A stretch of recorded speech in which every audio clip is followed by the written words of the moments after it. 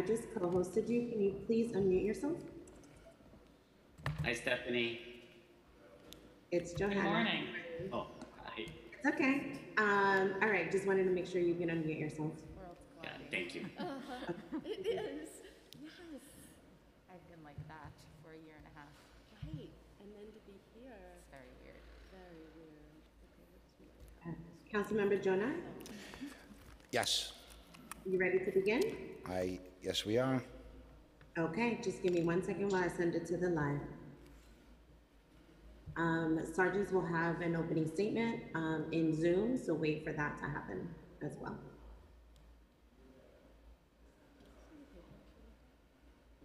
I think there's stacks committee report.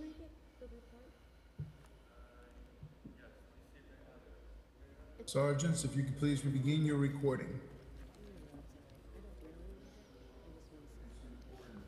PC recording is underway. Our recording is up. Good morning and welcome to today's remote New York City Council hearing of the Committee on Small Business. At this time, would all panelists please turn on their video? To minimize disruption, please silence your electronic devices, and if you wish to submit testimony, you may do so via email at the following address: testimony at council.nyc.gov. Once again, that address is testimony at council.nyc.gov. Thank you for your cooperation. We are ready to begin.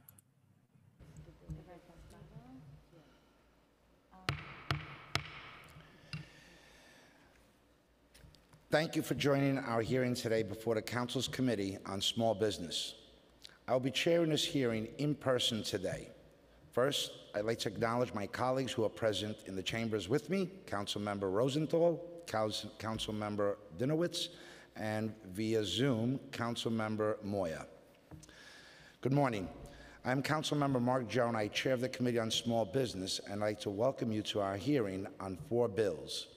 Intros 2333, 2335, 2356, and 2359, which seek to accelerate the recovery of the restaurant industry and ensure restaurants can succeed and survive in this post-COVID marketplace. Even before the pandemic, owning and operating a restaurant in a city was challenging. 80% of restaurants typically go out of business within the first five years of opening. Between rent, labor, and inventory costs, government regulations, and steep competition, operating a restaurant at profit can be extremely challenging. And yet, tens of thousands of New Yorkers still choose this industry. Perhaps they felt their culture's cuisine was not represented in their neighborhoods or because they wanted to share their love of the food with their communities. And New Yorkers have supported this entrepreneurial spirit by patronizing these restaurants. The pandemic and the resulting restrictions on in-person dining, while certainly necessary for public health, dealt a devastating blow to restaurant owners. Restaurants were forced to survive on depleted revenues, and third-party platforms, which had previously accounted for a small percentage of orders, were suddenly the lifeline for many restaurants. To ensure restaurants could survive throughout the pandemic, this committee passed Local Laws 51 and 52 of 2020, which prevented platforms for erroneously charging restaurants for phone orders that did not occur and capped the fees that the platforms could charge restaurants. The committee extended both of these laws through the passage of Local Law 87 and 88. As the city has reopened and the dark days of the pandemic are hopefully behind us, the restaurant industry will begin to recover. Certain customers and consumer habits have remained. That will make it more difficult for restaurants to succeed. Mainly consumers who become accustomed to ordering on third-party platforms that charge a substantial fee per order for the marketing and delivery service they provide may continue to use these platforms. According to Scott Duke uh, Kominers, a professor at Harvard Business School, and the quote is, people have gotten much more used to ordering food and other products to delivery services. Some of that will decline once it's safe to do things in person, of course, but new habit formation is powerful. End quote. The rise of third party platforms is also apparent from their corporate strategies. Uber acquired delivery service Postmates in November 2020, and in December 2020, DoorDash made its public market debut. DoorDash stock rose 86% during its initial public offering, one of the biggest IPOs of 2020, at a time when over 110,000 restaurants were closing across the country, including over 5,000 in New York City. The platforms were experiencing a dramatic increase in business, while the restaurants were seeing a depletion of their business. This committee has conducted three oversight hearings this legislative session on the rise of third party delivery platforms in the city. During these hearings, small businesses and advocates have highlighted issues with these platforms, including listing restaurants on their platforms without permission, high commission fees, and the use of app generated phone numbers to charge a commission and at times charge a commission for an order that did not take place. As President Biden has said, we must build back better. The package of bills we're hearing today will ensure that restaurants have the tools that they need to succeed and survive the post COVID world. I look forward to hearing feedback from the delivery platforms, restaurants, business advocacy groups, and restaurant owners on the impact of this legislation and how the bills can be best tailored to achieve their aims. I look forward to having a conversation with the administration as well as to hear about their experience enforcing local laws 87 and 88 of 2020 and any changes to the bills they would recommend for that experience. As chair of the committee, it has been my top priority to ensure that small businesses, micro businesses, mom and pop shops remain the backbone of the city's economy, from suspending personal guarantees on small business leases to cutting government fines on rules and regulations. It's been an honor to serve the hardworking small business owners of this city. With that said, I want to thank my Chief of Staff, Reggie Johnson, our Legislative Counsel, Stephanie Jones, Policy Analyst Noah Meixler, and Financial Analyst Aliyah Ali for their hard work in preparing for this hearing. Before I turn it over to Councilman Moya to deliver an opening statement, I just want to express the importance of this hearing and why these hearings are so important as we determine what needs to be done to protect small businesses, consumers, and industries. The impacts of Intro 2333, 2335, 2356, and 2359 now have enough data for us to understand their impact and perhaps unintended consequences. We need to learn from this administration about the difficulties that they have experienced enforcing local laws 87 and 88 and concerns that they have about these bills as we move forward while hearing from all of the stakeholders. I'm a pro business council member, and I believe in free markets. And I believe that government's responsibility is not to pick winners and losers. But I do believe that government has a role in protecting its consumers and citizens and taxpayers. And with that being said, I'd like to turn it over to Council Moya, who has a statement to deliver. Thank you, Chair Gjonaj. Um, thank you for uh, all that you've done uh, throughout this pandemic and throughout the years uh, to really uh, help and protect our small businesses uh, when they needed it the most. Uh, and I thank you for that as well. Um, I'm Councilmember Francisco Moya. Thank you again, Chair, for having me. mom and pop shops make each neighborhood unique and they employ locally and drive our local economy. When the pandemic hit, and if you were operating in a neighborhood disproportionately impacted by COVID, these businesses took a hit. And if you didn't have the resources to pivot to a digital food delivery service model, the loss of business was greater. Now add that to having to pay exorbitant fees to third party food delivery services while trying to keep staff employed and covering expenses, uh, all the while managing the loss of business. Uh, for far too long, these third party food delivery services knowingly and willingly took advantage of small businesses, and the pandemic highlighted this abuse. As one of the greatest cities in the world, we need to stand by our small business owners every single day. We cannot allow these companies to choose their profit margins over those of mom and pop shops, and especially struggling businesses by charging them fees for services they may not even be providing. As our small businesses begin to recover, we must prevent abuse like this from happening again. These companies from the onset had the opportunity to do what's right, so here's their chance. We need to do everything we can to protect our mom and pop shops, the workers they employ, and our local economy. Uh, for these companies, it's just another restaurant. But for us uh, in our neighborhoods, these restaurants are an integral part of the character of our community. And that's why I, I introduced Intro 2359 to make these caps permanent. I will always stand by my small business owners over billionaire owned companies any given day of the week. Uh, and with that, I want to turn it back over to our chair and thank you uh, again for allowing me to. Thank you, council member, and uh, I want to thank you for the time and the hard work that you've put in uh, to this uh, hearing and all along during the pandemic to protect our small businesses. And your friendship and commitment to our small businesses is something that uh, I'm proud of.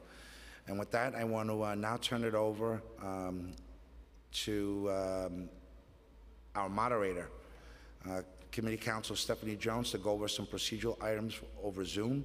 For those of you present here in person, the Zoom feed that we broadcast footage of our committee council and any witnesses testifying over Zoom will be displayed on the television set up for us in the City Hall chambers. Thank you, Chair Gjonaj. I am Stephanie Jones, Counsel to the Committee on Small Business, and I will be moderating this hearing. Before we begin, I'd like to remind Zoom participants that you will be on mute until you are called on to testify, at which point you will be unmuted by the host. During the hearing, I will be calling on panelists to testify one by one.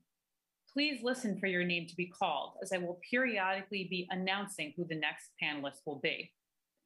At this hearing, we will first be inviting testimony from the Office of Special Enforcement and then from members of the public. During the hearing, council members who would like to ask a question of the administration or a specific panelist will be called upon by the chair to do so. We will be limiting council member questions to five minutes, which includes the time it takes to answer your questions. For all panelists, when called to testify, please state your name and the organization you represent, if any. We will now call representatives of the administration to testify. We will be hearing testimony from Christian Klossner, Executive Director of the Office of Special Enforcement. We will also be joined for questions by Stephen Ettannani, Executive Director of External Affairs for the Department of Consumer and Worker Protection. At this time, I will administer the affirmation to administration panelists. Executive Director Klossner and Executive Director Ettannani, please raise your right hands. Do you affirm to tell the truth, the whole truth, and nothing but the truth before this committee and to respond honestly to council member questions? I do. Thank you. Executive Director Ettannani? I do. Thank you. At this time, I'd like to invite Executive Director Klossner to present his testimony. Thank you. Good morning, Chair Gjonaj and members of the Committee on Small Business. My name is Christian Klossner, and I am the Executive Director of the Office of Special Enforcement, also known as OSE, which is overseen by the Mayor's Office of Criminal Justice. I am also joined by my colleague Stephen Ettannani, Executive Director of External Affairs for the Department of Consumer and Worker Protection, or DCWP. Thank you for the opportunity to testify today.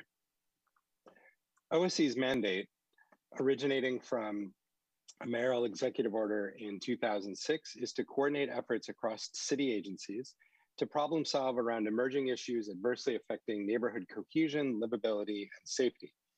OSE has served this function in numerous issue areas, with the vast majority of this work over the past several years focused on preventing the housing loss and community disruption caused by illegal short-term rentals.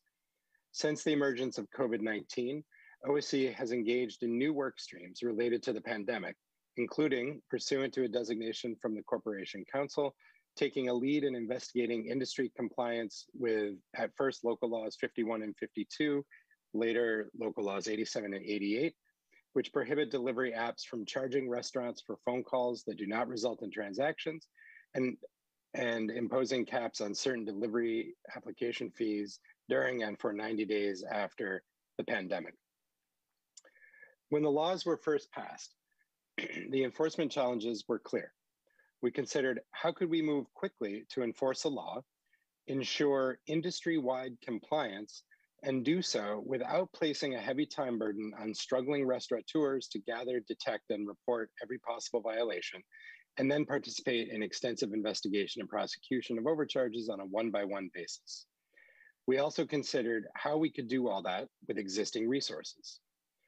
OSE is pleased to have piloted a successful enforcement model that resulted in broad, spread, broad spread compliance with the law.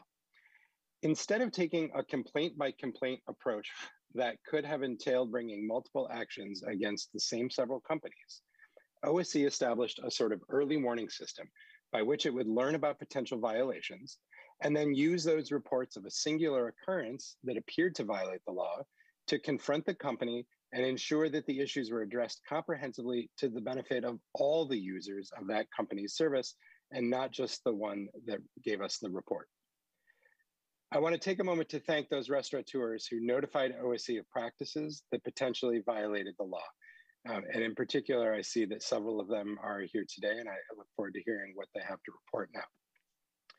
Their reports and the effort they took to prepare them allow OSE to identify and resolve compliance issues, as well as develop a sense of the limitations of the law and to understand some of the perhaps unintended consequences of these laws.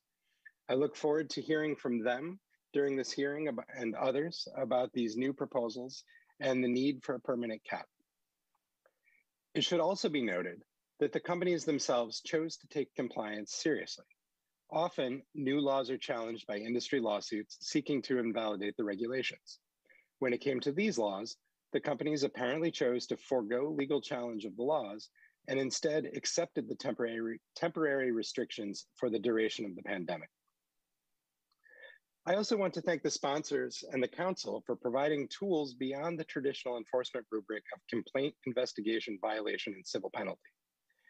OSE believes that including restitution as a potential remedy not only created an option for making restaurateurs whole, but eliminated the financial incentive for companies who may have otherwise chosen not to comply. Including an option to seek injunctive relief meant that we could seek a court order forcing a company to comply across the board instead of hoping that fines for noncompliance would be sufficient deterrence.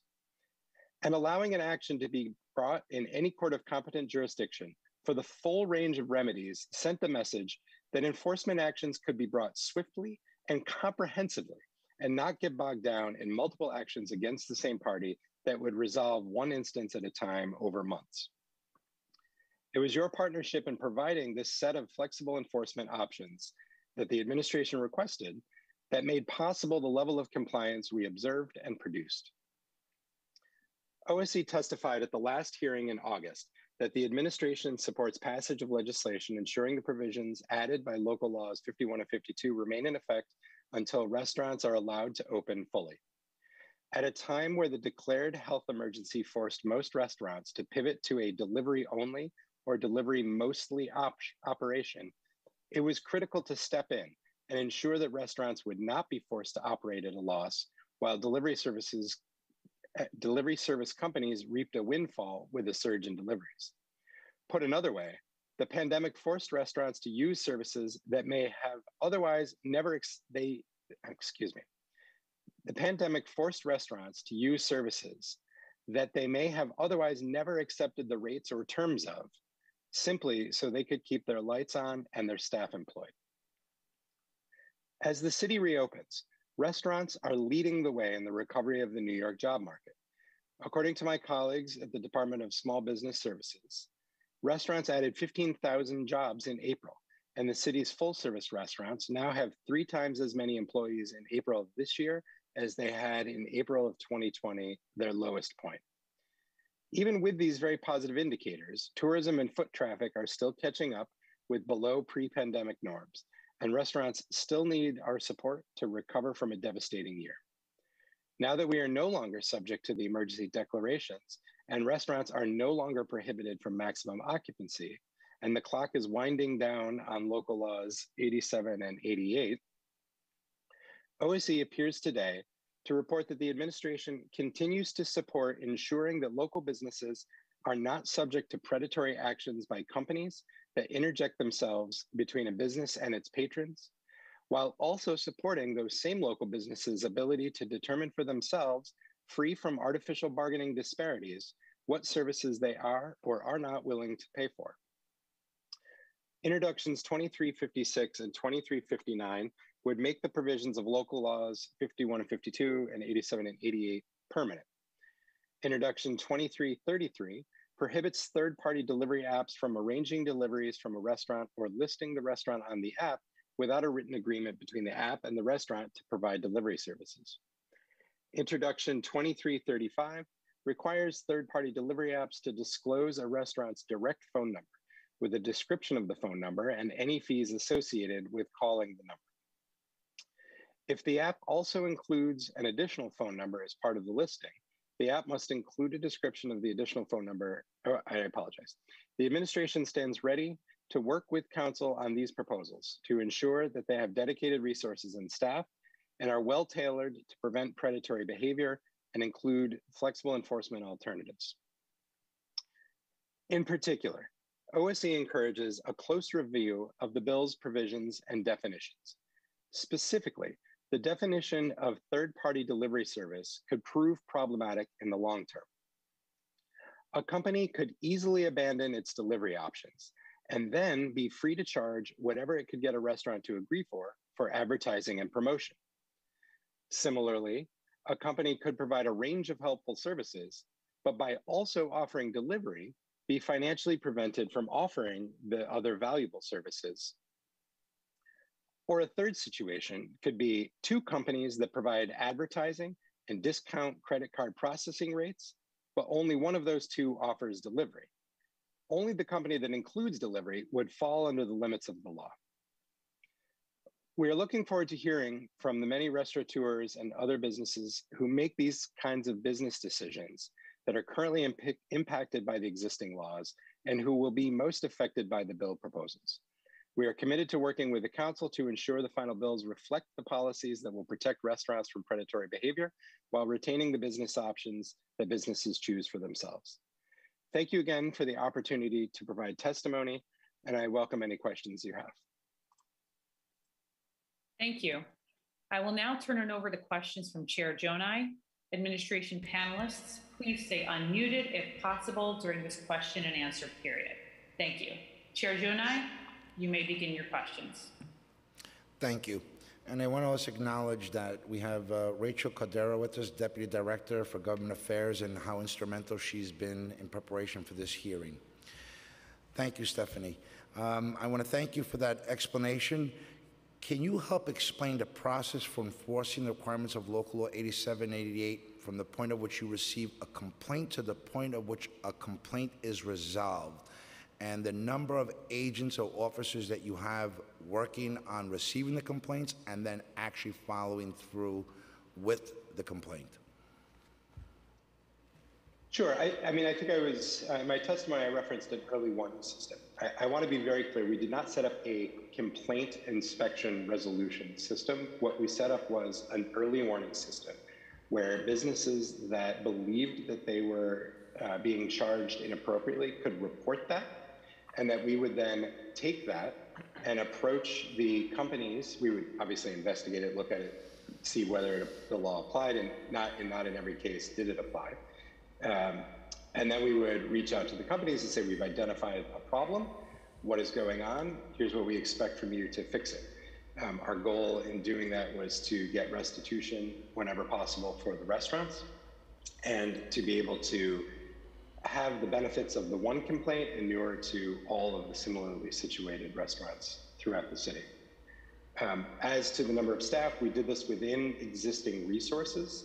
Um, we, I would say, approximately four to five OSE staff members worked on this with some portion of their time. Um, And I, I think that answers the question, but I'll, I'll turn it back to you, Chair, to, to do it. And I, and I do want to say also, I, I want to thank your staff for putting the hearing together. Uh, it was seamless getting in this morning. Thank you. Um, For the 405 OSE staff, what were the number of complaints that were received um, in reference to local law 87 and 88? Um, I, again, I, I'm, I'm, I'm going to reject complaint because many of the contacts that we received were actually more in the status of an inquiry, um, asking whether the law applied to us. Um, the, we received approximately 22 such contacts from 15 different individuals. You received 22 um, questions, is that what you're saying? Uh, From 15? Uh, I'd say 22 contacts, some of which were questions like, hey, this company raised their rates on me to meet the limits of the fees. Can they do that? Um, right, that answer is yes, they can. Um, we received an inquiry saying they're charging me 10% for a pickup. Can they do that? The answer is no. And then we launched an investigation and we started integra- we started dealing with the company and pursuing restitution. Using that uh, question or contact, how many of the 22 were involved, involved pricing and the charges or the fees that they were paying to a third-party delivery app? Um, I, I'd have to get back to you on the specific breakdown. The majority, um, the, the issue that received the majority of inquiries were certainly related to overcharging. Um, some of those inquiries were, um, you know, concerns about overcharging that turned out to be, um, you know, more about how the charges were described than whether or not they actually exceeded. Um, but that was the majority issue. So, Mr. Klossner, did you receive any question or concern or a contact regarding a fee that should not have been charged according to the local laws that we had passed and that were found that they were unjustified? Uh, yes, the there. Uh, well, that was a two-part question. Sorry, I answered yes to your first part, um, uh, which was were there complaints about fees that were unjustified. Uh, in, in the last appearance before this committee, I um, I described two specific circumstances um, that were potentially violative. Um, one um, one set of inquiries related to the situation I just mentioned, where um, a company was apparently charging 10% for pickup orders when the limit would be 5% if there wasn't a delivery. Um, we found, uh, we went to the company, we found that that was happening. Um, that company provided restitution, uh, did, a, did a comprehensive review, um, corrected the issue, and issued refunds to the restaurants. Um, uh, the other instance that I reported to the council at the last hearing um, was that uh, restaurant owners were concerned that the credit card processing fees were being um, that credit card processing fees were not covered by the 5% cap and they were being charged um, when local laws 51 and 52 became local laws 87 and 88 um, the credit card processing fees were specifically exempted and that ended that review um, and then in the in the last hearing, um, we had reported that we had not heard any concerns about charges for calls. Um, and then one of the uh, one of the public witnesses then later testified in that hearing that they believed that they had been charged um, for those calls. Um, we did investigate that. Um, we took that back to the company, and I and, and we think that you know, we, we think that the company has made very significant efforts to comply with the with the law. Um, our review of that of that matter is continues to be ongoing, um, but it does raise significant concerns um, that I, I, want to put before the council about um, extending that bill, uh, and I think that these concerns also touch on uh, Intro 2335. Um, I apologize, I may have just said the wrong number. Um, no, 2335, that's right. Um, and, and, and that's this, and I, you know, I, I will give my view, and I, I look forward to, um, I look forward to the council probing this issue with any of the companies that testify, so we can get even greater clarity, um, as well as um, what the restaurants have to say about this. Um, the reality is, that a restaurant is not just paying for the order um, when they pay by each call, right? They may also, depending on the company they're interacting with, be paying for a suite of business tools that are used to track, receive, record, store mess, store phone calls, and to review and manage the calls and orders. Making this provision permanent in its current format raises a concern uh, in that there's a possibility it would force the company to suspend support for some of those tools. Um, I, I think that it's particularly um, important that business owners maintain access to these tools. These are the very same tools that they were using to do their own investigations of charges, to be able to report and provide documentation to us. Um, we would also be concerned if, um, if these were made permanent, that, uh, that the delivery app companies would change their pricing model in such a way that the charges would be shifted to all users, regardless of whether their phone is ringing, instead of only those users whose phones are ringing based on the services provided by the companies. Um, as I said before, I, you know, I, I hope that I hope that that's clear, and I hope that this provides the committee um, with a line of questionings for the industry that testifies today, and, and I welcome the insight of business owners who use these tools um, and, and who can speak to the value. Thank you, Mr. Klossner, but I, I'm trying to get a better understanding of how OSE received and what uh, complaints or concerns were brought to their attention, and then the follow-up with those third-party uh, delivery apps.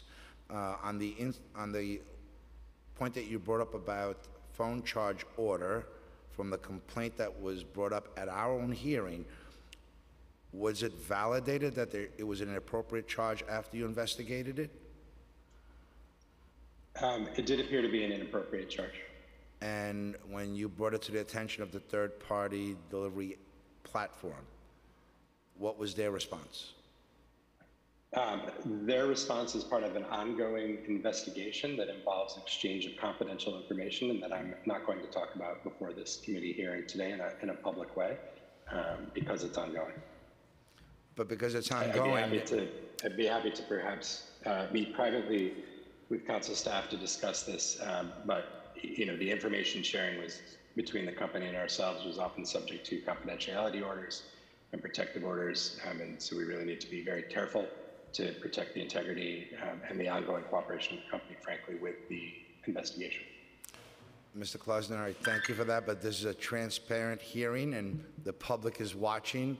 I'm not asking you for the name of the restaurant operator or the third-party food delivery app itself.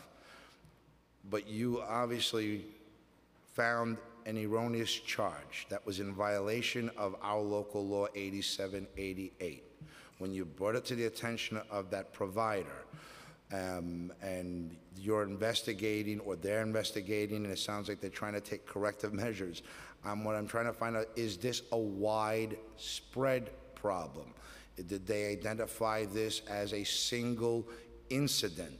Are you looking into how many other incidents there could be that perhaps were not brought to? OSE?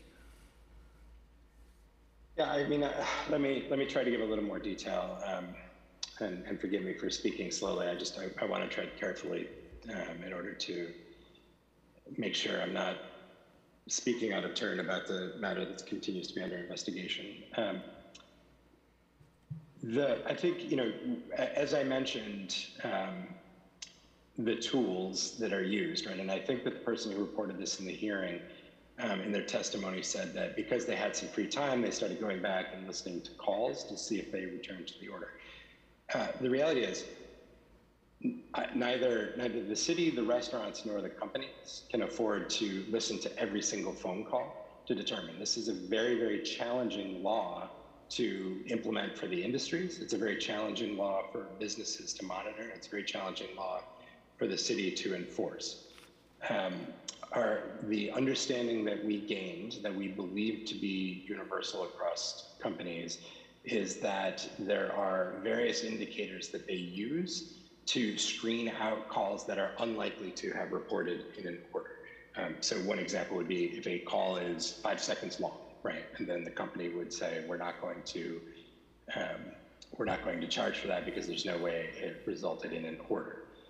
Um, I do not think that um, that it can be done foolproof, but I do believe that the industries took very significant steps, both in the implementation of the law to prevent any charges from occurring, as well as after our inquiry to continue to refine and adjust their algorithms to make sure that even more calls um, were screened out. But Mr. Klossner, is the law then foolproof? Is it protecting our restaurant industry? I, I, I don't think it's foolproof. I think it was an important measure during the emergency um, in order to protect consumers. I, I think this is an issue, and, and again, I, I really am looking forward to hearing what witnesses come after me have to say in the matter and continuing to engage with counsel on this to make sure that they're protected in the best way possible.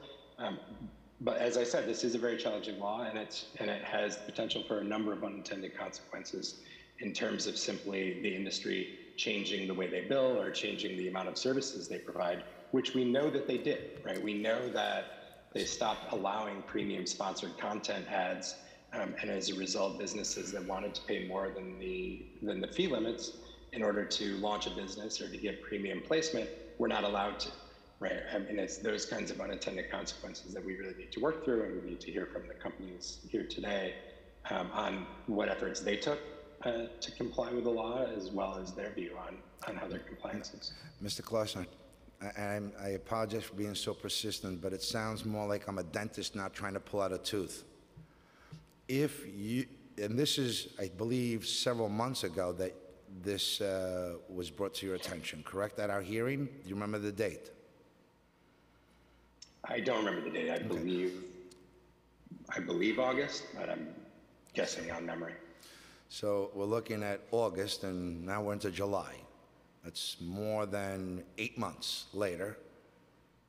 And you still haven't, if you, if there was a violation, I believe the local law is clear. It Says if you see a violation, you brought it to the attention of the provider, and if he, and if it was confirmed a violation, shouldn't there have been a violation issued? No, No? I, I think the law clearly provides that as an option, but as I testified before, the challenge to doing this was how can we enforce this law right away, right? When these laws passed, we didn't know it would be a year. We didn't want to wait for an extensive regulatory promulgation of rules, setting up a full complaint line through 311, et cetera. We set up an immediate, pre effective date early warning system where business owners committed to us to report any problems that they saw. And we took each complaint that had validity directly to the companies and produced compliance on behalf of all restaurants. So I understand that you have a strong preference for a complaint and violation, and I am here as the administration's enforcement expert to say that is not the most efficient or effective way to do the, this kind of enforcement, nor would it have been the kind of lightning fast enforcement that we did set up. I, look, this to me is uh, something uh, unorthodox because in the city of New York, we love to fine um, our business owners and anyone that's in violation, and we leave it to the interpretation of the court system thereafter. What you're telling, I'm going to read this law. I, uh, if I'm wrong here, please let me know. Um, Local Law 87, 2020 is amended as follows. Telephone orders. No third-party food delivery service may charge any fee for a food service establishment for a telephone order if a telephone call between such establishment and a customer does not result in an actual transaction during the telephone call. The requirement of this section applies only during the period in which a state disaster emergency has been declared by the governor of the state of New York or state emergency has been declared by the mayor. Such declaration is in effect in a city and food service establishment in the city prohibited from operating at the maximum indoor capacity for a period of 90 days. There is no fine associated with this violation. Is that my interpretation? I, I, I, I'm sorry. You were reading the law and then you said there's no fine associated with it, and you're asking me. I'm asking you. Your interpretation. I'm asking you the interpretation of this, of Section 2847 of the Administrative Code of New York, as amended by number 87 of 2020. Because if there is no violation or fee imposed for violation or for noncompliance, then why do we even have this local law? The, the fines, and I, and I hear what you say, right? There, there is a traditional view of how to do enforcement in the city, and that you take a complaint through 311, you send an inspector, the inspector makes a finding, it goes to oath, and a violation is imposed, right? I understand that that is the normal way. And in many situations, that is the best way, right? If you have a set of actors such as building owners, right? We, most of our work is um, under the building code. There are hundreds of thousands of buildings, right? And there's um, a, sub, a smaller number than that of owners. They're all acting independently, right? You can't take them on all at once as a class. This is an instance where there are only a handful of companies that are providing the same service to people all across the city. If there was, the city had one landlord for all all people. Mr. Klossner, then I'm so sorry. You wouldn't want to. I, I, I come from real estate, so unless there was a complaint filed that was brought the attention to the attention of a department or an agency, there wouldn't be a inspector that's sent out. And routinely, inspectors go out and just travel the districts and neighborhoods of the city, and if they see something, they follow up. In this case, there was an actual complaint brought to your attention. You confirmed that there was an illegal charge. I'm asking eight months later, you're telling me it's still under review. Why wasn't there a violation issued? What more did we do to see if this was widespread? I, I, and, and I I've explained, and, yeah. I, and I've explained, and I'll explain again. And I don't mind your persistence. That is why we're here.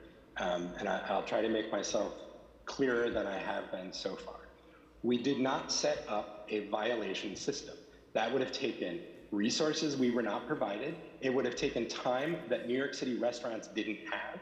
And it would have placed a significant amount of burden on restaurants to do the work themselves. And I'm not going to back down from that decision.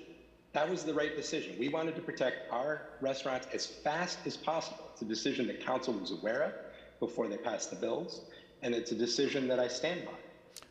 And as a result of that decision, what we did was we immediately protected restaurants. We made How? sure that these businesses were complying with the fee caps. We So contacted them before the law went into effect, and we said, "Well, hmm. this is going on. We expect compliance. If there's not compliance, you can expect to pay fines, restitution, and attorney's fees."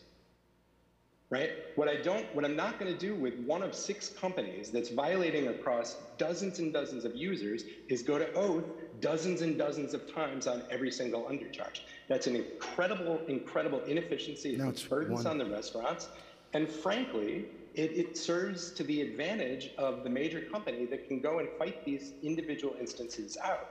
It's much better to, to work with them, get compliance, get restitution where need be, and if it requires a lawsuit, to bring one lawsuit alleging all the violations. It's one violation for one infraction, and what you're telling me is there is no teeth. You chose not to. didn't say that. Well, No, I didn't say that. In fact, I thanked the council for its partnership in ensuring that these laws had real teeth in giving us options other than the traditional complaint investigation and.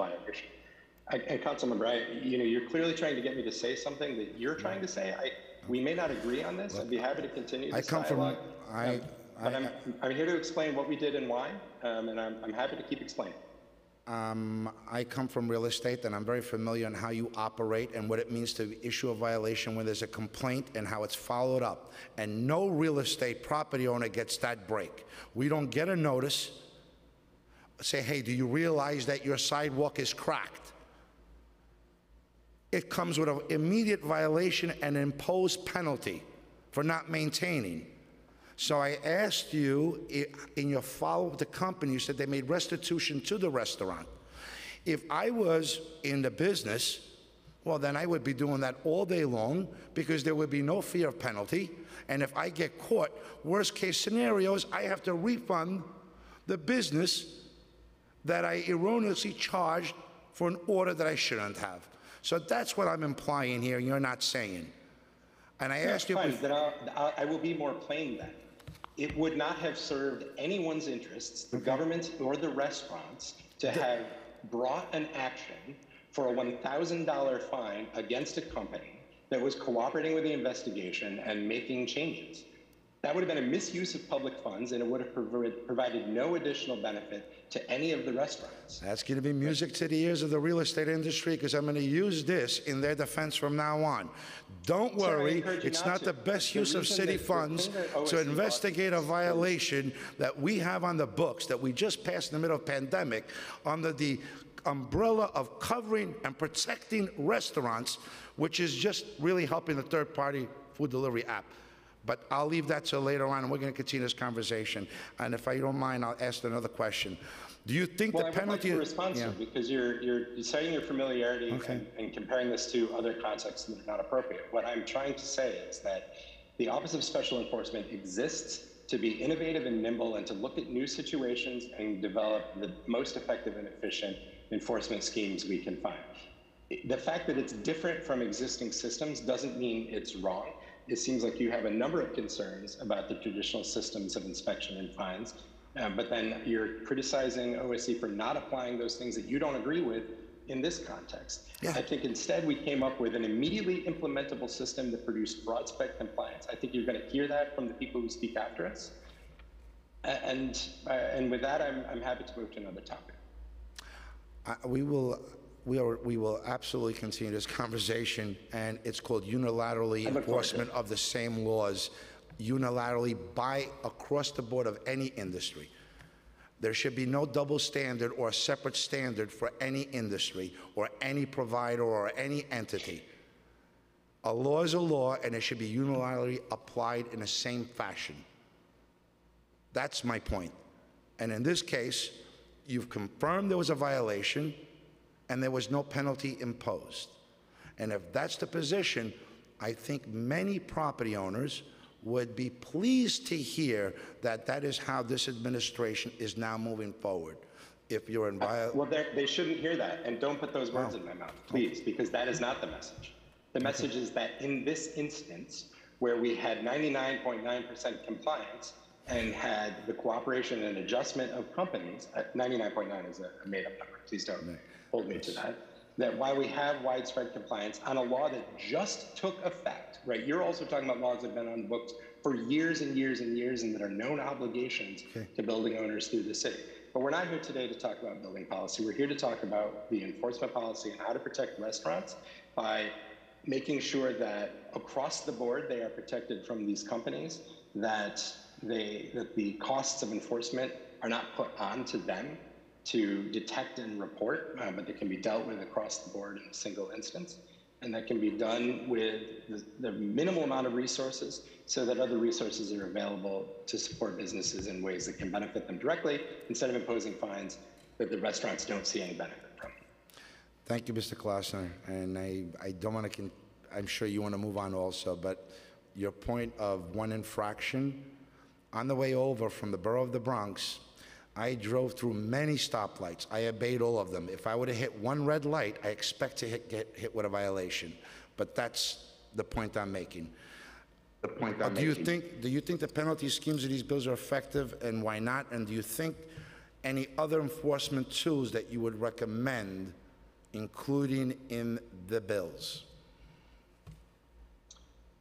Um, well, I very, you know, again, I very much want to, um, and I'm, I'm only, I'm only uh, excited to move on because, as I've said before, I, I really, I think that the best value that we're going to get at the end of this hearing is understanding how the business owners view this and how the companies uh, respond to it.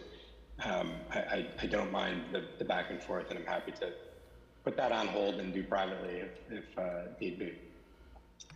Um, the fines, again, I, th- I think the tools that are the most important are the ability to seek injunctive relief and the ability to get restitution. I think fines and the traditional model of imposing a fine allow for a business to not comply and assume a cost of doing business.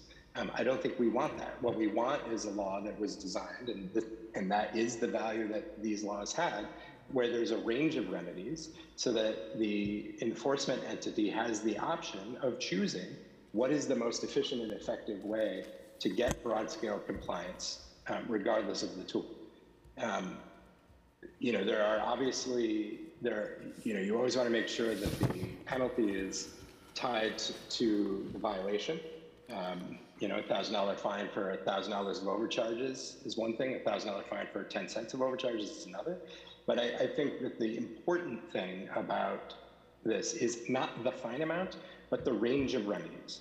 The, the continued inclusion of restitution as a remedy that says to restaurants, you're going to pay all this back, so don't bother. Right? That promotes a lot of upfront compliance, which is the goal we, of all laws. We want compliance because it's the law. The inclusion of bringing an action in a court of competent jurisdiction for all the remedies instead of forcing us to go one by one by one and bring multiple actions against a single company. It's those tools and the range of enforcement options that are the keys to this being successfully enforced no matter what form it takes. Um, and as I've said before, you know, we look forward to having a conversation after hearing what folks say in the hearing today to really drill down on what is the right policy and, and we can look at the fine amounts then. Thank you. Would you recommend requiring the extension of the bills, uh, the sharing of any specific information from the apps? I- I'm sorry, I don't understand the question. W- Would you recommend the extension or the permanent uh, laws remain in place?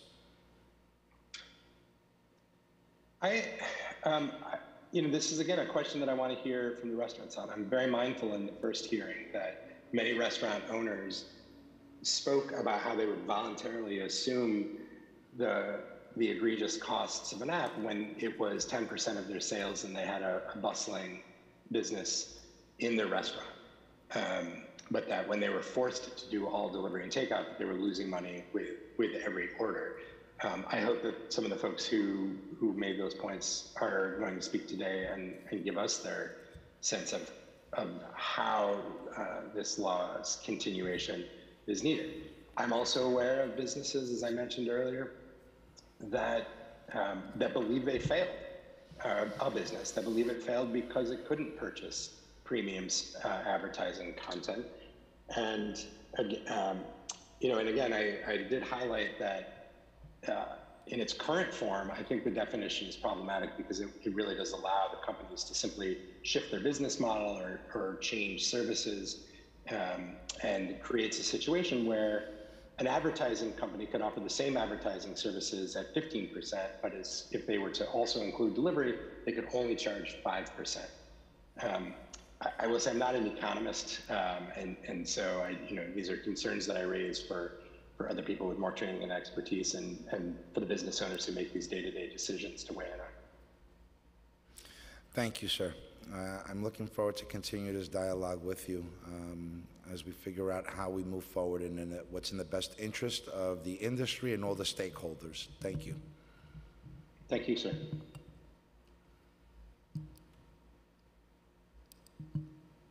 Ms. Jones, are we ready to call in uh, DCWP?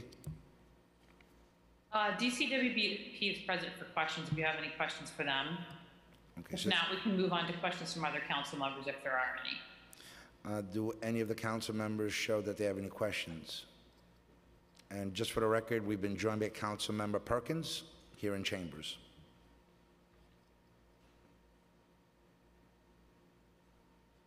No, Chair, no council members over Zoom have any questions. Then I just have a question for DCWP. Uh, Would enforcing any of this, any of these bills become easier if the city licensed the platforms to operate in the city of New York?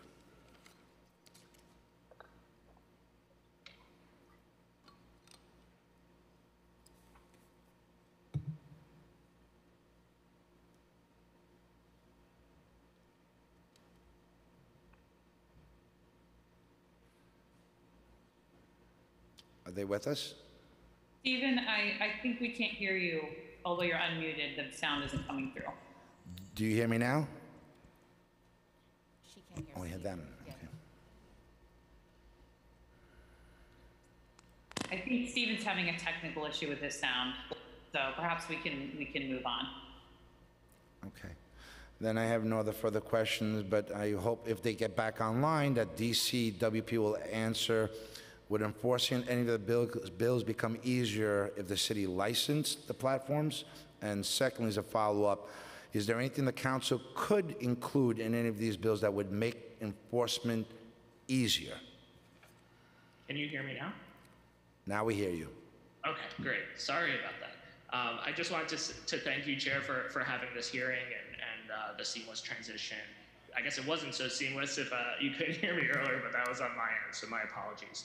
Um, I think, and I, I thank you for recognizing uh, our agency because we do, as you as you know, the the bills, the permanence of the of these regulations as con- contemplated are drafted into our title and do contemplate uh, DCWP to have a long term role in in this regulatory space. I think for us, um, licensure in of itself is not a panacea for for rectifying any kind of behaviors um, in an industry. It's really about the understanding like how pervasive certain practices are, and then like taking that information and then adapting an enforcement model that that is that is workable there. So like a licensure in of itself is really just registering with the city um, and all of that. And yes, there are, uh, you know, depending on the license, there are different regulatory schemes that come with that. But the licensure in of itself isn't necessarily a panacea. And I think we've seen that. I know, Chair, we've worked uh, closely together on the small business relief bills that that passed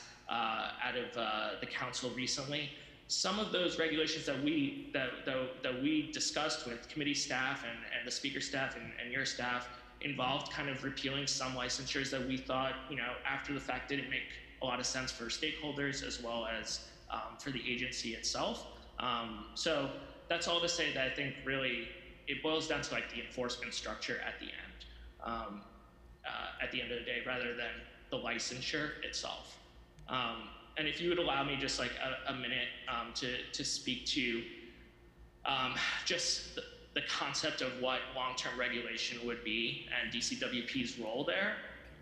In general, our agency as a consumer and worker protection agency skews to that work exactly, literally protecting consumers, protecting workers. These bills contemplate business-to-business transactions, and as such, would require resources for the agency. This is a new regulatory work for us. It's something that we ourselves are interested in hearing from stakeholders on. Um, and I know that depending on what we ourselves hear from stakeholders, we're interested in, in working with the council on like adaptive enforcement models that may be most effective and not necessarily carry the resource burdens of like a case by case enforcement model. And we have examples of that, whether it's a, a pattern and practice model that my colleague Christian had mentioned, or calling on other laws that are on the books, like the Freelance Isn't Free Act, for example. The backbone of that enforcement structure contemplates our agency serving and corresponding or intaking complaints from uh, complainants and then corresponding with respondents. Um, and then, depending on what we hear, if we don't hear anything, it would serve as you know a, uh, a uh, a rebuttable uh, presumption in a court uh, for, for the complainant. Um, these are all things we're kind of spitballing here. These are all things that are possible, less resource intensive, but possibly also effective um, in the terms of regulating in this space. Thank you. Um, What do you anticipate the market impacts will be if the council enacts a permanent commission cap? Is that a question for DCWP or? Yeah, from your end, and then perhaps we'll ask um, OSE to come back on, but Sure. Um, so I think uh, as as the Office of Special Enforcement testified to, there is a potential concern, certainly from DCWP's end. We're always very sensitive to this issue of uh, the unintended consequence of uh, when you cap profit margins for a particular business or entity, some of those costs flowing down to consumers invariably. That's a concern. It's something that doesn't necessarily prohibit council or suggest that we shouldn't do anything here because of that risk, but it's something that we want to work with you and your staff on, for example, to see how we can kind of limit that um, unintended expectation. I don't think anyone here wants to see, uh, you know, the average New Yorker who has certainly been affected financially by the pandemic, you know, seeing a higher cost at the end of the day invariably. I don't think that's your intent. It's not the council's intent. It's not certainly not ours. So that's one uh, potential um, output from this. In terms of others, like I said, I'm I'm really interested in hearing from from uh, stakeholders after our testimony um, to get a sense of like what what this landscape really looks like, and then um, you know working with you and your staff on on on what what's best moving forward. Thank you. And my last question to you, and I think I asked it early on, what is the council can do to help you with the enforcement of these laws? Yeah, um, well, I think it's going to depend on where we land on what what's the structure. If you're talking about a case by case model, that is the most resource intensive model, a complaint based model that you were um, kind of discussing with with my colleague at, at OSE.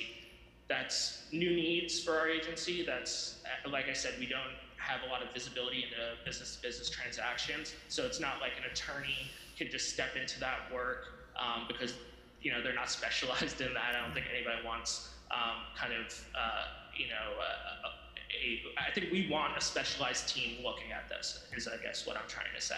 But as I mentioned, there are other less resource intensive models that also may be effective that get to your um, your ultimate goals, uh, chair, and that includes adopting models from, like I said, either the existing laws and what we've seen as effective. Perhaps the Freelance Isn't Free Act is a is one example, um, or adopting a pattern and practice enforcement model as well. So depending on those, I think we can certainly discuss, you know, what those day-to-day impacts would be for our agency. But um, you know, I think we're we're looking forward to like bridging bridging those gaps and concerns with you um, as this legislative process moves on.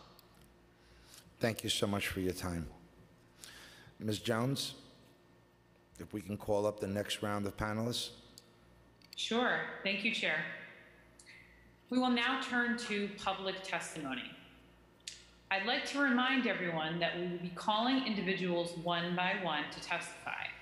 Each panelist will be given two minutes to speak. Please observe the two minute timer as we have a large amount of panelists registered to testify today. Once your name is called, a member of our staff will unmute you on Zoom. Panelists, please wait for the Sergeant at Arms to set the timer and announce that you may begin before delivering your testimony. Please be patient. We will get to everyone. I would like to now welcome Andrew Ding to testify, followed by Yaniv Cohen, and then Amy Healy. Andrew? Um, yes, one second. I'm just trying to un unblock my video. But okay, here we go. Start video. Okay. Your time will work? begin. Okay. So um, I'm speaking to the phone order charge situation.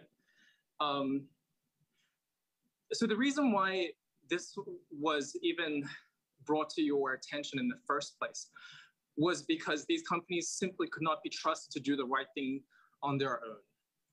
I wasn't the first to bring this situation to anyone's attention. In fact, there were lawsuits brought to um, these companies years beforehand. Um, and it wasn't until media coverage and also the hearings last year in August, and also um, subsequent evidence that I um, emailed and, and submitted to, I think is the OSE, um, that anything was actually done about it. And I, I can confirm that the amount of um, fraudulent calls has reduced. Um, I can also um, report back that I've not to date been able to get any kind of um, reply back about the audits that were promised about the fraudulent charges that I re- received last year. So there is no resolution on any of those, and I've attempted to reach out to my account um, point person. I've attempted to call customer service reps at Grubhub and Seamless to no avail. Um, so what what I feel like is necessary about these um, bills becoming permanent is to send a clear message that look, you clearly can't be trusted to do the right thing on your own. Um, so we're gonna have to step in and, and make sure that restaurants are protected from you.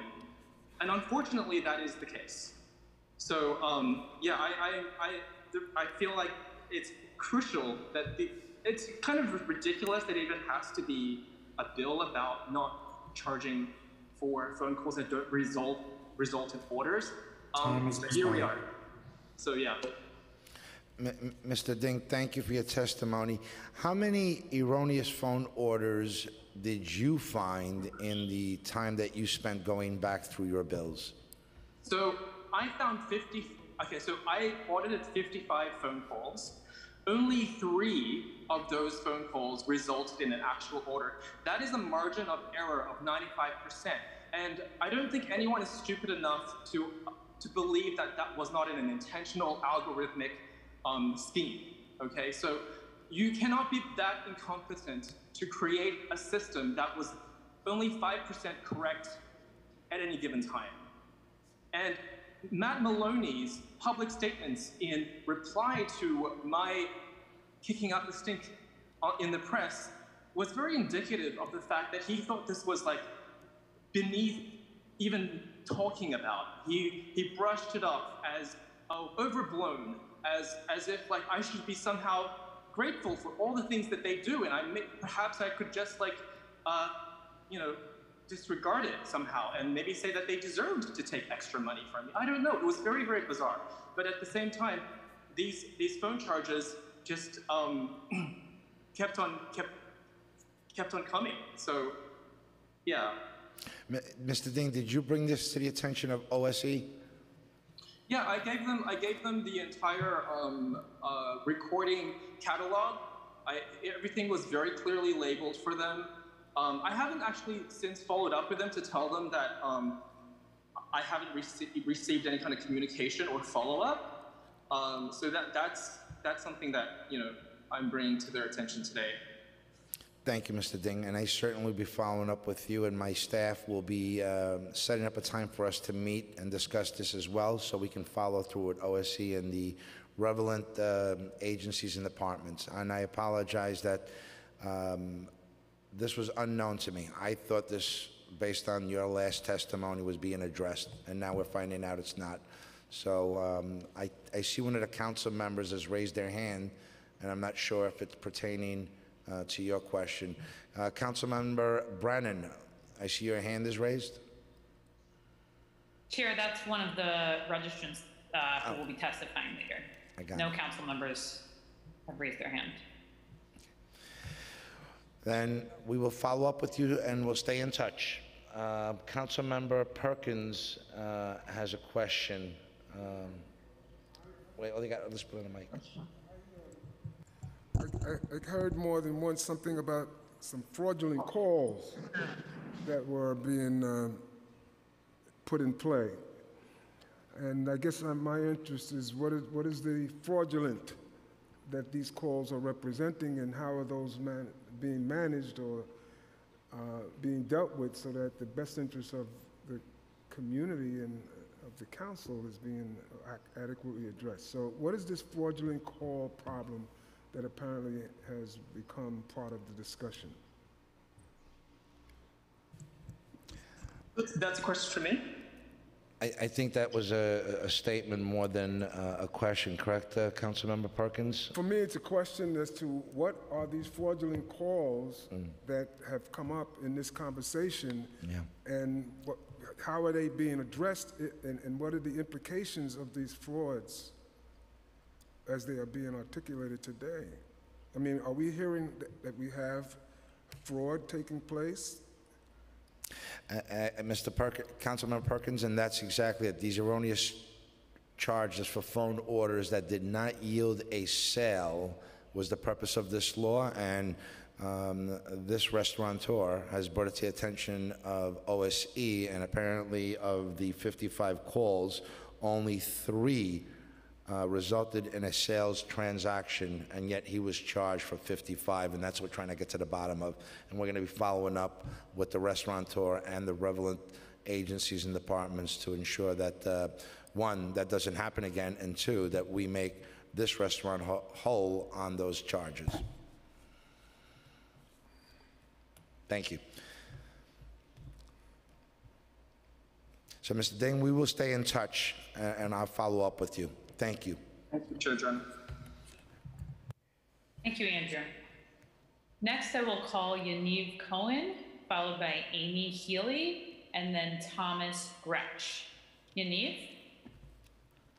The time will begin.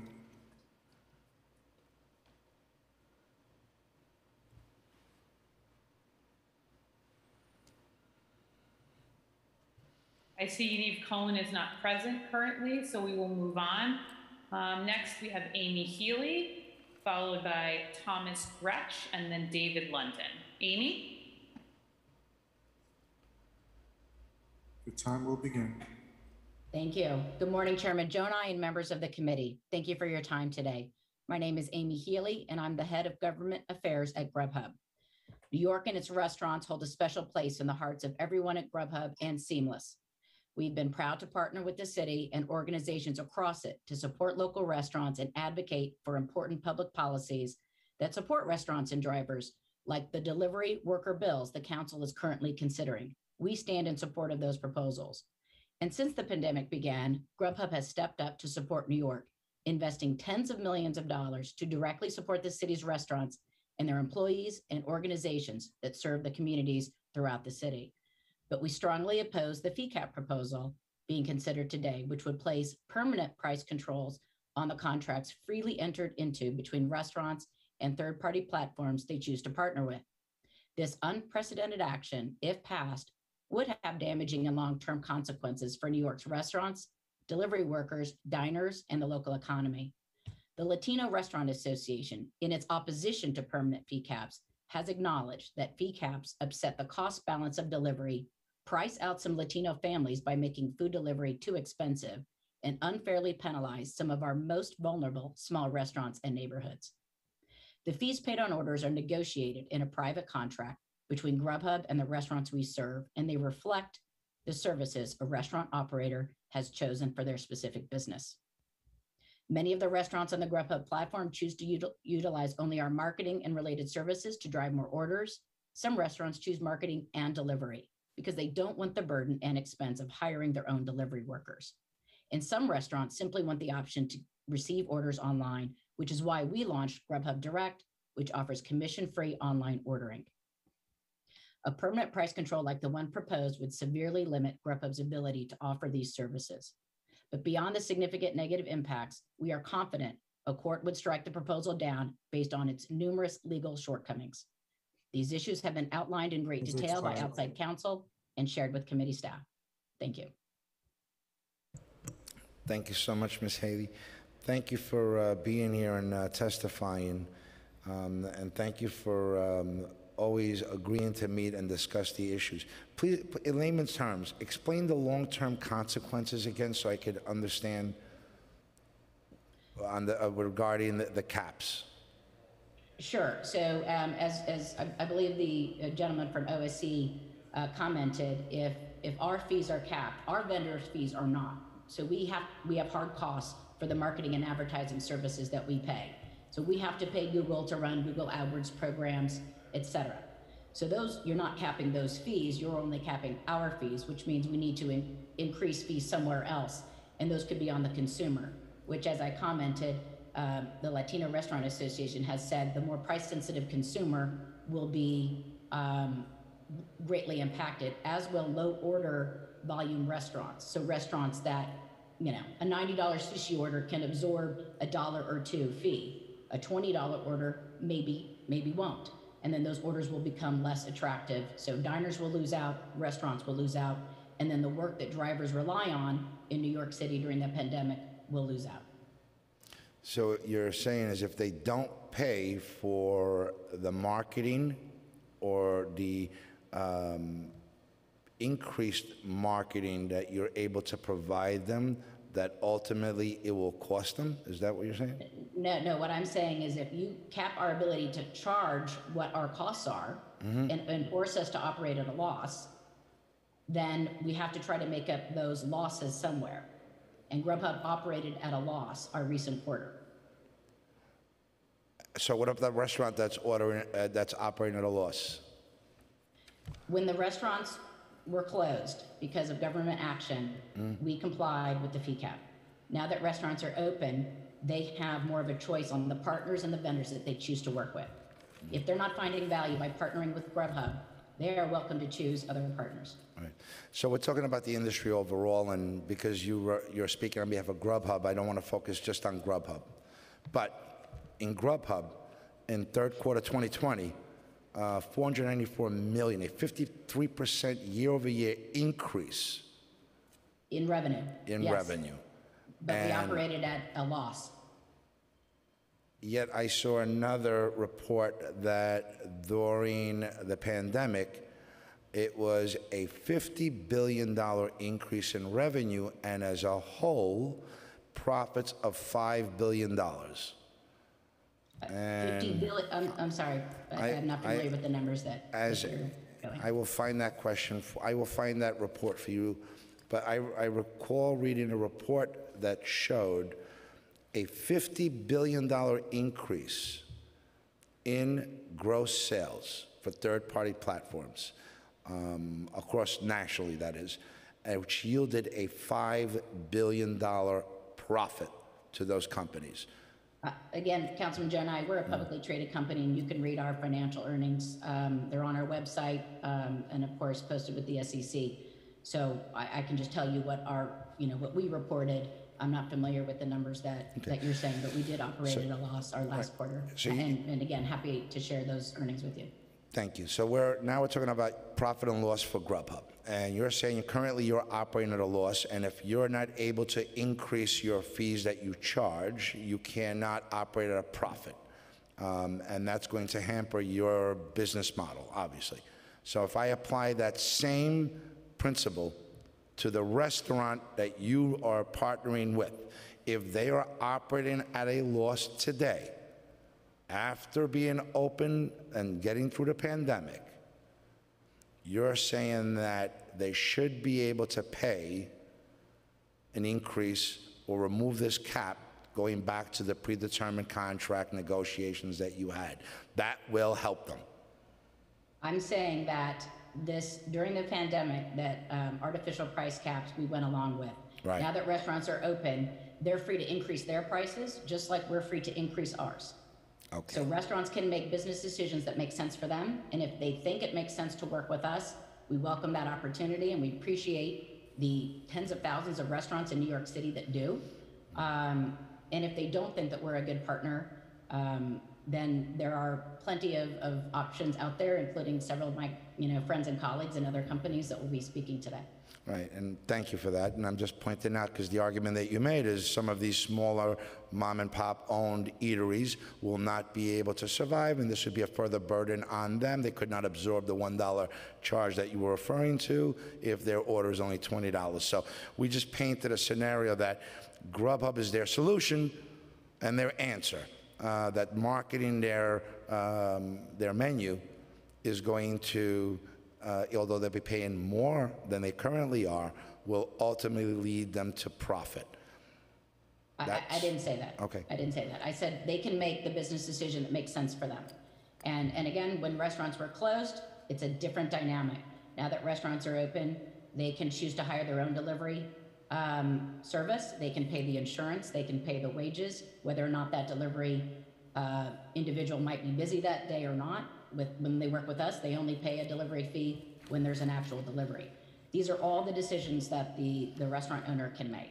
Um, and as I mentioned, I was quoting a letter from the Latino Restaurant Association that said a even a small fee can be a hurdle to some communities um, that are very price sensitive. And I'm happy to share that entire um, letter with you. And that's what I was referring to, the letter on the Latino Association, and I, I would be more than happy to look at that letter. Um, please elaborate more on the impact if these caps are permanent, what it would mean to Grubhub or the industry. I, I think as we discussed, we are a publicly traded company and we would need to increase costs somewhere um, or make business decisions to operate, um, to, to, to, to stop the losses that we've been operating under this artificial cap. Right. I, I'm not the business person, so I, I can't tell you exactly what we would do. Um, but, you know, we, we are a business and we need to um, make sure that we are operating in a sustainable way for our shareholders. Right, and I think that's the argument we just made, that those restaurants, if they're not profitable, they would have to find ways to raise revenue or profit levels, and they would have to raise their menu prices to a level of profitability. That would be the ultimate goal. I, I'm not a restaurateur. That's, that's up to the restaurateur to decide how to operate their business. I, I think I've asked this question before. Um, Your, your model, um, I believe, was 30% fee for marketing and delivery, correct? And that's where you want to see this go back to? We, I- want to see it go back to the rate for a suite of services that the restaurant chooses. So we have uh, different prices depending on what the restaurant chooses to buy. Um, it- And, and advertising, as you know, costs more to advertise on the Super Bowl than it does uh, on late night, you know, cable. So it depends on the exposure that the restaurant wants. They work with their uh, account executive and develop the package that works for them. I wish our uh, restaurants had account executives, I mean, that, that would be making these terminations for them, but apparently they deal with sales agents that determine what their budget is and what they could afford, and with the assumption that there would be a return on their investment. That's the whole idea here. And we're just trying to get a better understanding of the impact now that we've had some time to evaluate the impact that these bills have had on the industry on all stakeholders, whether it be the third-party delivery, delivery food apps or the restaurant uh, industry. Uh, Is there anything else that you can add to this, Amy, uh, when we talk about the legislation that has been, uh, uh, that has been put into place during the pandemic, and aside from the cap bill, the other legislations you're okay with, uh, they're acceptable to the industry, um, and you support? The, uh, happy to go through them. The non-partnered legislation where uh, platforms don't list um, restaurants without a written agreement. I believe it's written agreement. We are fine with that. Um, The ordinance that requires um, no charges for a phone order if there's no order, absolutely, we support that. We've taken many steps. Councilmember, I've been here about a year and a half. I think you and I met when I was six weeks in. Um, We've worked very diligently since um, since the first time you and I have met. Um, we're putting into place additional um, controls on our phone order system, including a live call center um, to remove the automation. Um, and, and we look forward to sharing more about that. I think we had an opportunity to talk about that a couple of weeks ago. Um, I believe, uh, it, so I'm trying to think of the, uh, uh, the next ordinance, if you want to. The other one is listing phone numbers. If you um, allocate your own number, that the restaurant number should also be included and identified as um, the direct number to the restaurant. You support that, Right, Bill? we're, we're, we're continuing to review that, uh, Councilman Gjonaj. We have a lot of restaurants who don't just advertise with us, they advertise with other, maybe it's with uh, Yelp or other marketing platforms, and we're able to show them, here are the number of calls that came through your advertising with us. Maybe they have a different number on Yelp, they're able to see where their advertising is spent. Um, Businesses tell us they like to understand where their advertising revenue are actually driving orders. And so we're able to do that by using a unique number. This is not new technology. It's not unique to delivery platforms. The Yellow Pages has used it for decades. Um, different ads and different size, uh, different numbers and different size ads or different headings. And then a business can see, okay, now I know where I'm getting my leads from, and I can reallocate my advertising dollars um, in a smarter way. Thank you. The, uh, the Bill 2359, which permanently extends the existing commission cap, are there any other models that you would like to suggest that would reduce commission fees for restaurants? And I only ask this question because the reports that we're getting consistently are saying the fees that we're paying lead to a net loss on every transaction. and the 20% fee that is currently being paid, 15% for delivery, 5% for marketing, or vice versa, uh, if you did no delivery and just a straight marketing fee, is not yielding a profit to these restaurants. Council member, if, Grubhub isn't delivering the order, which we only do in about half of the instances, and we're capped at five percent and the restaurant is still operating at a loss, I, I haven't seen the economics of that. So ha- happy to review that.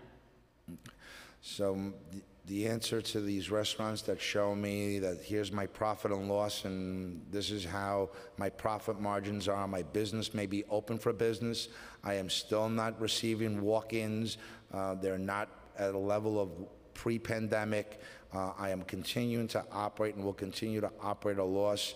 My customers now have become um, phone order delivery, using delivery app uh, rather than in-house dining. Uh, They're not coming to the window, they're not walking in, they're relying on these platforms.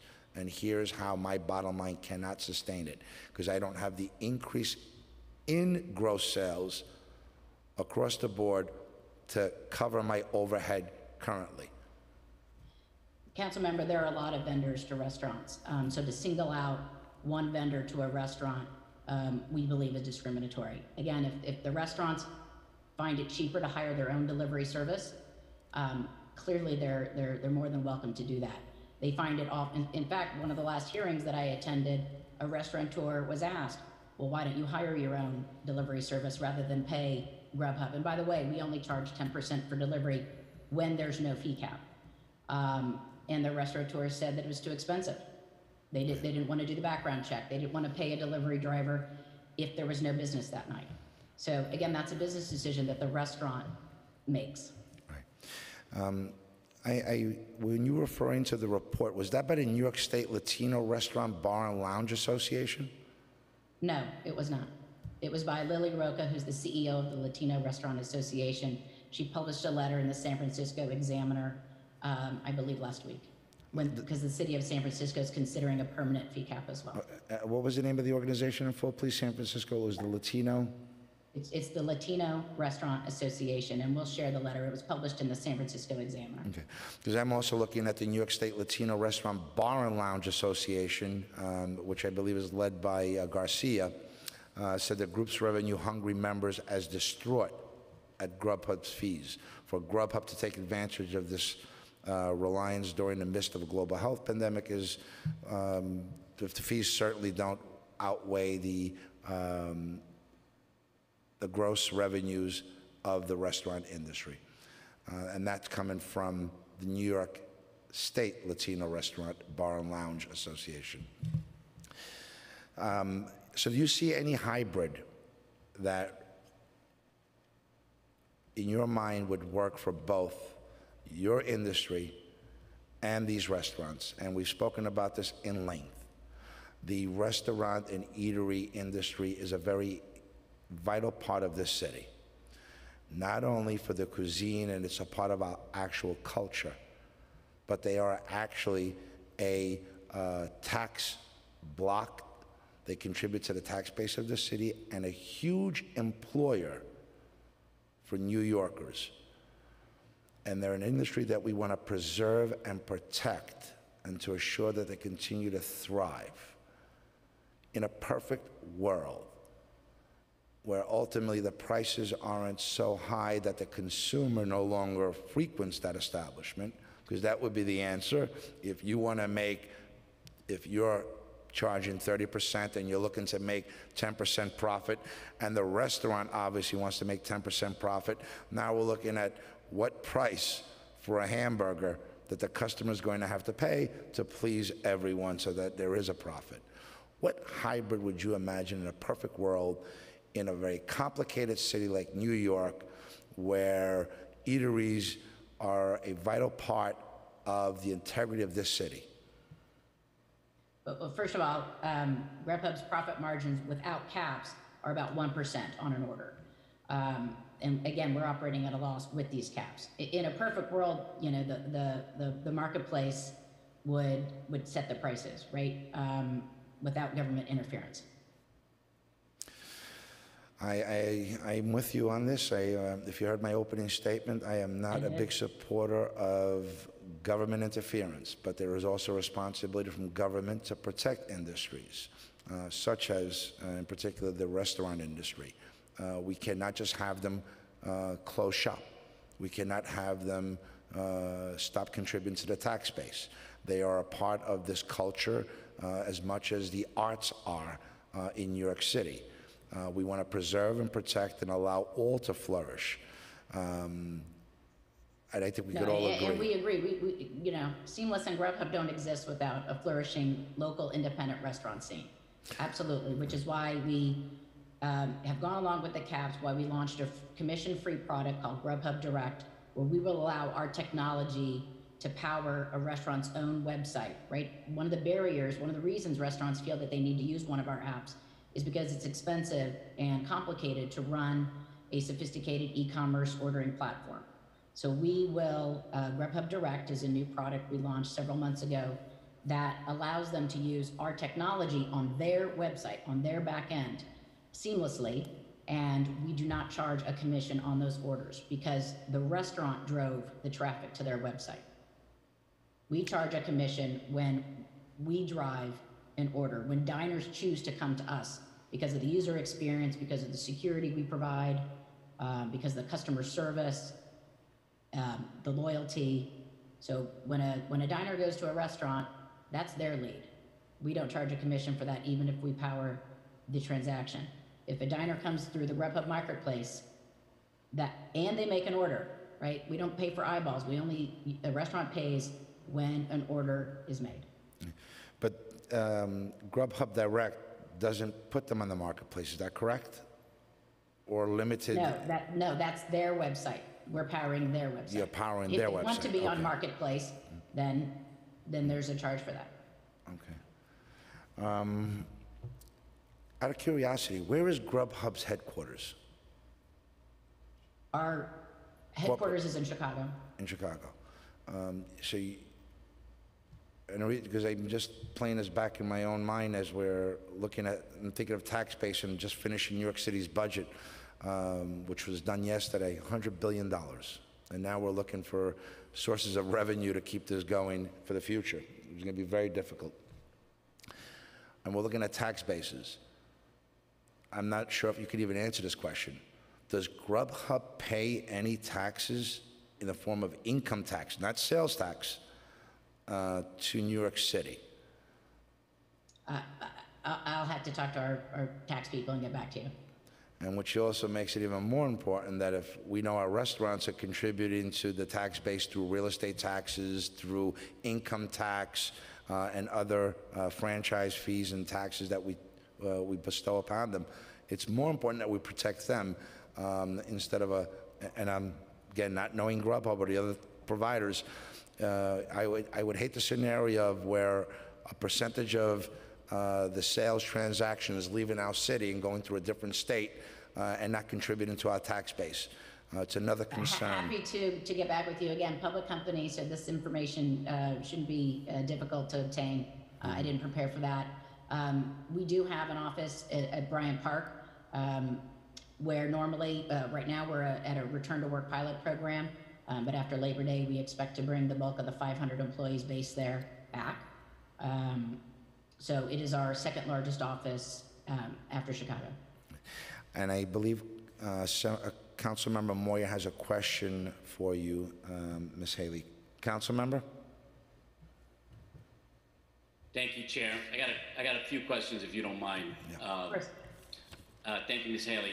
So just sticking to what uh, the, where the chair was going with this, um, how many full-time employees do you actually have uh, in New York City? Not independent contractors, Right. full-time Um, employees. I, I believe close to 500. Okay. Um, now, what is the cost of your company to operate uh, the platform? all the technology. I, I- I, I don't have that handy. Okay. Could you get that information, please? Sure. Okay. And uh, how much is it to list a restaurant? What do you mean? To just put it on our platform? Yeah. Um, I, I don't have the exact cost of that. Again, you know, it depends on where you want to be on the platform. Do you want to be, Like, Um, but you have options, right? If I want to get different options uh, for Right. uh, whatever service, right? What's the lowest and what's the highest? uh, generally the lowest is between 12 to 15%. Up to fifteen percent is the lowest. The highest right. would be what? Depends on the restaurant, what they, they can pay whatever they choose to pay. Uh, there are restaurants who open a new restaurant who really want to do, as you can imagine, a big grand opening and and buy a lot of advertising. I mean, they might buy it from us. They might they might buy balloons. They might buy signage. They might you know buy an ad in the local paper. Um, it's up to the restaurant. To uh, on how much it's going to cost them to list on your platform? No, if you- you're you're asking the the the top, if they want to do a coupon, they can choose to do a coup. They can go through Valpak and say twenty percent off, and the restaurant eats that twenty percent, or they can do a twenty percent off coupon through through What Grubhub. I'm, what I'm saying is, if I'm a restaurant and I wanna and I wanna uh, uh, list my service on your platform on Grubhub, what is the lowest cost? What is the what is the do you do you have packages? How do you offer these to the restaurants? Is what I'm trying to get. Through our account, every restaurant has an account executive um, that walks them through it. Okay. That that's how But but do you have something that we don't we don't list our prices on on the website. The You- account executive, we have don't different. list your prices on the website?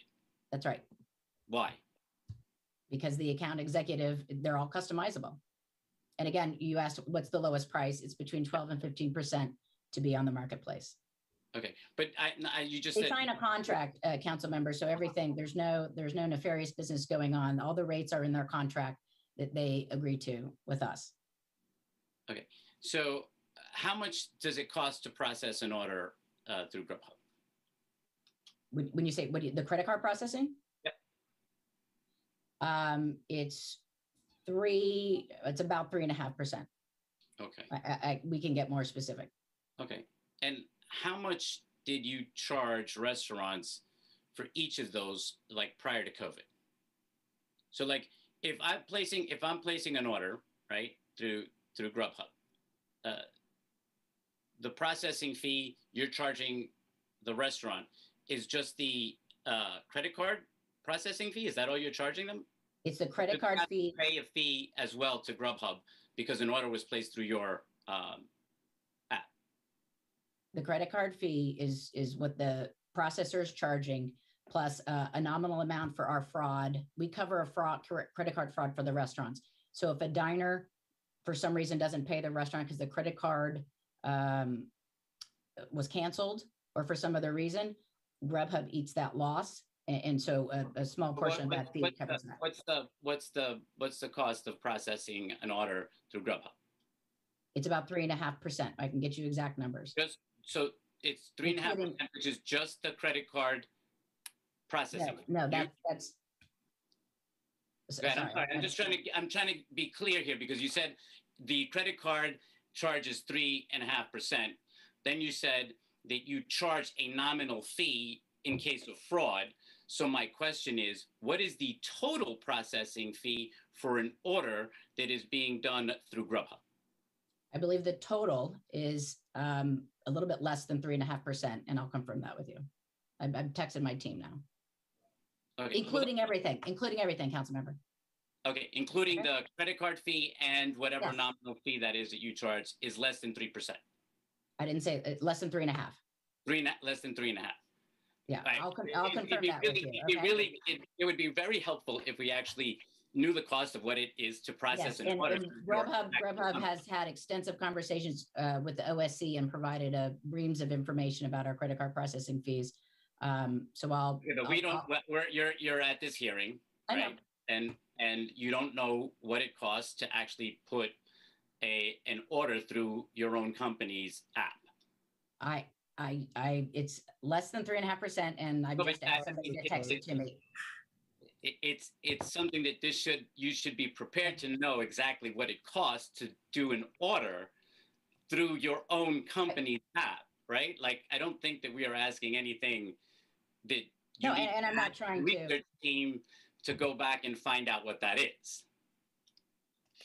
I would like to get that, please, before uh, you're done testifying. Um, and I'd also like to know how much it was prior to, to COVID. Uh, look, we've, we've heard from, from restaurants that their contracts and rates with uh, third-party apps uh, have increased without being informed or resigning the contract. Uh, what do your contracts with restaurants look like? Uh, and why would this happen? What is the process of, of, of changing the contract? Uh, we, we, we don't change the contract without the um, restaurant's permission.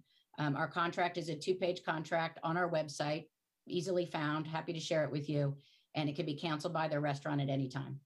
There's no long-term uh, agreements required.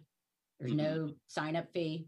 So the restaurant, if, if if they don't like the value that they're getting, they can cancel it at any time. Okay. Uh, what does your marketing service provide? And and and what is what is the the hard cost uh, of those services? uh, the hard cost of those services. Um, Google is our largest vendor. So in order to get, we have 33 million diners uh, that look to Grubhub for, for local restaurants. So in order to reach those diners, we have extensive marketing and advertising and AdWord campaigns, search engine optimization, and other hard costs by vendors um, in order to surface these local restaurants to these diners. Okay, so so what's the actual cost for the Google ad? It, it, it, it, depends on the market. Um, Google has a lot of different, um, as, as you can imagine, it depends on the keyword, it depends on the geography. Right. Um, So- So you don't have examples of like what you offer restaurants when you go in and say, look, if we're going to market your restaurant here, here's our basic package of what we can deliver for you, and we can scale it to whatever you want. Like, wh- where is That's- sort of the that, that's right. As I mentioned, to get on the platform, it's about 12 to 15, to get on the marketplace, about 12 to 15%. And depending on what? of, uh, of the order, that's a fee. When there's an order, not to just get on the market, sorry. There's no fee to get on the marketplace. You only are charged when an order is generated. So that's, that's different than eyeballs. It's not a billboard. You're only charged when an order is generated. You're not So- charged if you don't get any orders and you're on our marketplace. So you're not charging them for marketing. You're only charging them for orders. The marketing that results in orders. We don't charge them just to be on the website. H- how how do you determine uh, that that order was placed due to marketing? So if I go on if I go on Grubhub, if I got the app and I download it here and I want to order from you know my my favorite restaurant here, how is that determined? Like I, I know the restaurant. How do you determine that that order was placed due to advertisement and not just that I, I want to order from the restaurant that's right down the block from my house? How do you Because determine that- Because the order is coming through our marketplace. So if there's advertising somewhere and a, a restaurant clicks on that, or a diner clicks on that restaurant, and it's our advertising, it's, it- the transaction takes place on our marketplace. So we can track that. So, so I if I download Grubhub right now, right? If I get the app here and I want to place an order for Mama's in Corona, I know where Mama's is. I didn't see it on any ad, but I'm on your platform. I'm on, on your app. And I click that restaurant to place the order. It is that you charging them a marketing fee? Yeah, if you made the order on Grubhub, and even yes, it's as if you went on Amazon and ordered from a store that you know is around the corner, but you chose to go onto Amazon. Amazon is taking a, a, a cut of that order. Um, but if you walked around the corner and went to that hardware store yourself, no, Amazon wouldn't be taking an order. And It's it's analogous to Grubhub. If you Right, walked to but I'm Grubhub's saying- door, You're saying that you use Google as a, a part of you, uh, you know, what you charge them for marketing, right? I'm saying I'm going on Grubhub. I'm not. I'm not on any other platform here where I can see advertisement that comes in. Like normally, you you, get ads in different platforms. I'm solely on your app. That's considered uh, how you would charge them as a marketing fee because I placed an order on your app? Yes, you chose to came through the Grubhub door. Okay, so then, eh, so that's what I'm saying. It's like, you, that's it. That's to me, that's not considered a digital ad for them. They're just listing. That's that's to me is like the yellow pages, right? I I get the yellow pages, and I got I paid to be on the yellow pages, and then there's a list, and I can go on the yellow pages and find out, right? This Right. is now moved right to If you, if you paid, if you paid to be, right, if you paid to be on the yellow pages, you're paying. The difference is you're, you're paying the yellow pages whether or not you get any orders. You're only paying us if you get an order. You're paying the yellow pages just to be But that's listed but that's different because you're saying that you have a high cost because you use for some Google orders. as Yes, a platform, right? And so I'm just trying to distinguish like what is considered marketing as opposed to Councilmember Moya, we are, we are a marketplace like an Amazon. Um, and, and when you go through the Amazon door, I don't think any consumer thinks that Jeff Bezos isn't getting a slice of that transaction. You walk Well, I'm through talking the about Amazon Grubhub. I'm talking about Grubhub right I now. I'm- I'm, understand, I'm but- trying to make a distinction here on Right. what you're saying because you just said that you have a hard cost and it you pay Google uh, to place ads in their digital marketing form that goes out to so many people. I'm saying I go on your app. Yep. I'm not on any of uh, anywhere else. I'm still being charged by you as the restaurant because it went through your platform. That's correct? right. And if you don't want to be on our rest, on our platform, you don't need to be. Right, but you're saying you're saying that this was all based on the high cost that you have to do a lot of digital marketing. Yes, and, and just, we're not the yellow pages. We do, um, we optimize your menu. We take care of the customer care inquiries, even if you come through the door. We take care of fraud protection, uh, undeliverable orders. We pay for the support that the restaurants, um, might Yeah, ask for. haven't So told me, There's like, all costs. There's a lot you of haven't given me any like definitive cost of what it is uh, to actually uh, contract with you. Like you tell me we don't list it. Uh, you know, I've talked to other uh, uh, third-party apps that actually do list their packaging of what they offer folks. You're saying we just send out our our our accounting team or whatever that goes out there and and deals with this agreement, and that's how we do it. You haven't given me any numbers at all, even just the the, the simple number of what it costs to process an order through your app. So I want to move on to numbers are, else if I could, because I know we're running out of time. Uh, so I just want to be able to get uh, uh, three more questions, and if I could, Chair.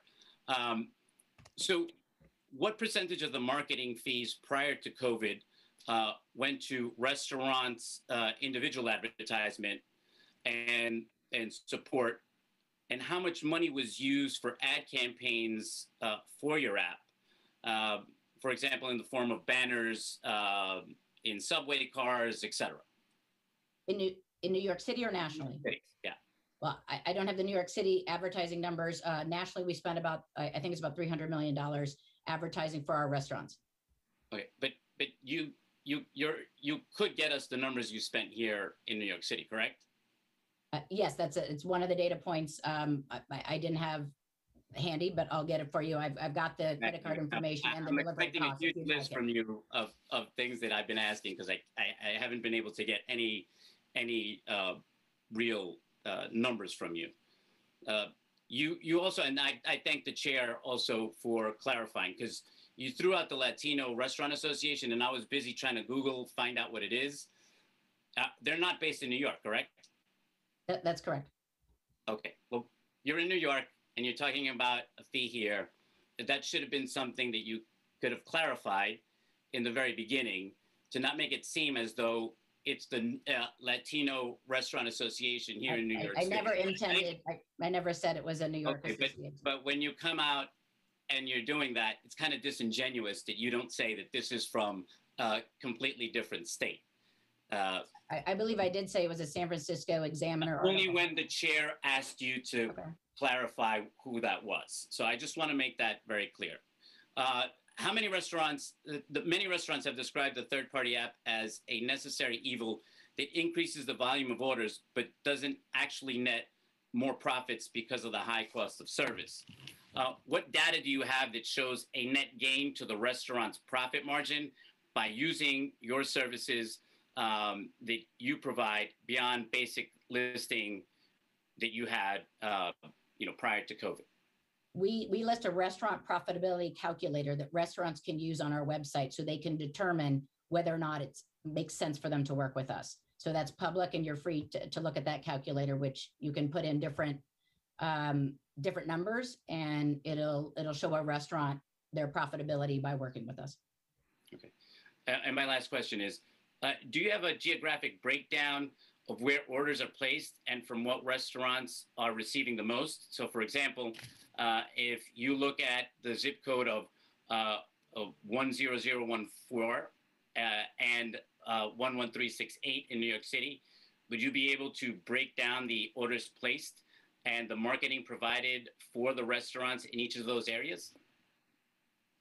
Uh, I, I, I, I believe so, yes. Um, I'm not sure how much is, is uh, proprietary um, or, or should be shared with you directly.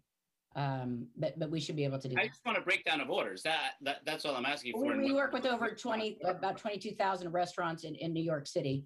Um, But are they broken down by zip code? yes, Okay, and where we can get them by zip code.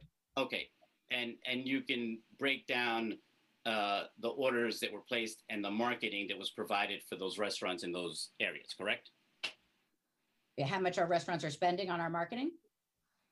Yes, the orders, the number of orders that were placed, and the marketing that was provided for the restaurants in those zip codes. Yes, we keep track of every order, um, of every order. Okay, and how much you spent on marketing for each of those restaurants, right? That are listed in that in those zip codes. Uh, I, I, I believe so, yes. I mean, some of the marketing we spend is, is TV, obviously. Um, Whatever it may be, Okay. you Yeah, but- you would have you would be able to give us a breakdown of those, Sure. right? Okay. All right. Thank you so much, Chair. Real quick, Uh, the, the, the credit card fee uh, is uh, 3.05% plus 30 cents. So you're the so again, I'll I'll, I'll ask it again. What is the total cost of placing an order through Grubhub? 3.05% plus 30 cents. So you charge the additional 30 cents on top of the 3.5 credit card fee. for the fraud. It's paid by, um, for, again, for our credit card fraud. Yes. Okay, so it's just the only charge to That's place my understanding. Yes, to the it's restaurant. 3.05% plus 30 cents. Right, so that 3.05% is just the credit card fee. And then you're saying you add a 30 cents additional fee for fraud. to cover our costs for fraud. We lose around $10 million a year to credit card fraud. Okay. All right. I just wanted to be clear that that's what it cost the restaurant. It's just you don't charge you don't charge them anything but 30 cents to place an order. That, that's my understanding, yes. When you say it, that's my understanding, it's Well, I- uh, do we have like We- We've had extensive conversation. Our lawyers have talked to the lawyers at OSC. I have not, about our credit card fees, I have not been part of those conversations. but I just want to know what it costs to That, that's what I'm, that's what I'm, I'm- I'm, that's what I'm telling you, sir. Okay, I just think that we've spent, I don't know how long I've been here, and, you know, we, we don't know what it actually is. So if you're telling me it's 30 cents, okay, but it doesn't seem like it's definitive. You don't know yet. You're saying, you know, I, I still got to check. To me, that, that says a lot.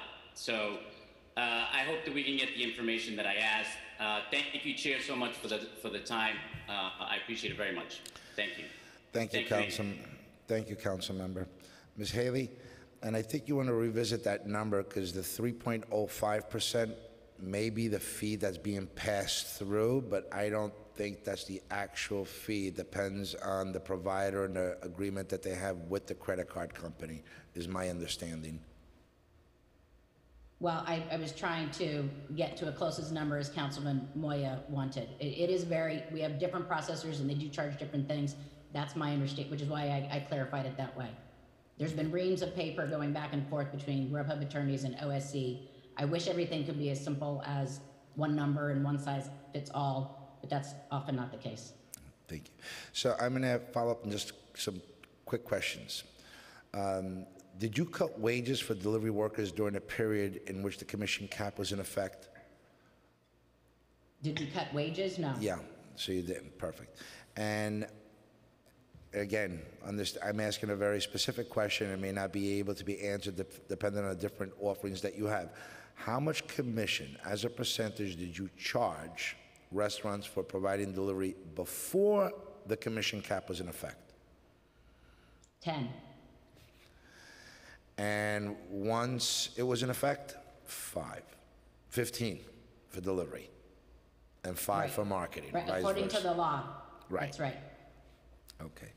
Can you describe the various services you provide to restaurants and the approximate cost to you to provide these services? And I think that's what Councilmember Moya was actually asking. Uh, The various talking about services. delivery?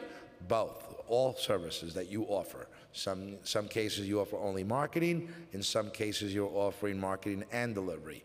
I don't think you're doing just delivery. That's right. We started out as a marketing company. We didn't offer delivery until about six years ago. Uh, so delivery at 10% um, is obviously to pay the driver, the technology on the app, the customer service uh, to deal with the drivers, the training, the uh, PPE, um, the background checks. Uh, delivery is uh, at 10% uh, not a moneymaker for us. Um, we, again, as a marketing and advertising company, um, that's our, our strong suit and that's our focus. Um, we only provided delivery because our competitors started providing delivery. Again, New York's a, a city where restaurants know how to deliver. Um, it's just part of the, the restaurant ecosystem here. And you know, it, it, they didn't find as much value in needing delivery as they did in getting to all the New York City diners that prefer to transact this way. And, and I guess that's the difference. in were, as you explained, the delivery was just a service that wasn't profitable. You were just offering as an additional service to your marketing plan when you were charging 10%. Now I'd imagine at 15%, it's profitable. We don't break up our, uh, we're still operating at a loss because of the fee cap, Councilman. Okay, well, that would mean if we, if it would break, if the break-even point was 10% for delivery, and you're charging 20% for delivery with marketing, that would allow for 10% uh, to cover your market expenses, what I'm headed at. And if you're saying that 10% is not covering your marketing expense, depending on which platform, which package, uh, you can't obviously offer the premium package to everyone. There just isn't enough airtime uh, for you to be able to market all of the pizzerias uh, equally as a premium package. It just wouldn't work for you. So I guess uh, you would need the different tiers. Um, and they're not all going to be as expensive as the premium tier. That's right. The current bill, which has a breakdown of 15% for delivery and 5% for marketing, do you find it fair to allow for a higher percentage for delivery service than for marketing, given the approximate cost you just described? And I guess that's where we're headed with all of this. No, we don't. Um, Grubhub provided, as, as I said, delivery service at ten percent, uh, because we're primarily a marketing, uh, a marketing company. So our restaurants come to us for that, first and foremost, to run loyalty programs for them, to run, uh, you know, targeted email campaigns, uh, you know, to optimize their website, to do all of the things that a, a marketing company does. You know, an, an ad agency has real costs. Um, and so to discriminate against that part of the business in favor of the delivery side, um, you know, we, we, we just can't support that. Uh, again, you, you made a comment about the government shouldn't be picking winners and losers. Um, and, and we believe that is exactly what happened under the current law. And I, I'm sure you won't be surprised by this because you're going to remain on the hearing. When we talk to the other third-party platform providers, they're going to say just the opposite. that marketing is such a minimal expense to them that really the hard costs and the expensive part is the delivery portion. And that's why this bill is so unfair to them. So somewhere between th- those that are right. focused on delivery and marketing, where no one is happy, which probably means we did something right. If you're both Well, that- that- arguing, That's why, that's what we would say, well, first of all, we are different companies. Um, and that's why we would say that the government interfering in this industry is, is skewing. Right. Uh, you know, there, there's no way to, to not skew the economics of, of the industry. Right. So that's why it's important for government to actually, for this hearing and for our involvement. So I'm looking at uh, two reports, one from Camino Financial and one from Restaurant 365. And both put full-service restaurants at a profit margin of 3 to 5%. Fast casual, which is fast food, anywhere between 6 and 9% and then catering service, which doesn't apply to you, but fine dining at four. So, the question that we've been asking from the first hearing that we had, please help us understand how this works. If a fast food establishment is making between six and nine percent profit on every order, that's their gross pro- net profit, how does it benefit them paying upward of 20% or 20% plus the credit card fees that are being passed through. Uh, That, in everyone's mind, if we do the same math, that means every sale ne- yields a net loss. Councilmember, we- we've had this conversation. You, you, you- profit is calculated after all the restaurant's costs are taken into account. Yet I, I feel like you're, you're separating one cost, which is a, a third-party marketplace. Does that include labor too? Or does That that include includes everything, supplies? It should- everything. It includes everything. The market So- rate, th- this is an industry standard now. We're look, when every industry, like, well, actually, you should be able to answer this question better than anyone else. Your industry is the restaurant industry, and you are the foremost expert on, on the restaurant industry in New York City. My question to you would be, a fast food establishment, what are the net profit margins? As an industry, not specific to one location. And let's I, accept. I'm, I'm not an expert on the restaurant industry. I, I represent a, a third-party marketplace. Uh-huh. Um, and as I mentioned to Councilmember Moya, we have a restaurant profitability calculator on our website so that restaurants can determine, does it make sense to work with Grubhub or not? If it doesn't make sense, these, these are very smart business owners, as you know, um, then they will not, if it doesn't make sense for them to work with us, then they don't. Right. And we have restaurants that come on and come off all the time. Because they've made determinations that it did work for me, maybe now it doesn't. Um, that is their business decision to make, which vendors they choose, which food suppliers they use, what kind of labor, uh, that they want. Um, that is not our decision, that is theirs. So two years ago, when we first began these hearings, the whole argument and notion when I asked that question and we talked about profit margins and the fees that were being charged um, for, per order, the argument was called incremental sales. That yes, you're paying more on an order that you're through our platform because that customer is going to come back and frequent your establishment. Then we got the reports to show that that wasn't the actual case, that it was actually cannibalizing existing customers, and that third-party delivery food platforms are now becoming uh, a consumer demand. Uh, and that was prior to the pandemic. During the pandemic, it became the only way um, you can order food and get in touch with a restaurant to have food delivered because of the restrictions. We know that some percentage will go back to in-house dining. But overall, this is now a way of life, a habit, including my mother, who's never ordered a product in her life on the internet, now knows how to order something with a credit card. Uh, and if she could do it, that means everybody's doing it. And now it's normal. If we're looking at an industry that is very vital, and I believe the numbers were 80% of the restaurants within the first five years close as uh, in New York City.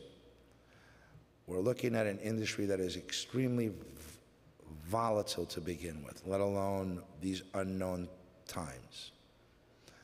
Help me understand so that when I'm approached, I say, I, as small business chair, I did everything possible to make sure that there was a fair playing field, that truly there was a partnership between providers and restaurants that benefited both.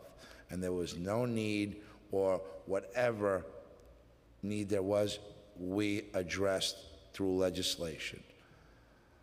Can you help me and my colleagues understand how we get there? Sure. Um, First of all, there are several pieces of legislation you're considering that, that Grubhub does support. Um, I would also look to the National Restaurant Association's blueprint for cities and states, what cities can do according to the National Restaurant Association based on their membership, none of which says that fee caps are the answer. There are a list of things in that blueprint, uh, many of which is bureaucracy um, from local cities um, that restaurants face, and the fines and the fees and the licenses. And, and you and I have talked about this, and you've been fighting this, and, and which we appreciate and our restaurants appreciate. But there are a list of things that the restaurants are saying based on surveying all of their restaurant members. This is what states and localities can do.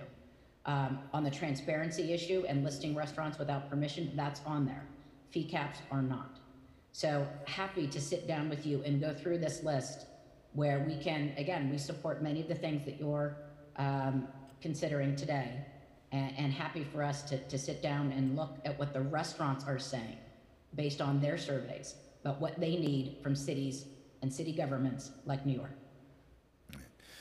Thank you for pointing that out. I agree with you, but some form of regulation is always needed, uh, whether it be usury uh, regulation for unfair interest, whether it be energy, whether it be housing. Uh, there are industries that have to be regulated to protect consumers uh, and everyday citizens. Otherwise, we would have a muck. Uh, we'd have Agreed, and I think it's price about striking gouging that and balance. everything else. So the, uh, although we both agree in a perfect world, markets should regulate themselves. Government intervention is needed because not everyone is going to be fair and transparent. And greed and driven by profitability, which is okay. That's the way we operate. No one wants to operate at a loss. Um, and that should be the principle for small business. We just want to make sure that these small businesses have a fighting chance. And on, Okay. under these scenarios, your partner, which is the local restaurant, is going through, uh, uh, is questionable on how we come out of this pandemic. Will they survive or not? It- Ca- Councilmember, one, one area where we would love to have your support and the council support is to help lobby Albany to make alcohol to go a permanent option for restaurants. As you know, that was ended recently. Our restaurants tell us, you know, whether, whether they're working with us or not, that increases their margin on every order. And so for the state to let that lapse, you know, we are, we are hearing from restaurants complaining that you know, it, it, it, at a time where they need it the most, the high margin product of selling alcohol to go, uh, having that taken away, uh, is hurting. So if, you know, we're working to support this in Albany, um, whatever you can do and your colleagues can do, we would certainly appreciate it and the restaurants would appreciate it. That, I think that's a great idea, but the concern is we go right back to square one again. The profitability, is it 20% on alcohol? Obviously, it'll add to your pro, profile and increase revenues if we could um, sell alcohol and deliver alcohol. Will be uh, increased revenues for you. Uh, the question is, is it sustainable for that restaurant or that establishment where the fee would be 20%? And we go back to the same questions. Any which way I've looked at this and every math that I can possibly come up with under every scenario shows me net losses, not profitability. Ca- Councilmember, Nobody's we'll, we'll share our uh, restaurant profitability calculator. And, and again, if the restaurant doesn't find value in working with us, they have other options. Right, but the They custom. didn't, but we understand that during the pandemic, um, it was a There was no different option. scenario. The customer demands now third-party delivery food apps. It's a demand. And if you're not offering, I'm sure there are restaurants that would love to say, I'm sorry, I don't accept credit cards. They wouldn't have to pay a credit card fee for the transaction. But the demands are there and they must provide that service. The reality is today, in this, and we're looking, moving forward, third-party food delivery apps are here to stay. And they're only going to increase in demand. And that's wonderful. But it's going to be, I can't substantiate profitability levels for third-party food delivery apps and not take the same considerations for our restaurants. And we know, God knows, the consumer ultimately pays for it anyhow. There's only a matter of time before uh, they can't afford the products that are being offered by restaurants. And we go back to a different argument about unhealthy eating and less um, expensive food and the impact that it has on New Yorkers, which already deal with obesity and high blood pressure and all the negative issues because they can't generally afford um, fresh fruit and fresh food, uh, which is more expensive. And ultimately, this is a price that we'll all be paying for to correct and address. I don't have any other questions for you, unless you want to make a, a closing statement. Uh, No, appreciate, appreciate the time. It's always, it's always a, a fun time talking in front of this committee. Um, I hope we can keep the dialogue going. Like I said, there are things that the restaurants are telling us that they want and need, and you're in a position to, to make some of those happen, and, and we'd like to work with you on that. Thank you. Thank you.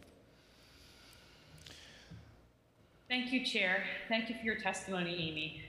Moving on with public testimony, I will be calling Thomas Grech next, followed by David London, and then Daniel McCarthy. Thomas? Starting time.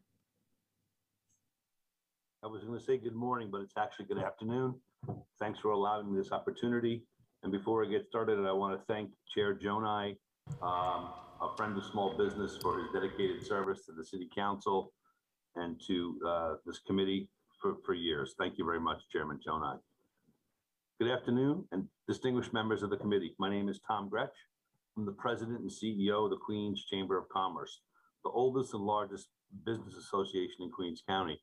I'm on, I'm here on behalf of our nearly 1,400 members to testify in support of the bills you're hearing today that will help small businesses and throughout Queens and New York City in general. Prior to the pandemic, Queens was home to 6,000 restaurants serving cuisine from around the world. These small businesses created jobs and opportunities in every nook and cranny and every community of Queens County, especially for our immigrants and new Americans. They add character to our neighborhoods and are a major driver of tourism to our borough. Sadly, the past 16 months have been incredibly hard on the restaurant industry in Queens. We estimate that nearly 1,000 of those 6,000 have disappeared, potentially for forever. Too many cherished neighborhoods have shut their neighborhood institutions have shut their doors, and those that have survived are hanging on by a thread. I want to take a moment to highlight the four pieces of legislation being considered today that will help these vital small businesses and strongly encourage the committee to pass them as quickly as possible. Intro 2359 from Council Members Moya and Chair, Gar- Chair Gjonaj would make temporary caps on third-party delivery fees, which is scheduled to expire 90 days after restaurants are allowed to return to 100% indoor occupancy permanent. The bill will allow small businesses to keep more of the money they earn and ensure customers are supporting their local restaurants.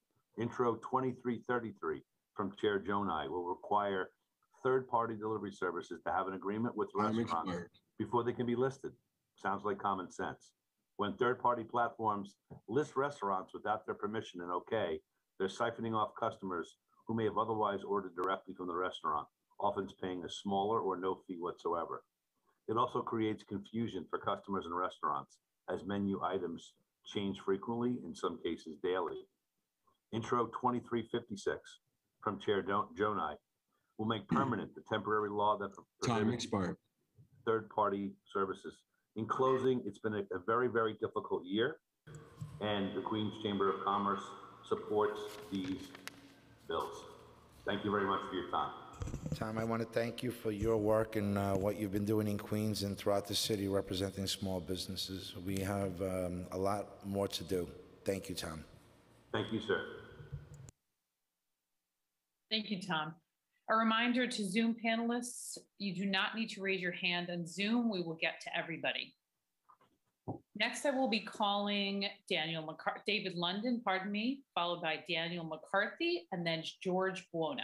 David? Starting time. Thank you, Chair Gjonaj and I and committee members. My name is David London, and I head U.S. East Government Relations for DoorDash. And I'd like to provide DoorDash's perspective on Intro 2359, the permanent commission cap legislation. We share the council's commitment to helping local restaurants as they emerge from the pandemic, and we are committed to being a strong community partner. For example, here in New York City, we've expanded initiatives to support restaurants, delivery workers, and community members. Just in the past year, we launched initiative to support Black women and immigrant-owned rest- immigrant-owned restaurants through our Main Street Strong Accelerator. We partnered with the New York City Hospitality Alliance to offer half a million dollars in grants to help New York City small business restaurants. We've also created a range of products and services for New York City's diverse restaurant com- community, including options with no commission at all and commission-based options starting at 15%. And recently, we also unveiled new pricing packages, which give restaurants the ability to reach new customers starting at a 15% commission. With restaurant restrictions lifted and so many options available to restaurants, we believe that permanent price control is unnecessary. We also believe that a permanent price control would be harmful, especially in communities of color.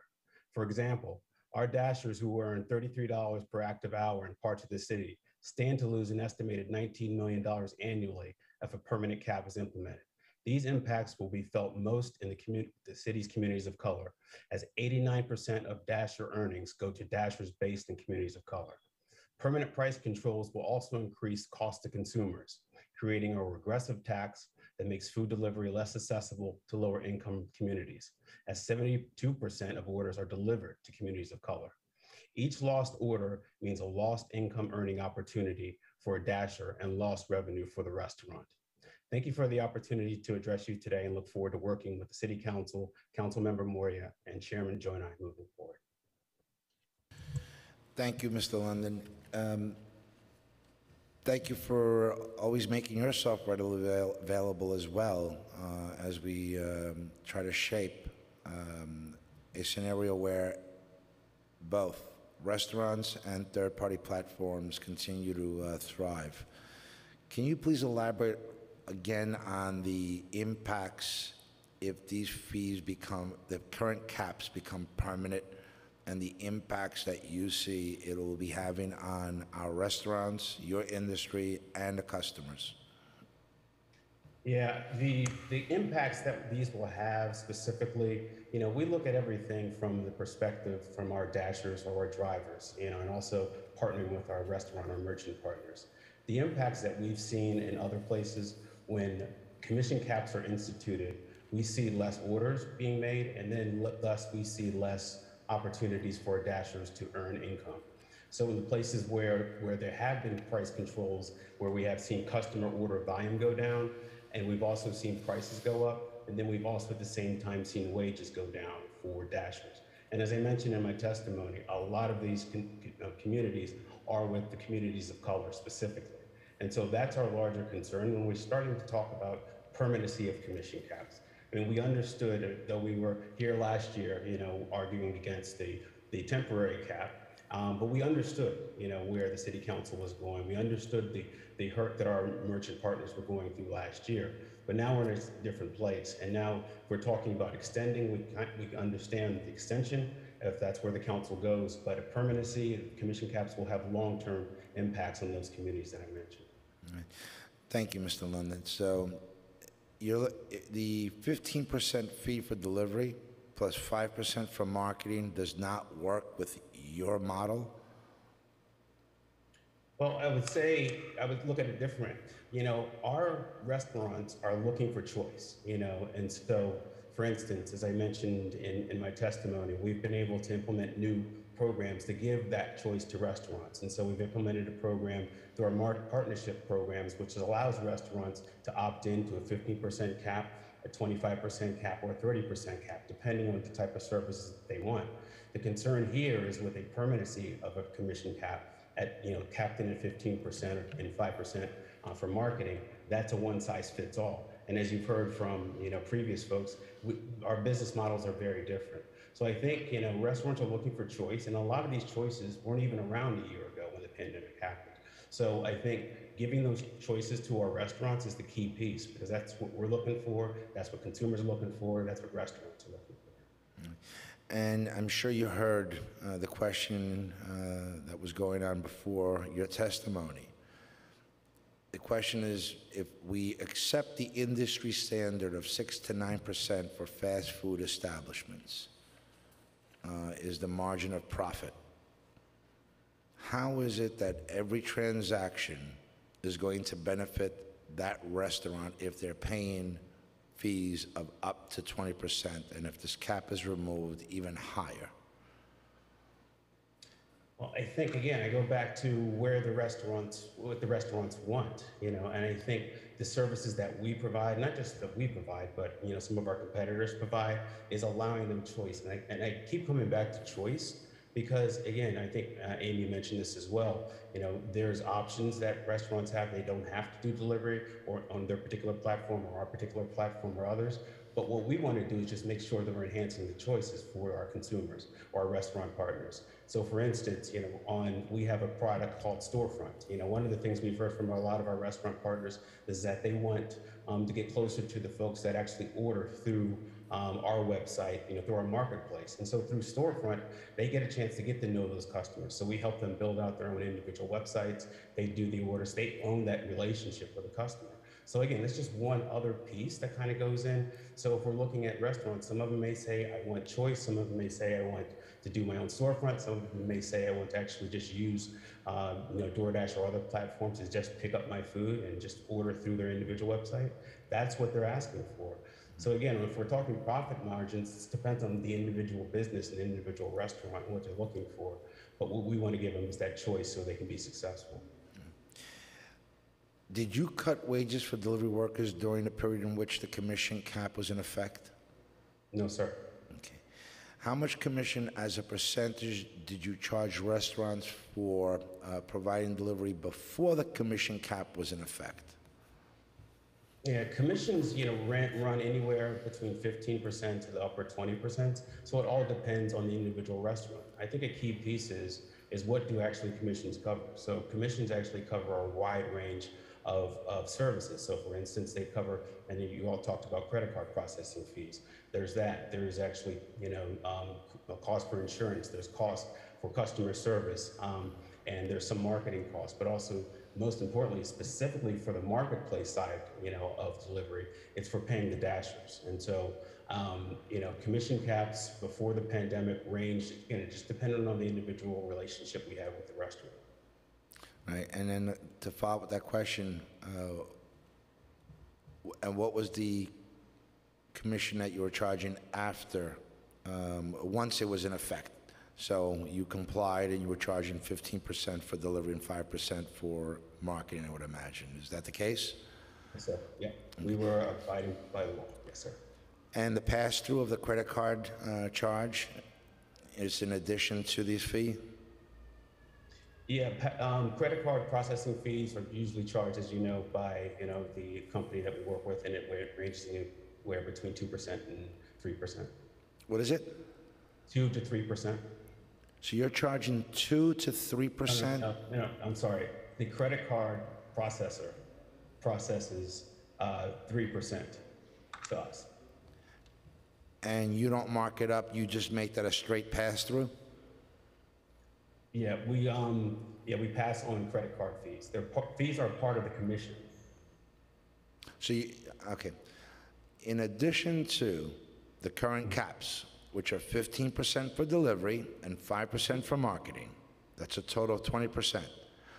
is there an additional charge that you add on top of that for the credit card transaction? So you're all in at 20%, no fee that's included in the fee that you're currently charging? Exactly. It's inside of the commission, so we don't charge more than 15 plus 5 in New York City. Mm-hmm. Thank you for that. And as a follow-up, as you heard during the testimony, and I'm hearing now counter, and I think I pointed it out earlier, that one of the arguments that was made is that the marketing is much more expensive than the delivery service.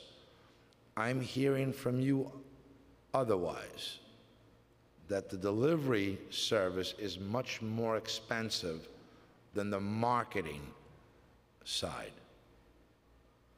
No, I'm not, that's, that's not what I'm saying. I'm saying that it's two different business models and there's, you know, there's no right or wrong to either one of the business models. We focus primarily on our marketing model specifically, and that's working with our three-sided business, which includes, again, our restaurants, our, our uh, dashers, and also with our consumers. And so it's just, it's a different business model. That's it. Not, not saying one's better than the other, one's right or wrong. That's just our, our business model is primarily marketplace. But your business model, right, has a breakdown on, you, you know what your profit levels are, your break even based on a service. Marketing has one, delivery has one. Can I hear from you what that breakdown is? In New York City specifically? Yes, New York City. I mean, again, we play the fifteen-five, which, which we're obligated under the law to pay. So what, what we, I can do, I can get back to you. Are you looking for a little bit more than that? Yeah, I know what you're charging, but I want to know where your profitability is. Are you profitable under this current cap? I'd have to check with, with our team on that one. Um, but I know it's been hurt, it's, it's been hurting our business. Right, because early on, we spoke about, we're we're looking for a perfect world where everybody's making a profit and um, everything's running smoothly. And we're trying to, just trying to determine uh, the difference between the marketing percentage and the delivery percentage and what, and how we got there. And I believe there was plenty of testimony early on that the argument was the delivery component is much more much more expensive than the marketing. And that's how we formulated during the pandemic the 15 plus 5. Right. So now that we've had a year to look at this and we all have experience and the, we have enough data to actually make informative decisions, what has been that impact on your model? Yeah, so, so basically this model, again, commission caps in general um, have had a detrimental impact on our model, um, as we've said. And again, because it's making delivery, by the way, and delivery is more expensive because part of the reason why delivery is more expensive because we have to actually pay the dasher, as I mentioned, sort of when I broke down what commission caps actually paid for. So no, these commission caps have not had a positive impact on our business, um, not only just in New York City, but multiple places across the country. And again, going back to what I said earlier, I think we understood and we understood where the city council was, was last year. We understood the hurt of our restaurant partners uh, last year. Um, and so we, and as I think was pointed out as well by the administration, there wasn't any, um, a lot of pushback from, you know, our industry, you know, once the, this particular original bill, the temporary bill last year became in statute, you know, we understood that. But again, this, we're now, we're talking more of a permanency in a commission cap, which, you know, completely changes business models. And we kind of look at it as once, you know, we get into the, the, capping permanently of a lot of different things, where does it stop? You know, you know, um, you know, for our restaurant partners who, who support this, you know, where does it, where does it end? We can cap commissions today in our industry. What's that to say that it won't happen to another industry down the road? So uh, it, it's, it's very concerning where things are going in this, I, but we look forward to working with you as we uh, continue to gather all the facts.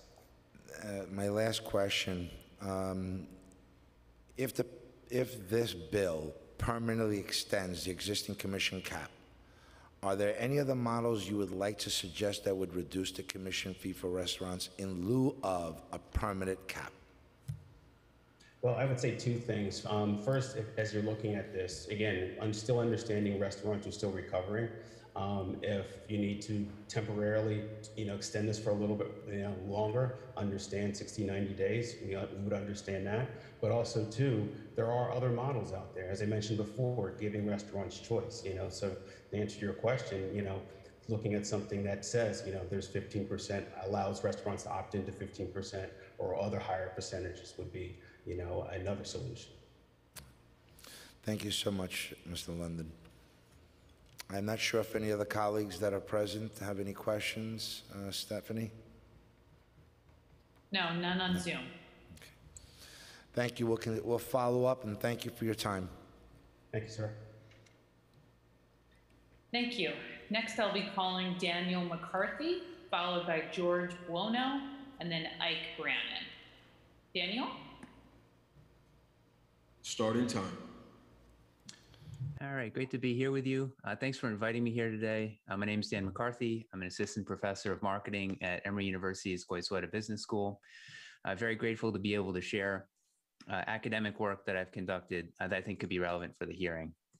Uh, so I've been studying the impact of the pandemic on consumer behavior in the restaurant delivery category. Uh, there's been a lot of buzz about this research.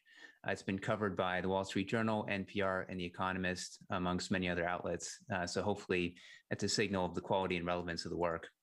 Our results suggest that the pandemic was basically a big gift to the category. Uh, purely because of COVID, delivery sales grew 122% in 2020 nationwide uh, to about $51 billion. Without COVID, we estimate that sales growth would have actually been 38%, a lot lower. So COVID basically created $19 billion worth of food sales uh, for restaurant delivery. And to an earlier point that you made, uh, Chairman Gjonaj, uh, DoorDash generated about $300 million in profit over the last 12 months. And uh, we infer a very high customer lifetime value for them. Importantly, uh, we find that growth in the category was primarily due to substitution away from restaurant dine in. So, to say it in English, consumers were turning to delivery because they weren't able to physically go to restaurants, but otherwise would have if we weren't in a pandemic. And so the gains were largely one for one swaps from restaurants to dine in visits, uh, implying that the growth was basically a large transfer of wealth from restaurants to delivery due to an act of God. And on this level, uh, the apps didn't generate much in the way of truly incremental sales. So while we may see some of these trends revert as we're in the midst of fully reopening on-premise dining in New York City, it's not guaranteed that we're going to see dine-in go back to pre-pandemic levels. And to the extent that they don't, the transfer of wealth from restaurants to delivery uh, may continue well after the pandemic is over. I hope this has been helpful and interesting. I've submitted a written testimony with more information, and I'd be uh, more than happy to uh, talk about this at your convenience in more depth. Daniel, I want to thank you for um, testifying today and for your written submission. Uh, and yeah, I'm sure you've been following this hearing uh, from this very beginning. Um, it's just very difficult for me to comprehend that we've had a pandemic that forced restaurants to close. You, your study shows a $19 billion forced sales increase to third-party platform um, delivery companies, uh, which was a $50 billion overall year over year, correct? And they're still operating at a net loss.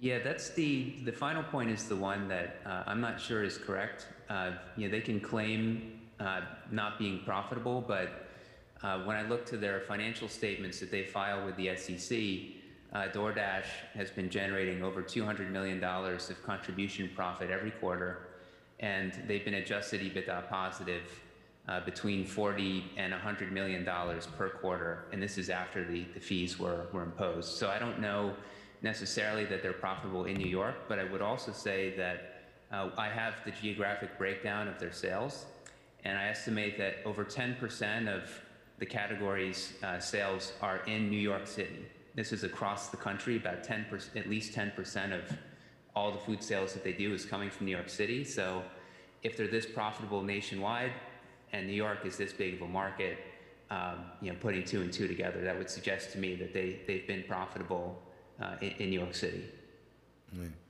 Thank you for that. Um, you, you have referenced DoorDash only. Have you Have you, has your research indicated that the other uh, platforms uh, are operating at a profit or loss? Yeah, in 2020, uh, Grubhub, you know, they, they filed with the SEC saying that they uh, generated uh, about 110 million dollars worth of adjusted EBITDA profits. So, you know, that was for, for the year as a whole, and um, it's not, you know, front end loaded. You know, they, they've been generating that sort of profit consistently throughout the year. Any other, pl- any other provider? Uh, those are the two big ones that I've been following publicly. So, um, unfortunately, Uber Eats they don't separately disclose because they're under the, the Uber umbrella. Uh, Mm. Otherwise, I might have figures for them as well. So, does your study go into the impact that these caps have had and what it actually means for both the platform and the industry as a whole? Um, do you have a conclusion that you formulated? Uh, the main thing that we see is kind of the nationwide effect of the pandemic, and you know, to the extent that uh, we've continued to see dramatic growth in, in the revenues, which really has not slowed down at all. You know, that, that sort of uh, boost that they've gotten, you know, off of what we would have estimated they would have done if we didn't have the pandemic, it really hasn't slowed. So, uh, so certainly, at least to the extent that that's true, it would imply to me that the caps have not had a dramatic effect on uh, gross food sales volume. And moving forward, as we come out of this pandemic and um, restaurants are open to full capacity limitations, the trends and the level of comfort before diners start frequent and, and enjoying indoor dining again, that swing will go back, but never back to where it was prior to pandemic as it becomes a consumer behavior now. It becomes not only a habit, but a demand. Yeah, we, our figures would suggest that habituation is a reality. Know, that we've seen people when they start using delivery, they just tend to use it more and more and more. That actually was true even before the pandemic started. So to the extent that the pandemic has accelerated some of that, that business is not going to be going away. Uh, but certainly one of our big findings was we've seen this big substitution effect. And so if we do see people going back to, to on-premise dining again, you're only going to have one dinner. And so, you know, if, if it's on premise, it's not going to be through through a delivery app. So I think that I don't I, I wouldn't anticipate that we're going to go back to pre-pandemic levels, but I would anticipate that we are going to see kind of a, a reversion to to something in the middle. Thank you so much. I'm grateful to you, and we're going to stay in touch as we continue to go through your submission and your uh, findings. Thank you. We're grateful for your time uh, that you've given us and for the research that you've done. Thank you. Thank you, Daniel. Next, I'll be calling George Buono, followed by Ike Brannon, and then Andrew Rigie. George? Starting time. My name is uh, George Bono. Uh, I space restaurant industry for over 40 years. The thing I can say about delivery is it's, it's, it's gone to a place where no one, no one picks up the phone to place an order. It's your, your personal website to place an order. Everything's done through these third-party apps. I guess it's for some convenience purposes for the consumer. George, you're, you're cutting in and out, and it's very difficult uh, to hear you. So you may want to bring the speaker a little closer to you because you're fading in and out. Is that any better? Much better. So, I don't know how far uh, what I said. So I've been in the industry for over 40 years. Uh, the restaurant industry has changed dramatically in terms of delivery. Phone calls for deliveries, uh, our own personal websites for delivery.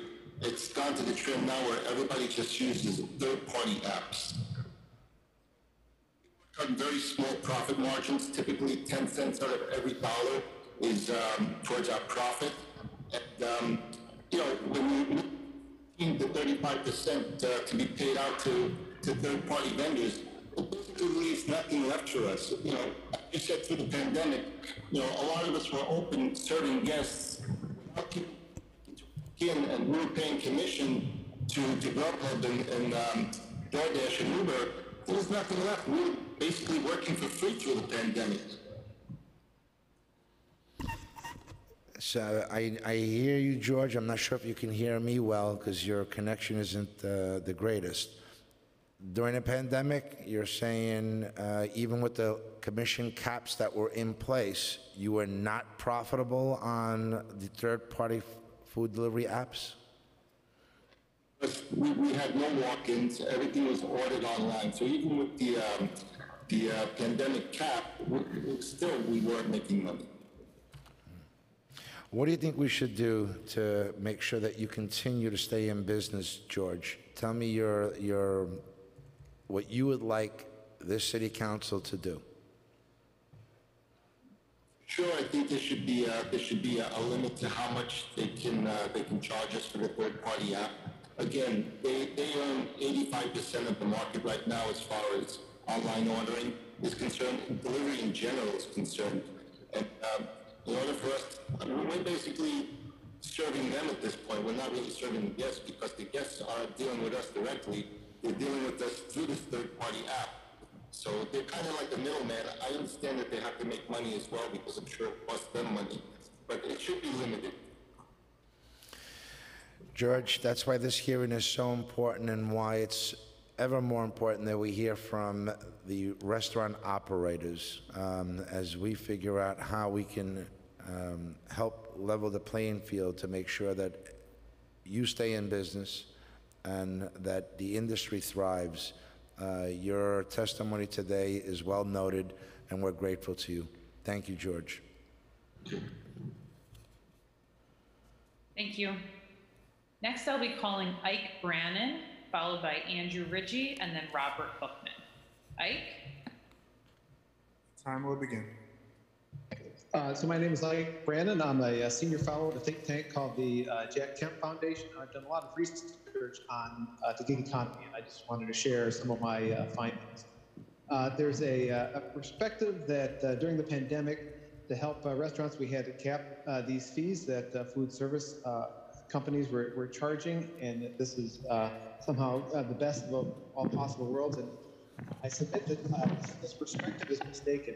Communities that have imposed such caps, the response to the market has negated much of the intended impact. For instance, the Brigham Women's Festival cap seems fit to add a flat fee between one to three dollars to deliver in places like uh, Washington D.C., where I live. The added fee charged in most markets uh, where the cost of restaurants cap reduces demand for food delivery, and demand for food delivery falls in places where these fees are imposed. Uh, in such situations, as, as other uh, witnesses have already said, platform companies uh, often reduce their service areas for restaurants to make uh, more economical.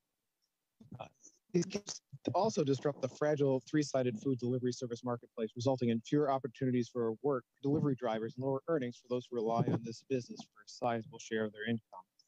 Uh, that's the research that, that I've done. And it's a mistake to think that these caps help restaurants. Ephemerally increasing their net margins while reducing demand is not usually a trade-off that benefits them. And they don't need a government to do this for them. They can increase prices on takeout foods on their own if they want. Uh, the main economic rationale we typically give for a price cap is that restaurants operate in some kind of monopsonistic market where they're the only they only have one uh, buyer they can use, but there are multiple competitors in the food delivery markets.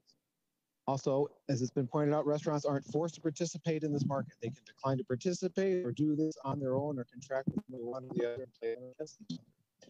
Um, restaurant have competing goals at stake here. They want to make sure that drivers are paid enough, restaurants aren't charged too much, and that consumers continue to frequent these establishments.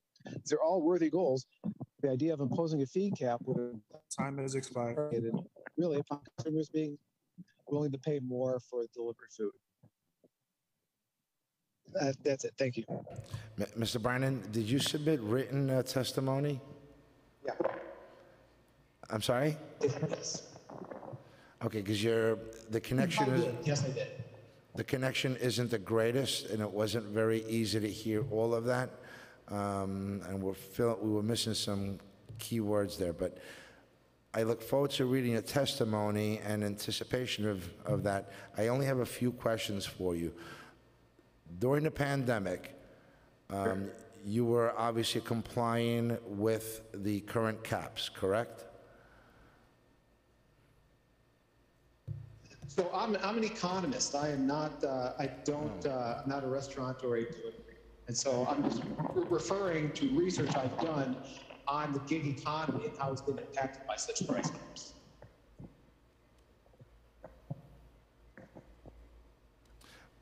Mr. Brennan, the connection is poor, so I, what I will, I look forward to reading your uh, testimony that you had submitted in writing, and then I'm sure I'll follow up with you with uh, questions. Is that okay? That would be perfectly fine. Thank you. Thank you. Thank you, Ike. Next, we'll hear from Andrew Rigie, followed by Robert Bookman, and then Josh Gold. Andrew? Your time will begin.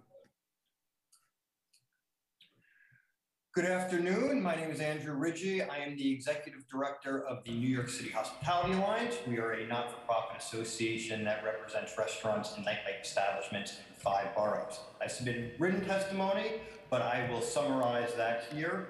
I just want to let you know there are many other restaurateurs that unfortunately couldn't stick around, but will probably submit written testimony as well. So let me be clear. Delivery is very important to restaurants and it's quintessential to New York City. There's nothing inherently bad about delivery companies, but it's the unchecked market dynamics that creates an environment for certain billion dollar corporations to use their leverage to exploit New York City restaurants, workers, and consumers in order for them to stay competitive. Now, as you know, this exploitation began long before COVID 19 struck, and these companies, as you heard in testimony earlier, have only consolidated power throughout the pandemic. And now legislators must enact this package of common sense legislation to support the long term recovery ahead of us and the future of our industry and city. So, first, we support making, the making permanent the critical fee cap on third party delivery fees that's set to expire.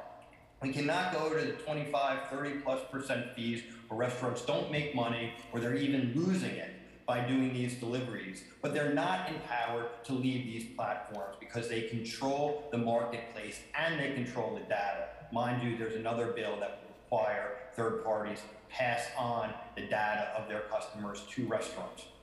I hear about unintended consequences, unintended consequences. What about the intended consequences of the unchecked market right now for these few companies that hold so much power? If there was some unintended consequences, you could always go back and modify it. We know, what we do know, is that the current marketplace does not work.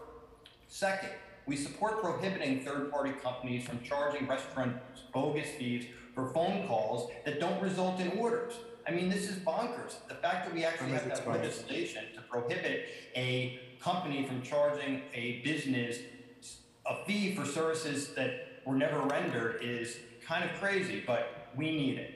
Third, we support requiring third party delivery companies have a written agreement with restaurants before listing them on their site. Currently, they pull outdated menus without restaurants' permission. They post outdated menu prices, menu items that are no longer there. It creates tons of headaches for the restaurants. Obviously, for the workers, they go try to pick something up or place the order, it's not even there. Customers get angry, they blame the restaurant's delivery workers were put in a bad place. That practice needs to stop. Fourth, we also support requiring full transparency to consumers about direct restaurant phone numbers and secondary phone numbers. Many of these third-party companies, they set up additional secondary numbers for the restaurants. They then use their sophisticated techniques to make those numbers appear ahead of the restaurant's direct number, and then they charge a fee. And we know what happens with these phone call orders. They are charging restaurants fees for phone calls that don't result in an order. It needs to be stopped. Um, so in closing, I just want to say that these bills are straightforward.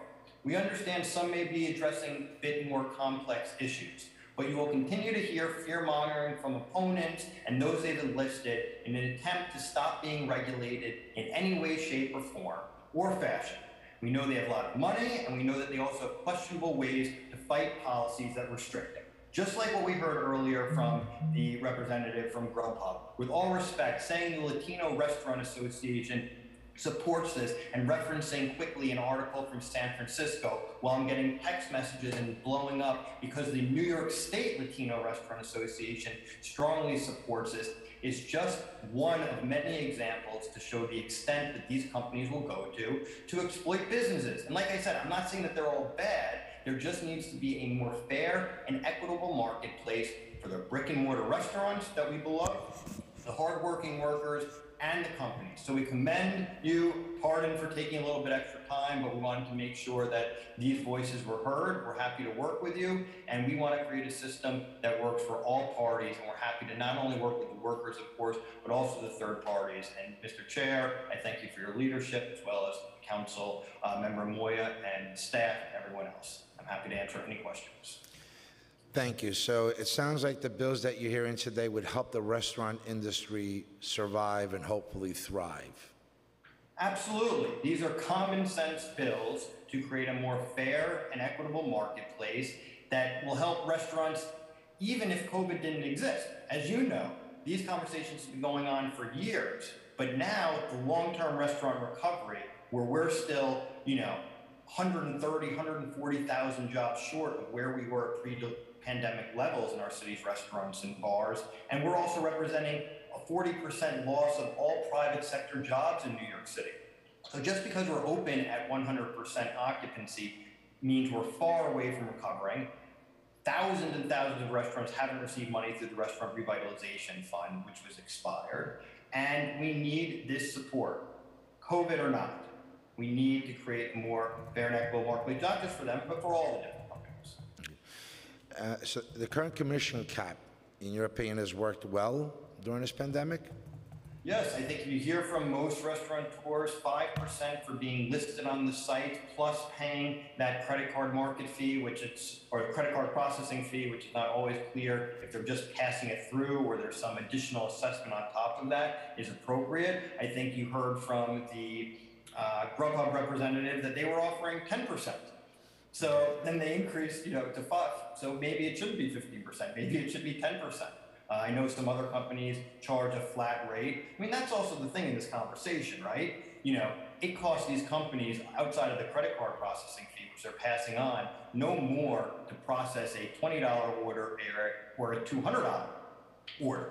So the incremental increase, you know, of these percentages also doesn't really make sense. And when I went back to customer data and repeat customers, we know a lot of this business is not incremental sales. It's third parties using hundreds of millions of dollars in marketing and other types of technical sophistication to siphon off business that would have gone directly to restaurants in which they would have paid no fee or a much smaller fee through their platforms. And it gets very detailed, I won't get into all of it, but even in Google Ads, on the corner of the page for some ads, you'll see the restaurant's organic listing. But within that organic listing, you'll say something like support, you know, independent restaurants, uh, you know, order direct, and it's a Grubhub listing. So you think you're going to right to the restaurant, but then you click on it and it's siphoning off. And that's the same thing with the phone number. So, you know, it's complicated. I, I get it. But the cost of not doing anything greatly outweighs the attempt to bring a massive company or massive companies in a massive market into a regulatory framework. And that could be adjusted in the future, but we can't not do anything. We can't be scared. Um, these are massive markets. It, these companies are not leaving New York City. And frankly, if they do, we'll have other companies that come in and replace them. Thank you for that. You know, I want to point something out. We, government has made an investment, in particular the restaurant industry, by providing loans and grants during the COVID period. It's in our best interest that these businesses survive, thrive, and be, get to a level of profitability where they can pay back first the loans, and then in time, the grants uh, become profitable in the form of uh, contributions to the tax base in the city of New York.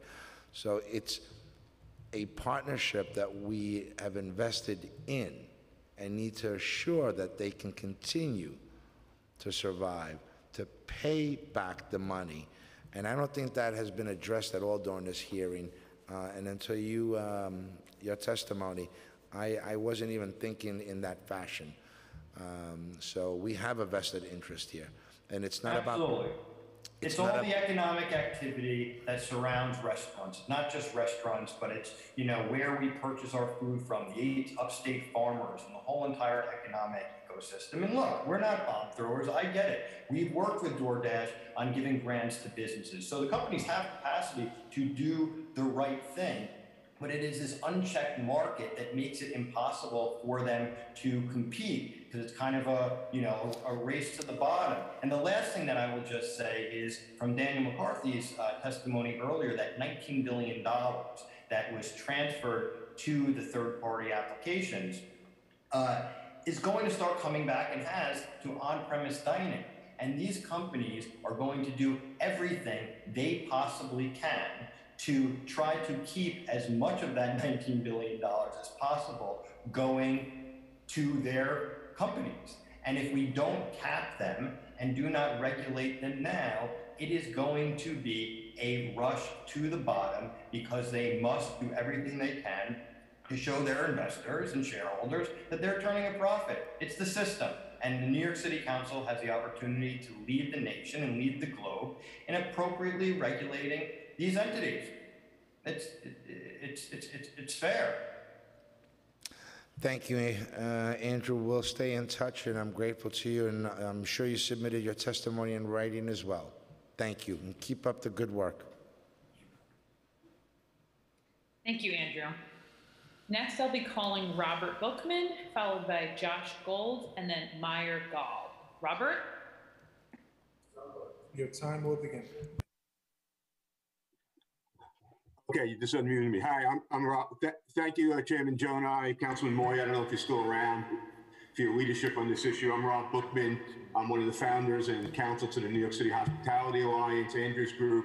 And my law practice, I represent hundreds of restaurant owners currently and thousands over the years.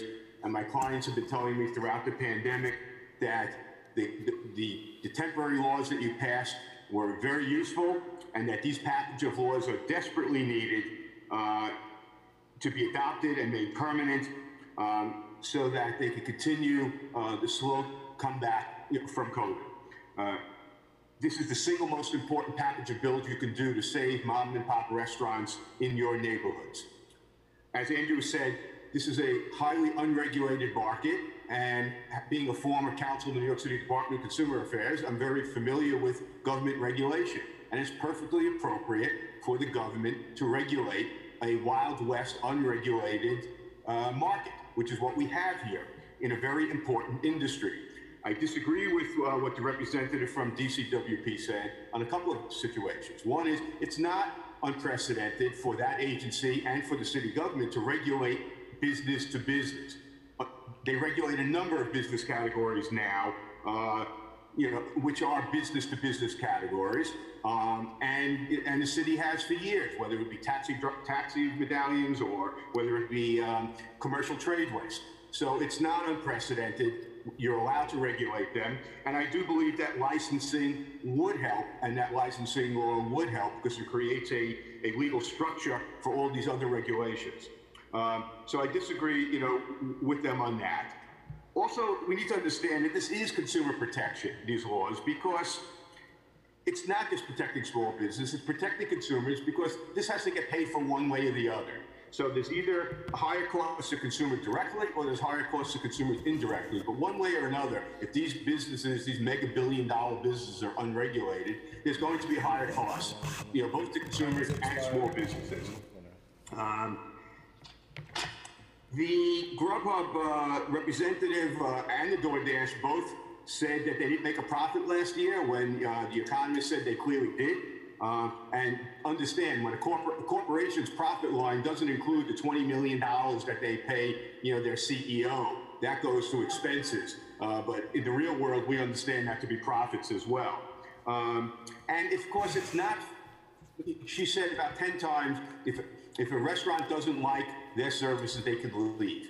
Well, you can't leave when you own 70% of the market, which is what they owned prior to uh, COVID.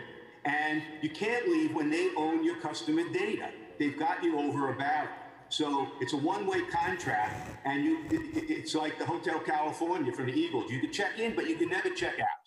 And so you need to pass these bills as well as the customer data bill, as well as the licensing bill. And if you do all of that together, you will be creating a, a level playing field where consumers and small businesses uh, can use these services, which they want to use, but we can use it in a way where everybody can survive and make a profit. Thank you. Robert, thank you, Robert, and thank you for uh, all of the hard work uh, that you've done during this, prior to the pandemic and during the pandemic for this industry. It has been extremely important for us. I appreciate it, Chairman Joe. One last thing I want to say about the phone calls, because it seems like the administration and others had a lot of angst over these phone calls and how do we charge it? You know, I got to say, you know, I don't know why they get any money for a phone call. If they're doing the delivery, they get paid for the delivery. And if they're not doing the delivery, and I want to call my, you know, Bookman's Pizzeria, which I which I love, and I go online like you did at the first hearing, and you look for Bookman's Pizzeria, and you get a phone number that they created. Uh, and so I call it, think I'm thinking I'm calling Bookman Pizzeria. I don't know why they should get any money for that, to tell you the truth. And also, the last thing I want to say is, you know, I'm a third-party provider for restaurants as well. I'm a lawyer. I don't get to charge a percentage of what my client's revenue is or profits is. I charge a fee for a service. It's a flat fee or it's an hourly fee. Uh, the same thing with the food purveyors, the accountants, everybody. These guys have a model which they take a percentage of each order, even though the transmission of that costs them pennies, whether it's a $2 order or a $200 order. And now they're coming to you and saying, don't interfere with this crazy model that we created where somehow we are a percentage partner on the profit end of the restaurant, but not on all the expenses end. Maybe they should look to their model better.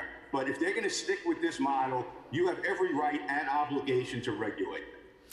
Robert, thank you. Um, and I'm sure you submitted a written uh, testimony as well. And I want to thank you for your patience. And I really want to follow up with you on uh, the OSE uh, and the comment about not being able to enforce and um, the arguments Yes, that of were course, made. of course they can. All right. Thank you. Thanks, Robert. Thank you. Thank you, Robert. Next, we'll be calling on Josh Gold, followed by Meyer Gall, and then Jeffrey Bank. Josh? Your time will begin. Good morning. I'm Josh Gold from Uber Eats. Thank you for allowing me to testify today. Uber Eats welcomes a continued conversation with the council on the topic of food delivery platforms. While we support three of the bills before you, I wanted to focus testimony today on the pricing control legislation that permanently fixes prices across the food delivery industry. First, let's not mistake commissions for profit. Commissions paid by restaurants are not profits for delivery platforms. These funds pay for things such as operating costs, insurance, marketing, customer support, and delivery worker pay, among other important parts of the business. The amount of commission charged to restaurant partners corresponds to service that restaurants choose to opt into. For example, a restaurant that uses their own couriers pays a lower commission than a restaurant accessing a courier through Uber. Since June 2020, when this cap was put into place, the cap has had a big impact. Uber Eats has lost more than $60 million in revenue in New York City due to the need to subsidize trips. Rarely do we see private businesses, business-to-business contracts subject to price controls.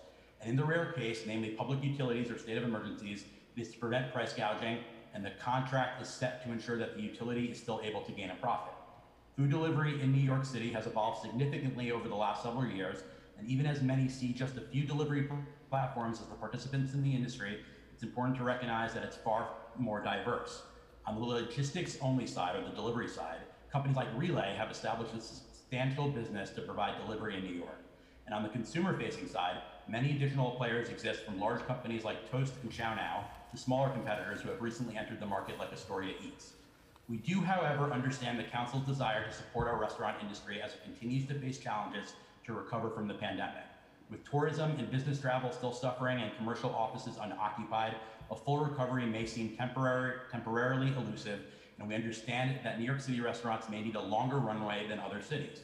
To that end, we would encourage the council, to explore extending the cap rather than making it permanent. The council has already extended the cap, and nothing is stopping this body from doing that again if the situation warrants it. Alternatively, the council could look to other jurisdictions like Chicago, which will require third-party platforms to offer at least one option at 15%. Thank you for your time. I look forward to any questions you may have. Thank you, Josh. Um, You, I think you said $60 million was the loss during the pandemic, based on the cap? Correct. And that's for New York To answer City? your, I'm sorry. I was going to say to answer your question about cutting wages, which I know is uh, coming up there. Um, we ate the sixty million dollars instead of cutting the wages. I- I'm sorry, repeat that one more. I think you're a little far from the speaker, and I'm not hearing you very well.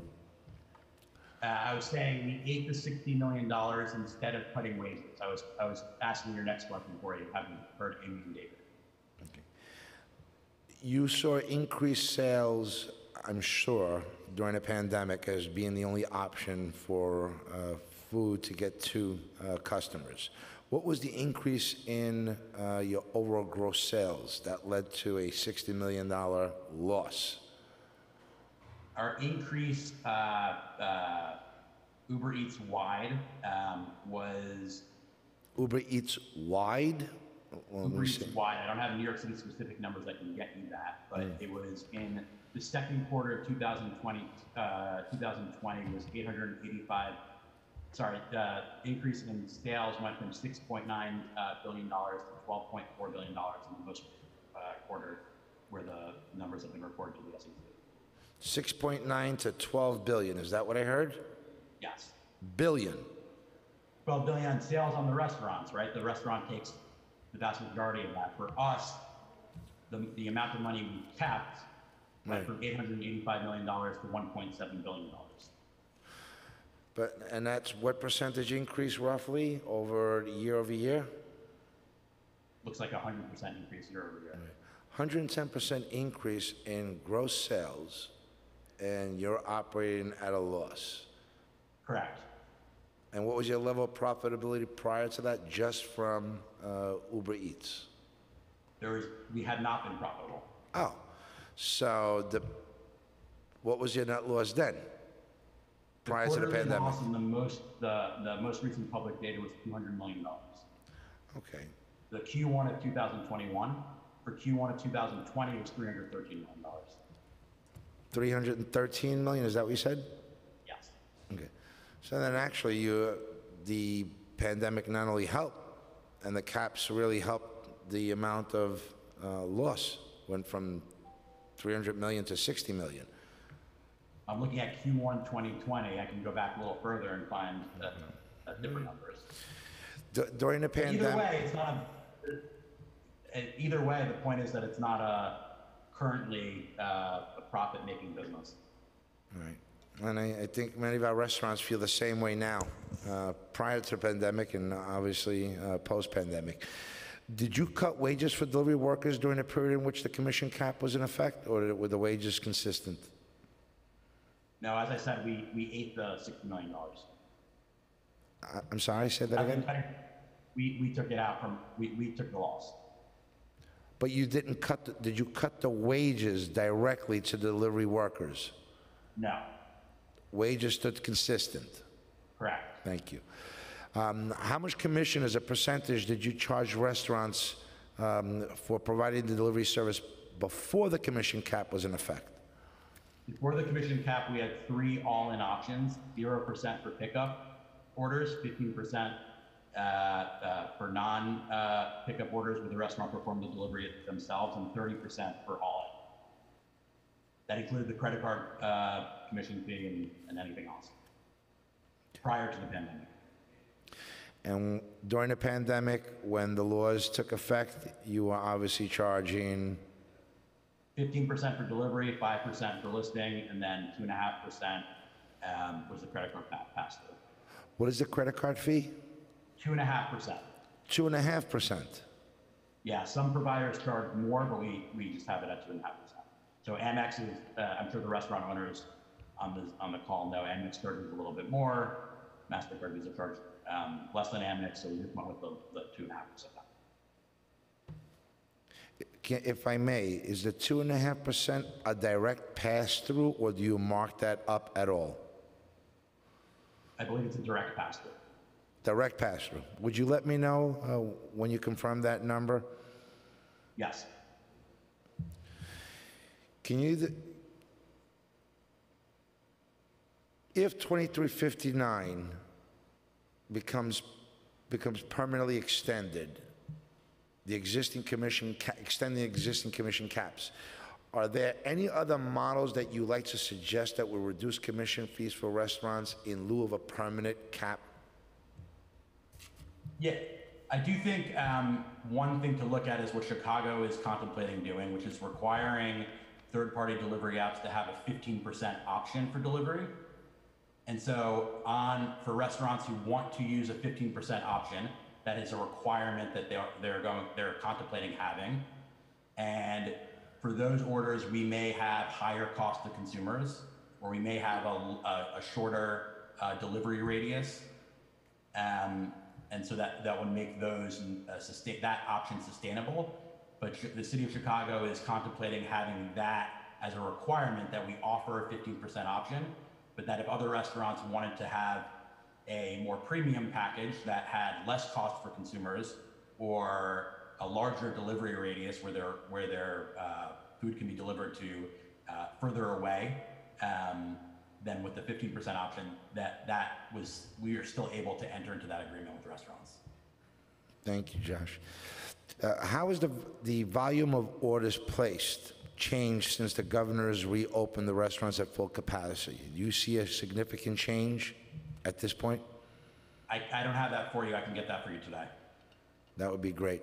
Um, And if you can compare it to the platforms to pre-pandemic, uh, during pandemic, would be a great, I, great for us to fully understand what is happening to the industry uh, and the platforms. i can get that for you sir Thank you. Stephanie, I'm not sure if there's anyone that has a question for Josh? No one has raised their hand on Zoom. Okay. No, I think we can move on whenever you're ready, Chair. Thank you, Josh. We'll stay in touch. thanks councilmember Thank you, Josh. Next, we'll be calling on Meyer Gall, followed by Jeffrey Bank, and then Kathleen Reilly. Meyer? Your time will begin.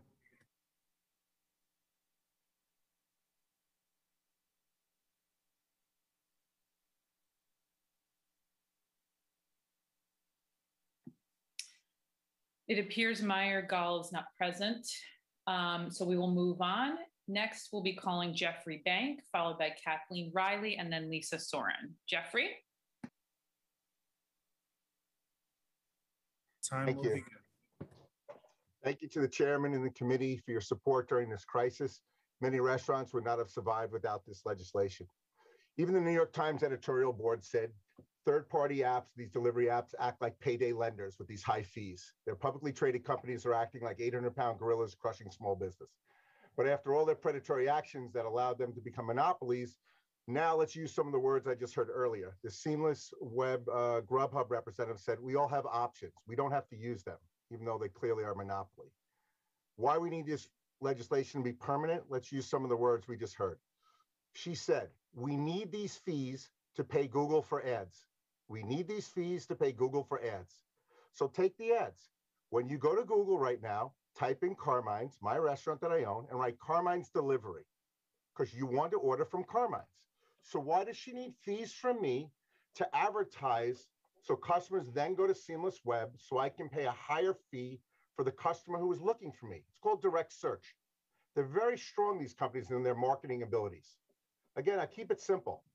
She needs fees, she said, for Google ads. So Google Carmine's Delivery. Why does Seamless, Grubhub, DoorDash, and Postmates come up before my restaurant? My customers looking for me. They don't want me to pay any fees. So they need more fees to charge me more money so they can advertise more to steal my own customers. It's crazy, also a little genius. I'm obviously jealous. You then hear her say, We're fine with. They're always fine when they get caught. They're fine and they fix the phone problem. When they get caught with the phone number charging for, for fraudulent and, and non orders, they're fine with that being corrected. They were fine stopping the fake websites that they did for years, trying to trick customers into fake websites to go to, to restaurants. That was okay. They're fine that now you don't have to be listed with them if you don't want to be. And now this new engine, this new scam, we're going to give a free storefront, I think DoorDash called it, so people can order directly. Yet they're advertising to direct them back to their own to their own websites. Time has expired. These companies are just not, they've shown not been legitimate partners. American Express charges all restaurants the same fees. I think this company should look into another word that she said. She said the reps decide what people pay. It might be interesting for you to look into Grubhub and see are they charging the same fees in different neighborhoods or races? Is there discrimination going on? Amex charges us all the same fees. I don't know why Seamless and Grubhub let their reps charge whatever fees they want. But whatever you decide, the most important thing I beg of you, make them make their fees be transparent on the bills. That's it. At the end of the day, 5%, this percent, that percent. Let customers know how much they're actually charging. Let there be transparency. Thank you for the time. Carmine, thank you. And while you were uh, sharing with us when you Google your name, you're absolutely right. It's one, two, three, four platforms come up before your um, website. And, and here's the irony, Chairman. I paid for those ads and higher fees. I have to be a moron. That- That's well, what happened. uh, do you have written agreements with the uh, platforms? There are contracts, yes. They are, they are very contentious and unnegotiable. Right, so then the contracts that you have uh, also call for that service that your restaurant be listed um, at a certain priority, correct? No, we're not under priority listing. We had, in the contract originally, they had the right to put in fake websites, but then your legislation made them take that out. The contract had that they could, you know, jump the phone numbers. Your legislation took that out. This is another step along the way that you guys will pass legislation and they'll say, oh, we'll take out direct search. They know what they're doing. This isn't about a marketplace trying to get me new customers. This is about them taking my own customers and then being geniuses and charging me higher fees so they can take my own customer. Because they could easily stop doing this if they wanted to. They know what they're doing. Carmine, I- I know that you, you're involved for quite some time in the, uh, you're a legend in the uh, industry. During this pandemic, which I think no one in their wildest dreams ever imagined could put our businesses in the position that they are, what did these commission caps and temporary measures do for your business? Can you tell me what it actually meant? Are you at a level of profitability now or not during a pandemic, post-pandemic? Pro- profitability will come maybe 22. Everybody likes to forget that for 15 months we've been working with capacity limits and three hands tied behind our back. Just because we're at 100% capacity, no one's at profitability. People are digging themselves out of a 15 month hole. But the caps helped us survive, okay? Because what happened? The government shut down the world. The government asked everyone to quarantine. Let's remember, nobody even knew what a quarantine meant. What was going to happen during those two weeks back in March? People were afraid. But they asked restaurants to stay open and serve the people so they could sit at home and be quarantined. So employees came to work, didn't know should we wear a mask, not a mask. This is a long time ago. And our employees went out of their way to help survive. We weren't making any money. We were losing a ton of money. And then, God forbid, everyone went to apps. So without those fees, we would have been crushed. Putting in the restriction of fees actually let us get a fighting chance to maybe survive. Then the government grants and PPP gave us another lifeline. We've been on a branch, on a branch, on a branch the whole way. And now that we're at 100% capacity, everyone's under the delusion because the restaurant has a line at 6 o'clock at night that we're all fine. Nobody's fine. I'm in a better little bit of position than most. We've been around 30 years. But the reason I do these things and I sat on hold here for five hours is because mom and pops can't fight like this. And some of the mom and pops don't even understand the manipulation that they're getting themselves into, where they're getting this little crack taste from these third party apps. They're advertising my name delivery $5 off free to steal my customer, to put them into their ecosystem, and then charge me more fees and complain to you that it's not enough fees, Chairman. We need more fees, as she said, because we need more ads so we can keep screwing these guys over. It's almost comical. I'm using their words, not mine.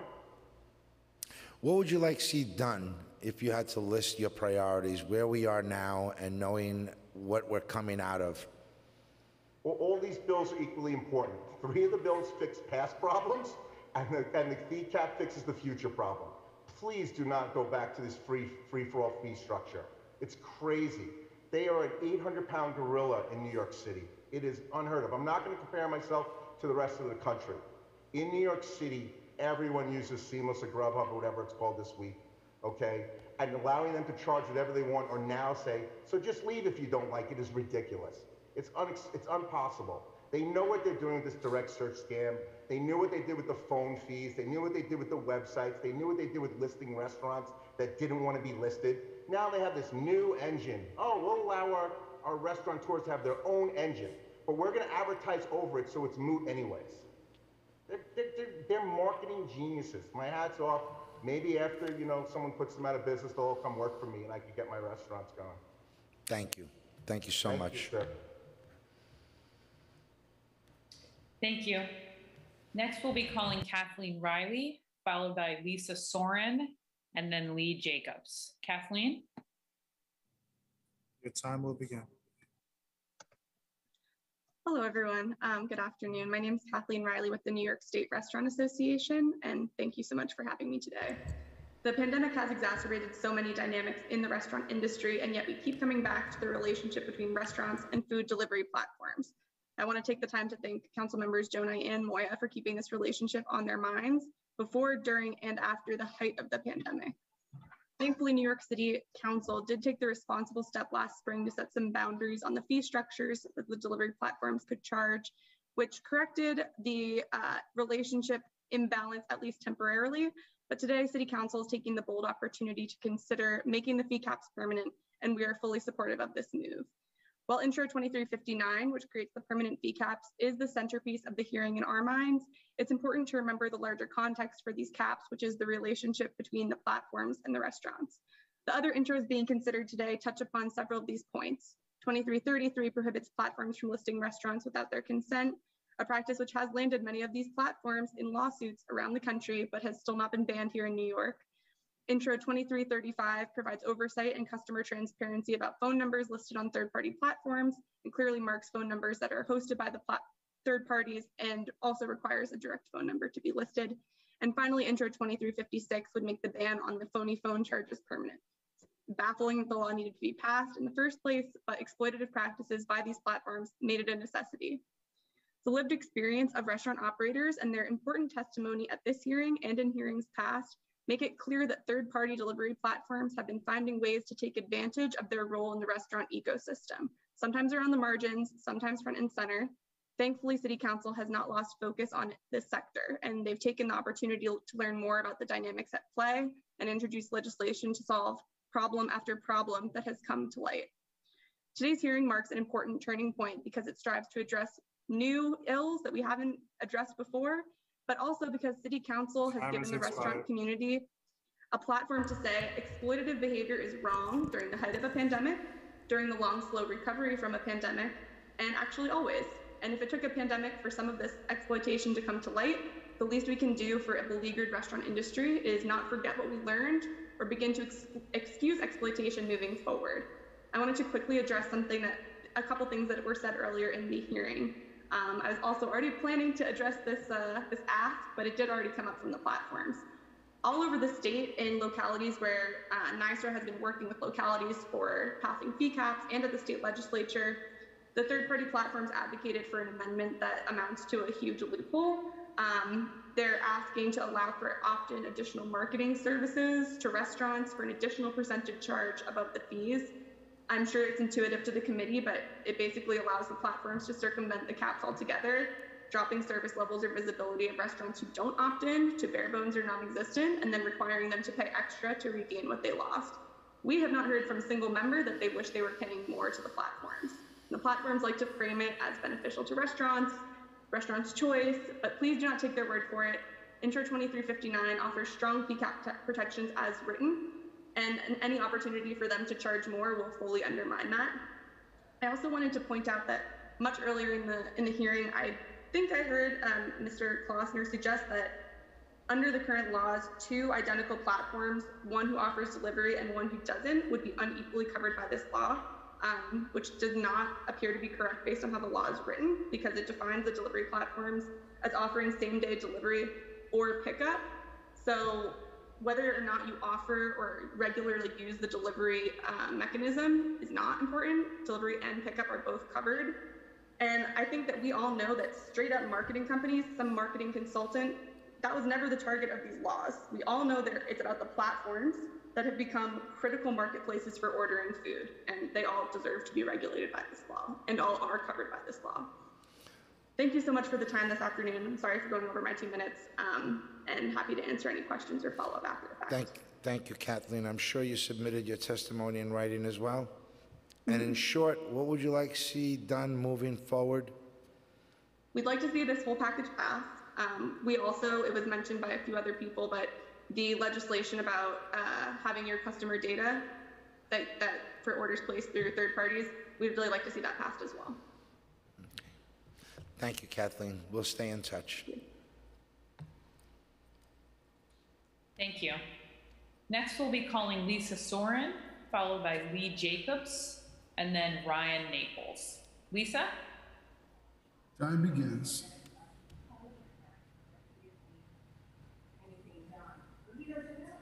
Thank you. Sorry for that.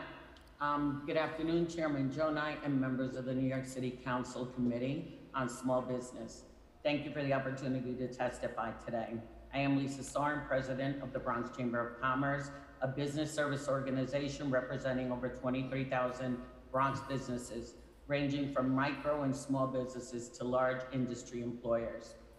I am concerned and express our, our organization's opposition to the third-party permanent delivery cap legislation being discussed today. I know our organization's opposition runs counter to many of my colleagues. However, we cannot continue to overstep and over-legislate business without a proper understanding of unintended consequences. Our organization does believe that smart amendments to this legislation could make it much better but as it is written, it opens the door for future regulatory actions on businesses and establishes a slippery slope for future council actions that will deeply impact the business ability to operate in New York City. During the pandemic, the closure of businesses and the closures of businesses, it came to light the exorbitant prices that were being charged to our restaurants and food establishments by third-party delivery services. I represent many food establishments that reached out with concerns of pricing and loss of income due to these prices. I believe these companies were taking advantage of these businesses during the worst times in our city's most recent memory.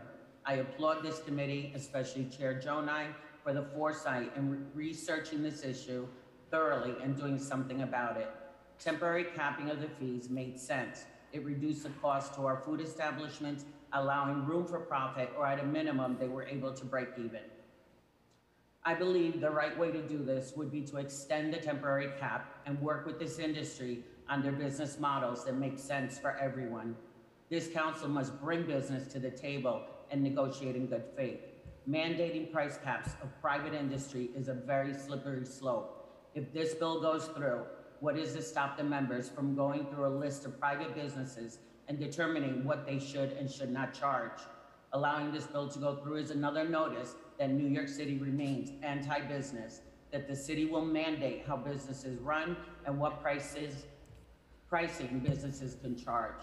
A better solution, let us revisit how this delivery industry does business, look closely at what the regulations, if any, need to be put in place to protect our mom and pop micro businesses, not mandate what they can and cannot charge.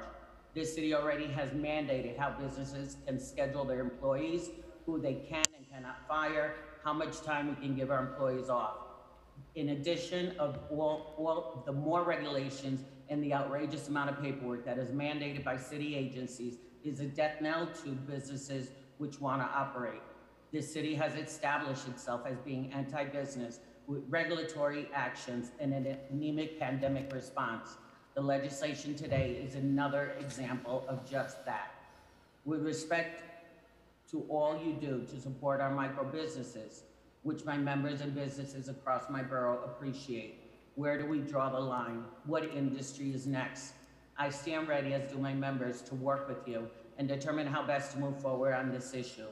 It worked during the pandemic and can help during recovery, but let us really talk about reasonable next steps maybe provide monies towards marketing and education for our small businesses. Many of our immigrant businesses may not understand their choices as it relates to this specific service. We must learn from our recent and long-term history. We lost the Amazon headquarters to a huge, a huge job creator because our representatives at city, state levels determine what was in the best interest of our businesses and community. It became a short-term solution, yet Amazon moved into Manhattan, opened many warehouses employing hundreds, if not thousands of people at minimum wage, and we lost the opportunity for new schools, high-tech job training, and so forth. Let us learn from these mistakes. Let us take step, a step back and bring the right businesses to the table and figure out what will work best without putting our foot down and telling businesses how to do business. Thank you, and I'll take any questions you may have. I want to thank you, Lisa, and uh, did you submit your testimony in writing as well? I did. Lisa, in a perfect world, um, I agree that less government intervention in business um, and in marketplace is the ideal scenario. But we currently have government regulating real estate, energy, utilities, commercial carting, brokers' fees, um, taxi limousine, and this is just to name a few of the areas we regulate because government also has a responsibility to protect consumers. And in this regard, the reason we were looking into the caps and why they took place is because there was a need to protect a very vital industry to the city. They're so vital that government actually invested in restaurants through loans and grants. That's your taxpayer dollars. That's New Yorkers' tax dollars. Aren't we supposed to be in a position to make sure that industry can survive to pay back those loans? That in, in time, those grants get paid back through the taxes they generate, making the taxpayer whole and the investment that we made in them? You've heard the testimony on the the cap, restaurants are breaking even at best. At best. The, the numbers and the forecast that we have on profitability on sales show a net loss for every transaction. I don't want more government regulation, but I also know that if government doesn't intervene, this consumer demand of third-party platform is not going away. It's going to increase. And as it increases, it's going to have a bigger impact on that particular establishment, the restaurant industry as a whole. And we need to make sure that they stay, that they're in business. They are a very important part of our culture. They're very important to New York from a tax base and from an employment base. So I hear your concerns. Um, I just, and that's why this hearing is so important. We get to hear from stakeholders, not only the platforms, but the actual restaurants. We get to hear what the issues are. And you know as well as I do, if you're a partner, that means we both have to benefit. It can't be one sided. I don't know how you want to answer that. Allow me to say this. I, the role of our representatives is to protect the consumers. I am all in on that in partnership, and our restaurants are without a doubt a, the backbone of the majority of the work of the services provided. Um, I, I visit them almost on a daily basis. But I will say this, yes, taxpayer dollars pay for loans and all other items. And I could probably get into the very specific of how this restaurant revitalization loan basically screwed over our restaurants because of the minimal amount of restaurants that received it. But I can also say that the tax dollars and the amount of regulations that this city puts upon our restaurant, if that, if that um, body of legislation on top of our, our restaurant weren't as hard as they are by our city government right now, there would probably be more room for negotiations with companies like these third parties. And please don't get it confused. It's not a matter of me supporting the companies one way or another. This is a discussion about at what point do our legislators realize that not everything can be regulated? And if that's the tone we're going to take with companies wanting to do business with companies, then we also have to look at how the city agencies in New York deal with our businesses. Because if we were to put dollar to dollar, I can almost guarantee you that the amount of regulations, violations being received by our businesses, even during COVID, outweighs what these businesses are earning. So I think it's a matter of looking in the mirror with all due respect, Chairman, and I get where you're coming from. Um, listen, I oversee businesses and some of them are probably really upset with me right now. But the long-term solution is more about conversation and not rushing through these bills. I mean, look at the vendor one. The vendor one went through. I'm all about business, but they're overtaking our streets and everything else. Why don't we focus on what can bring a better access, quality of life business to the businesses we are here to support? And the, right now, they need us on the on the quality of life. Let's regulate what really needs regulation, and let's let's allow people to come back and eat at restaurants, shop, come into our cities, come into our borough, and enjoy without having to step over vendors or businesses worrying about keeping their doors open because they'll get a violation for air conditioning escaping from their doors. Lisa, sounds like you want us to regulate government from regulating, and I agree with you. We'll talk more about this. Thank you. Thank you, Chairman, and thank you to the committee. Thank you. Next, we will be calling Lee Jacobs, followed by Ryan Naples, and then Michael Fuquay. Lee? Time begins. Good afternoon, Chair Gjonaj and members of the Committee on Small Business. My name is Lee Jacobs. I am a partner at the law firm of Helbraun Levey, a full service New York City law firm focused on the needs of the hospitality industry. I'm advocating on behalf of additional protection for the hospitality industry against multi billion dollar tech giants seeking to add wealth at the expense of small businesses and restaurants. Our firm primarily represents members of the hospitality industry with their real estate, corporate, litigation, employment, and licensing needs. We recently initiated a lawsuit in the Southern District of New York against the largest third party delivery service companies that predominantly service New, the New York City hospitality industry.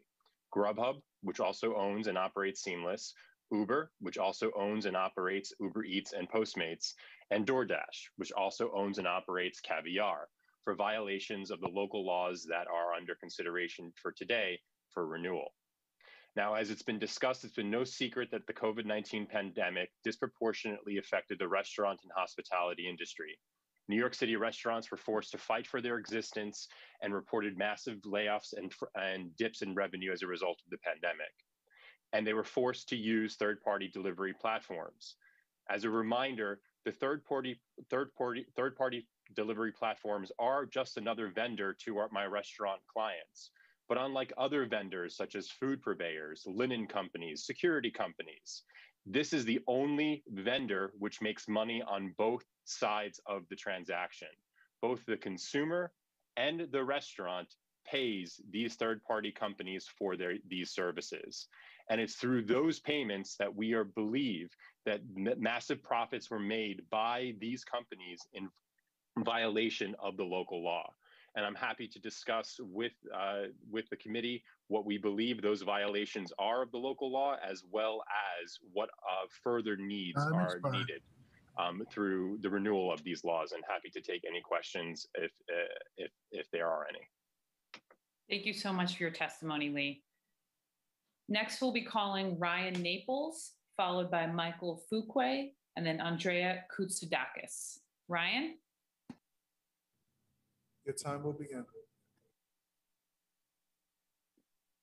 Hi, thank you for that. Um, good afternoon, Chair Gjonaj and members of the committee. I'm Ryan Naples, Deputy Director at Tech NYC. We are an advocacy group for New York's tech community representing more than 800 companies and organizations. Food delivery in New York is not just a luxury enjoyed by the affluent, but an important service for people from all walks of life. During the pandemic, in fact, it was a crucial lifeline for many people who lacked food access. This is why we support legislation that helps customers ordering food and New York City restaurants thrive. Unfortunately, we cannot support making permanent the 20% delivery fee cap previously enacted because of now expired limits on restaurant capacity. Instituting an artificial price cap will raise prices for customers ordering food as a result, and as a result, will reduce the amount that customers order over time. Increased food prices may not be a concern to high income families in gentrified neighborhoods, but it'll have an effect on the ability of lower income New Yorkers to access food from home.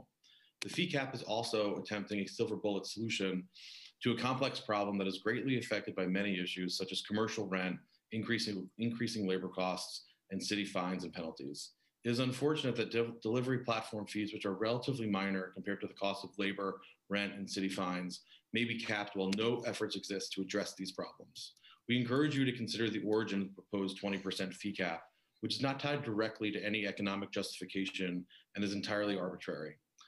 Given this reality, this cap will not enable more restaurants to survive, which is an important goal that we support. Instead, this short sighted solution will make ordering food more expensive for New Yorkers, which will lead to an even greater contraction of the food delivery market.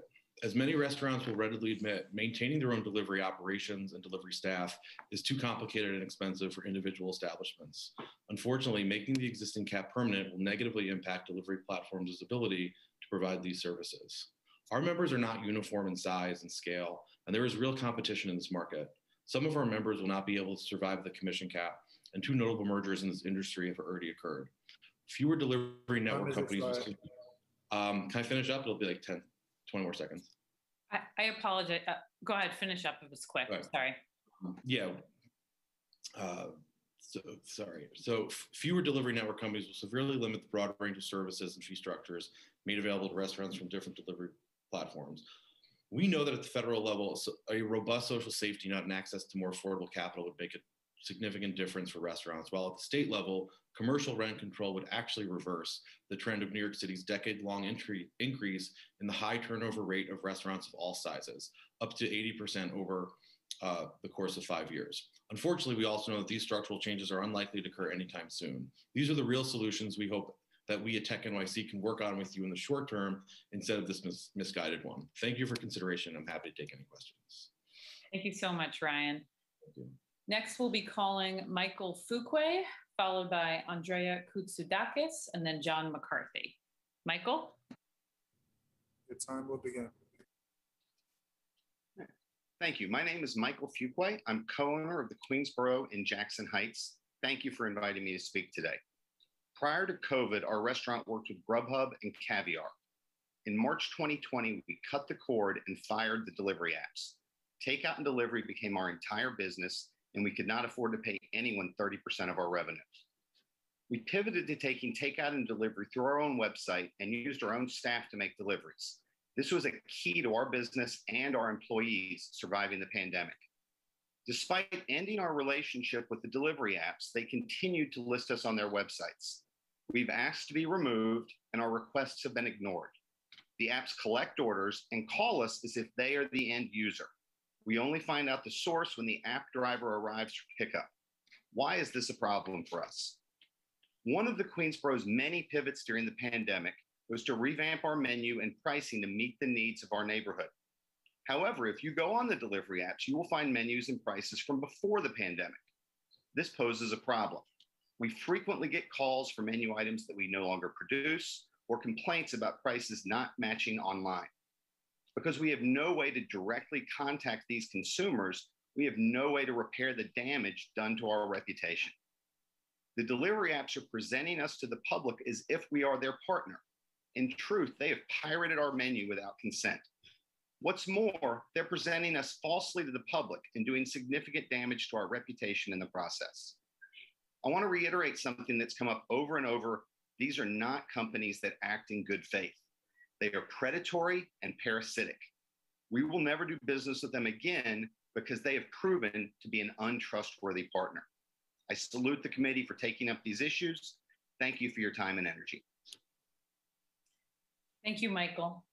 Next, we'll be calling Andrea Koutsoudakis, followed by John McCarthy, and then James Mallios. Andrea? Your time will begin. Good afternoon, everyone. My name is Andreas Koutsoudakis. Um, I'm also an attorney for dozens of restaurants. I have a restaurant in Tribeca that I've recently taken over, and I'm also the president of the Greenwich Village Chelsea Chamber of Commerce. Um, I, have been on this hearing all day, and it's uh, insane to hear some of the things, but I think there's some clarity that's needed. Um, there's a big difference between a fee based on the value of the user experience, a fee based on additional or enhanced, marketing, and a fee based on the value of delivering the food for the restaurants instead of the restaurant doing it themselves. All of those things are great. The problem here, and the reason why fee cap is absolutely necessary, is because there is no way restaurants can compete with these platforms when they do not provide the customer data, they create secondary websites, secondary phone numbers, and spend substantial money, God knows how much, for Google ads, Super Bowl ads, et cetera, to not only drive customers to their platform, which would otherwise be perfectly okay, but to drive them away from the so-called restaurant partners that they list on their platform websites that these restaurants have created to maintain an online presence and compete against these platforms. And I'm going to do it myself. All the testimony regarding a loss by these companies, even with the billions in revenue, it sounds crazy. We're, we're suffering a loss. We made $4 billion last year, but we lost X. Yeah, that's because you're spending all your profits on marketing money and advertisements to drive the business away from the restaurants. Once those restaurants are out of business, the profits will magically appear in massive amounts. So you know, th- th- this concept of, uh, you know, anti-business, uh, anti-business legislation, it's only anti-business if you're pro-big business, and it's pro-business if you're pro-small business. Um, at the end of the day, the main takeaway here is, in the perfect universe, these platforms would love every single bite of food any person in our city takes to happen not at a restaurant but at home or at work and ordered through their platform. So there is no scenario where time is expired. there is no scenario where they would like anyone to not buy from their platform. They don't support our communities. And you know it's in closing i'll just cut right to it. You know we i absolutely wholeheartedly support this legislation in its entirety. And i really urge the city council to send a clear message to all of these technology companies, not just these uh, third party platforms. You're welcome to do business in our great city, but not with free reign. If that's the market you need to succeed, this is not the city for you. Your business model must support our communities and it must be aligned with our values and our principles. We will not allow big tech business models to not only dictate what our communities look like, and they certainly will not eliminate our small business. Our restaurants matter to us, hospitality matters to us. You Thank you, pass this Andrea. legislation. Thank you. Next, I'll be calling John McCarthy, followed by James Mallios, and then Sam Pierre. John? Your time will begin. Uh, my name is John McCarthy. I'm an advisor to the New York Japanese Restaurant Association. Uh, the NYJRA was founded as a nonprofit 501c6 at the outset of the pandemic to represent the interests of the Japanese restaurant owners and operators, among other business uh, owners. Um, I appear today to, to urge support and, and passage of all of these bills, this entire package of bills. These bills are not only vital to the continued recovery of an industry that's been disproportionately and adversely affected by the pandemic, but they also correct egregious wrongs uh, to these businesses that were brought to light uh, during the lockdowns. Uh, to give the uh, committee context, the Japanese restaurant community has lost as many restaurants during the pandemic as were created and opened in New York City from the year 2000 to the present. That's a loss of 20 years of progress and job creation. Uh, the nefarious and unscrupulous business practices of these, some of these vendors uh, has been a burden on businesses and restaurants for some time. Uh, I ask that the committee consider that many of these small businesses that are targeted by these vendors are ones that are owned by minorities, and in the case of the NYJRA, Asians and Asian Americans. In some instances, those without a solid understanding of English or their rights are being taken advantage of by these vendors. I point to the testimony regarding uh, take it or leave it contracts. I take it point to the testimony of um, uh, not having uh, full disclosure of fees and arrangements on websites. Um, they are left to the uh, potentially unscrupulous behavior of account executives and others. Uh, thus, it is left to uh, this committee uh, to uh, institute the protections that these uh, businesses so desperately need. I've heard a lot uh, about the um, other other portions of the package. But focusing on the delivery fees, I have not heard any creative ideas from the actual third-party vendors as to a solution for the situation, uh, other than that they want to raise uh, the fees on restaurants who cannot Time sustain this model. They are looking to the restaurants to support their business model instead of looking for other creative ways. These are the best and Thank brightest, they tell us. But we need some relief, and these bills are for uh, the relief and survival, not thrive. They're not going to thrive under it, but their Thank you. survival depends on these bills. Thank you very Thank much. Thank you for your testimony. Thank you. Next, I'll be calling James Mallios, followed by Sam Pierre, and then Josh Morgan. James? Your time will begin. Mute me, please. Uh, hi. Just to be clear, I have one minute, correct? Or two minutes, please. You have two minutes. Thank you. I'll time now. So my name is James Bios. I own three restaurants in the New York City area. I'm also a member of the New York City Hospitality Council, among other boards. First, make no mistake and don't believe the BS that you heard from Grubhub and the other companies earlier. Last year, in 29, 20, end of 2019, when they released their fourth quarter earnings, Grubhub conceded that their model cannot make money, their model loses money, uh, and they had really no hopes to ever be profitable. Nevertheless, even when you reduce their fees this last year, they doubled their revenue uh, this past last quarter in 2020, but yet still true to their prediction, lost money. They don't operate like the brick and mortar businesses that exist in New York City. Second, all we are asking with restaurants with liquor licenses is asking you, the city council, to enforce the state law that is on the books now. That if someone who has 10% revenue, in excess of 10% revenue from our restaurants, has to be listed on the license. That is the law. We are because the state has not stepped in so far. We are asking our local city council to step in and enforce the state law as it is written with the SLA. Third, what you have seen since the since this law has passed is that every one of these companies has now instituted a delivery fee, a service fee, a gratuity fee. So if you allow them to go back to the previous usurious 30% charges that they were instituting, I have will be gobsmacked that they would actually give up those other fees that they've now instituted to subvert the legislation that the council already passed to date you already know about the importance of, of restaurants in this community. I don't need to repeat it. But for God's sakes, don't believe the load of bullshit that they're selling you from the from their lobbyists, please. Thank you for your testimony, James. Next, I'll be calling Sam Pierre, followed by Josh Morgan, and then Rachel Mulc- Mulcahy. Sam? Your time will begin.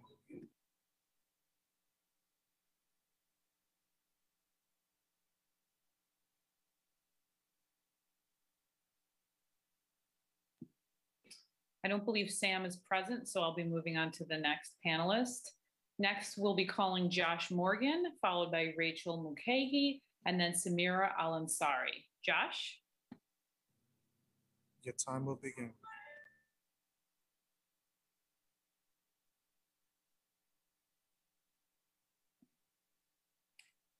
I don't believe Josh is present at this time either, so we will move on to the next panelist. The next panelist is Rachel Mulcahy, followed by Samir Al-Ansari, and then Carlos Ignacio. Rachel? Your time will begin.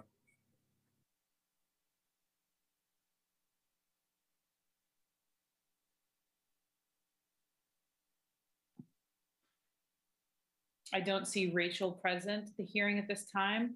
So next we'll be calling Samira Al-Ansari, followed by Carlos Ignacio, and then Paul Folletti. Samira? Your time will begin.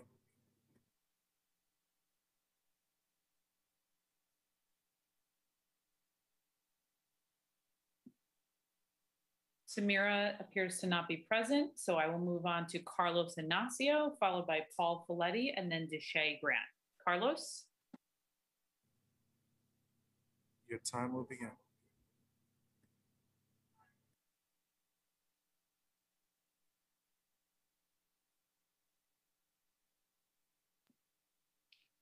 I don't believe Carlos is present. So next we'll be calling Paul Folletti, followed by Deshay Grant, and then Alberto Miranda. Paul? Time will begin.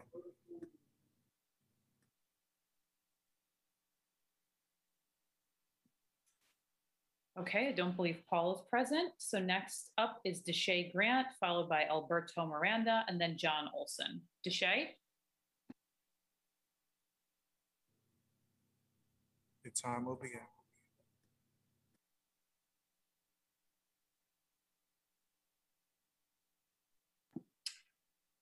I believe Deshay is not present. So next up is Alberto Miranda, followed by John Olson, and then Montana, Montana Williams. Alberto?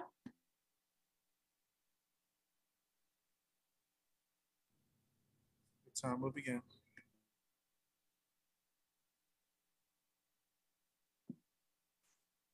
Alberto appears to not be present. So next we we'll be calling John Olson, followed by Montana Williams, and then Spiros Kasimis. John? Your time will begin. Uh, Thank you. Good afternoon, Chair Gjonaj and members of the Small Business Committee. My name is John Olson. I'm the Northeast Director for the Internet Association, or IA. IA is the only trade association that exclusively represents leading global internet companies on matters of public policy. Our mission is to foster innovation, promote economic growth, and empower people through the free and open internet. We believe the internet creates unprecedented benefits for society, and as the voice of the world's leading internet companies, IA works to ensure legislators, consumers, and other stakeholders understand these benefits. I'm here to speak on Introduction 2359 today. IA is opposed to permanent to any permanent cap on third-party delivery commissions. Delivery network companies have been financially subsidizing restaurant delivery services throughout the pandemic. Understanding we as a society were collectively living in extraordinary times and taking the steps to ensure the survival of restaurant operators, platforms operated under the financial restraints of the temporary cap tied to the emergency order for over a year.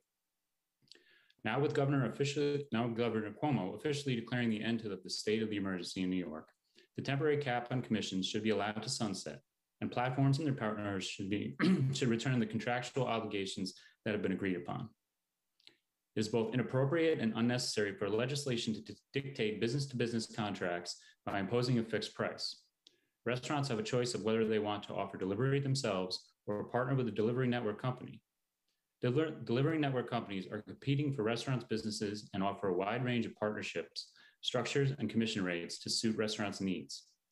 Commission fee structures are transparent and clear when any restaurant enters a contractual partnership with a delivery network company. Regulating these contract terms is tantamount to government intervention, requiring wholesalers to sell their goods at a loss. It is important to understand that commissions are not profit for delivery platforms. Agreed upon rates with restaurants are based on a broad range of services made available to restaurants through our members' platforms. They are not one size fits all, but rather are tailored to each restaurant's needs. Restaurants can collaborate on marketing, collateral, determine the appropriate neighborhoods to open new locations, and even see how pricing affects consumer demand. Commission and fees go a long way towards supporting delivery platforms' operational costs, ensuring workers are paid fairly, and allowing them to provide the reliable and safe service that residents expect and rely upon, especially in times of need like today. For these reasons, I strongly urge the committee not to advance this legislation.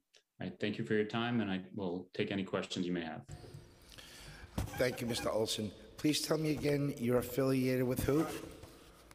Uh, I'm the regional director for the Internet Association. We are a trade association representing a number of internet companies, including the ones that uh, provided a testimony earlier today. Thank you. So, John, I, I- and I understand what you're saying, that government intervention is not a good thing. Uh, Regulation of markets is very complicated. But here we have an industry that is barely holding on, and I believe the numbers are, they are 70% off their gross revenues. They're operating at a loss. We've done everything that we possibly can, and that is at a city, state, and federal level, to invest in this industry to make sure that they survive this. We're not even referring to thriving. Surviving was the end game during the pandemic. They're not there yet. They're operating at net losses. You don't think government has a responsibility to ensure an industry like the restaurant industry survive? um, that not only does it get through this pandemic, but because it's such a vital part of this city, from employment, tax base, uh, and a part of the very culture of what makes New York City so great, the different cuisines.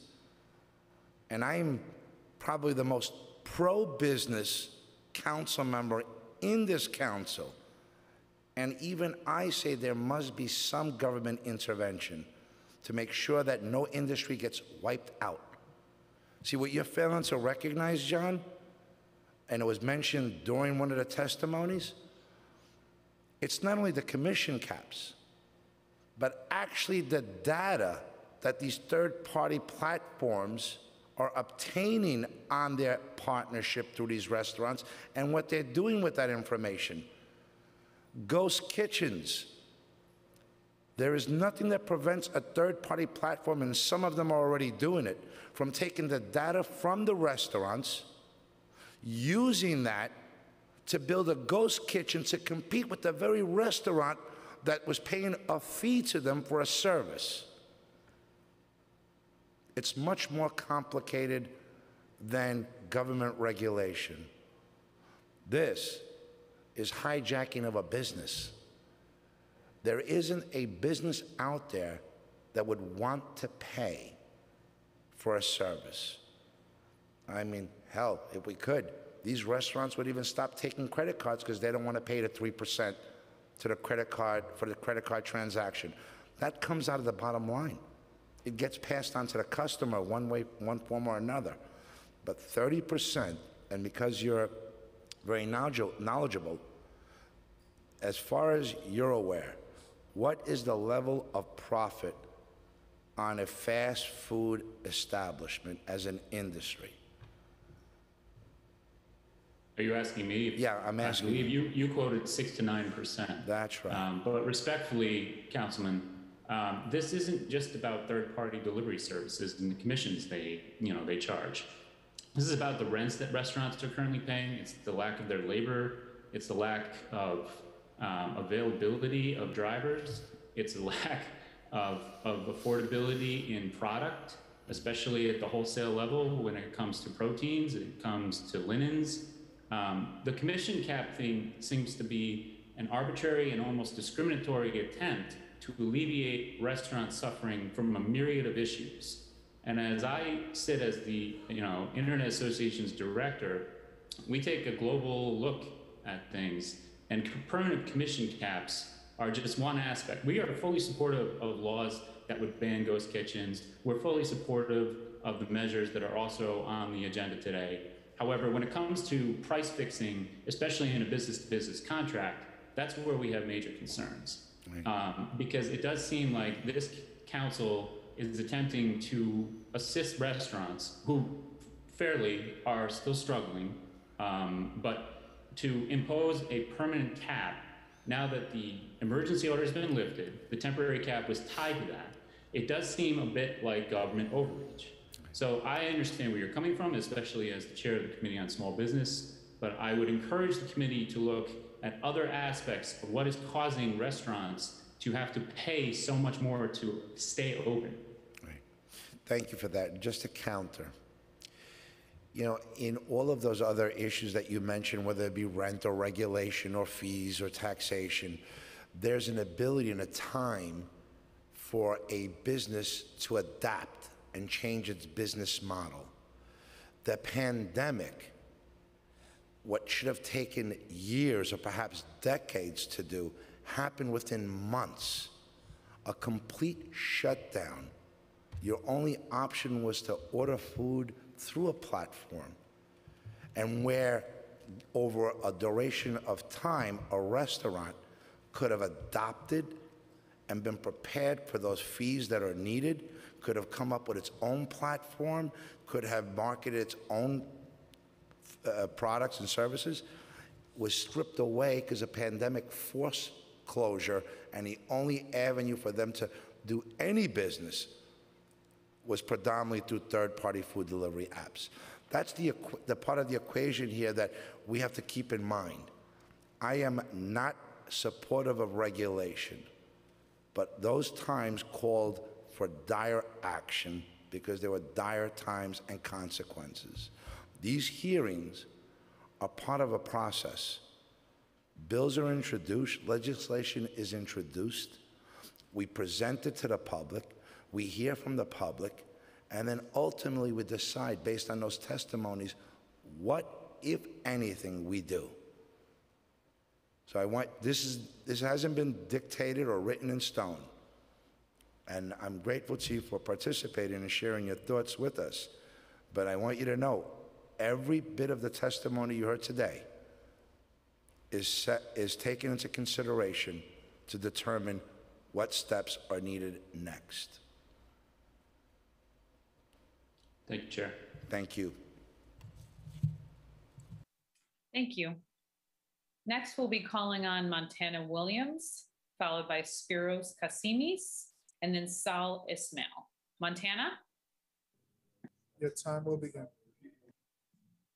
Good afternoon, Chair Gjonaj and members of the council. My name is Montana Williams, and I'm the Director of State and Local Public Policy for the Chamber of Progress, a new center-left tech industry coalition promoting technology's progressive future. Our corporate partners include companies like DoorDash, Grubhub, and Uber Eats, but our partners do not have a vote or veto power over our positions.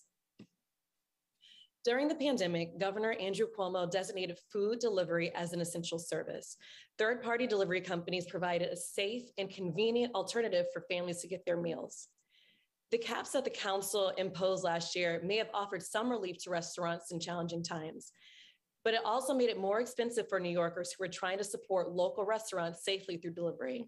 That's because while restaurants were paying lower fees, delivery services still had to pay drivers, conduct background checks, and handle customer inquiries. Families ordering local delivery ended up covering restaurants' tabs through higher prices or recovery fees, creating a domino effect. These families started ordering less, leading restaurant sales volumes to decrease 4 to 7% in some cities.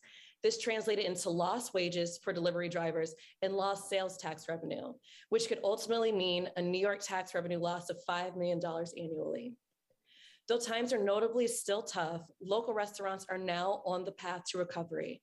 New York restaurants have been functioning at full capacity since May 19th, and the federal government is administering $29 billion in grants.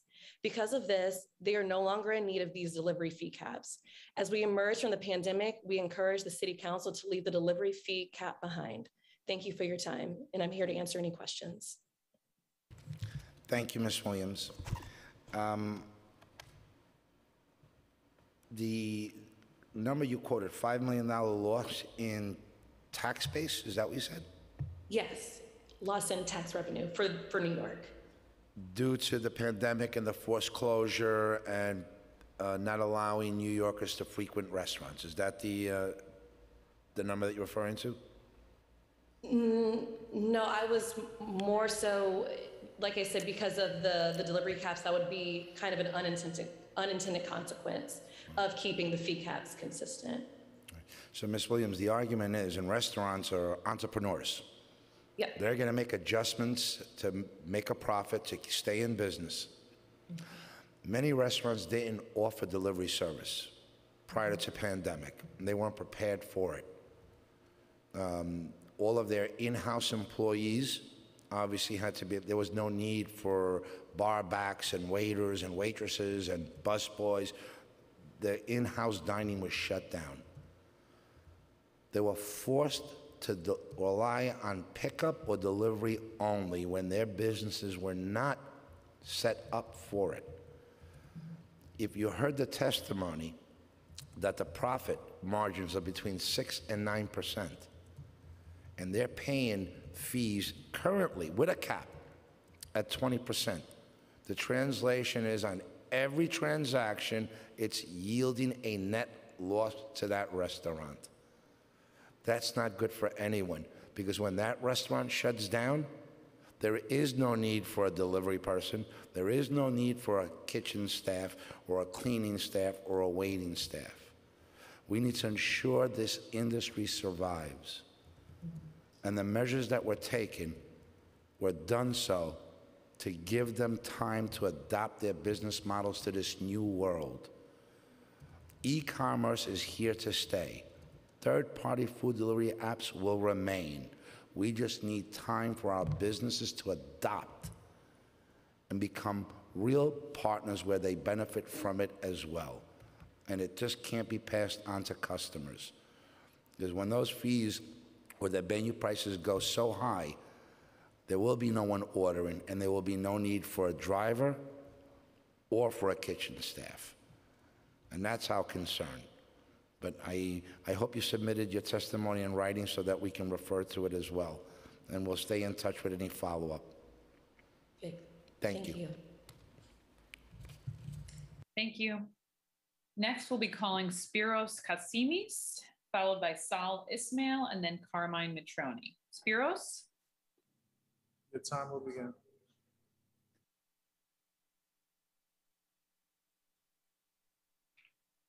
I, I don't believe Spiros is present in the hearing, so next we'll be moving on to Sal Ismail, and then Carmine Matroni, and then Jonathan Forgash. Spiros? Your time will begin.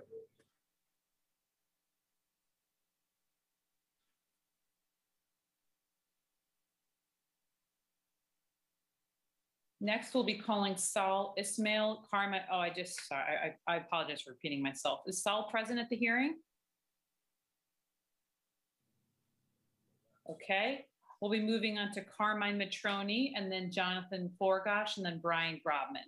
Carmine, are you present?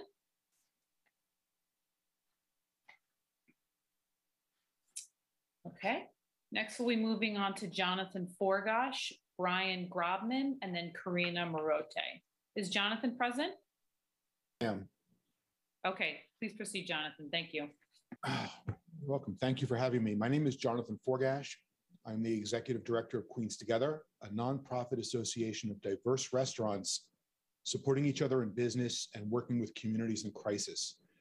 We are uh, located in Queens, New York. By our very nature, our diversity, multiculturality, geography spread makes us ripe for predatory practices by groups such as these here today, the third-party delivery apps. And let me start by saying that the third-party delivery and ordering platforms offer valuable services to the restaurant community.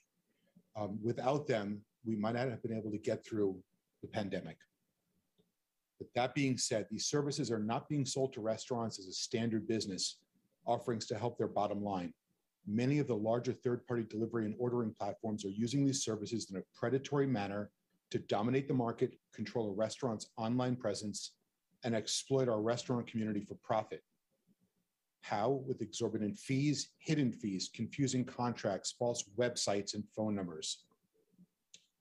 An example of this is over the last year, one of our member restaurants, a small pizzeria in Western Queens, paid a total of $178,000 in fees to third party delivery platforms. That's about 23% of each order. These exorbitant fees leave very little room, if any, for profits. And you, as you heard earlier, standard profit in a restaurant is six to nine percent. Um, a lot was said here today, so I'm going to skip ahead to something that I found very important, and that was commentary by Daniel McCarthy. He spoke about the transference of $19 billion from the restaurant industry to these third-party platforms. And it's not just the restaurants. That is transfer of wealth from communities, the restaurant, the customer, and the community itself. So by taking the money out of the community, we are losing much more than perhaps restaurants. You know, you're taking money from tax base, from local employees. All these things really need to be discussed. And, you know, Grubhub mentioned earlier that they are a publicly traded company and they need to have their right to profit protected. Wow, I would love the same for our restaurants in New York City.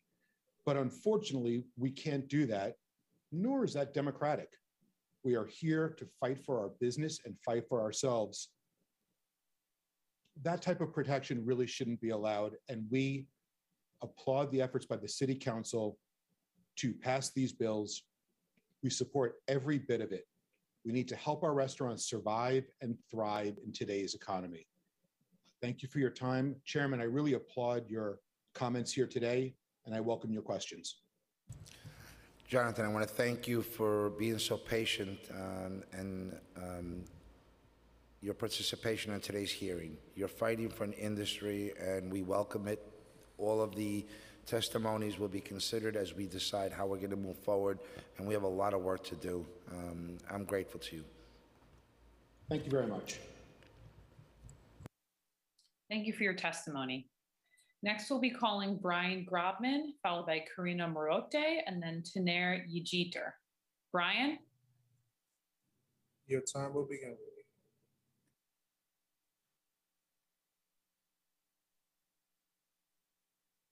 I don't believe Brian is present at the hearing, so we will move on to Karina Morote, followed by Taner Yejiter, and then John Capitanos. Karina?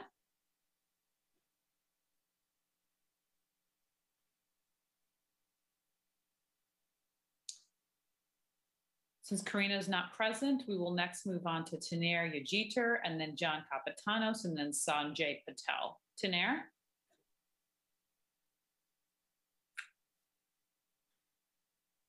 Since Taner is not present, we'll move on to John Capitanos and then Sanjay Patel, and then finally Spiros Kokosis. John, are you present?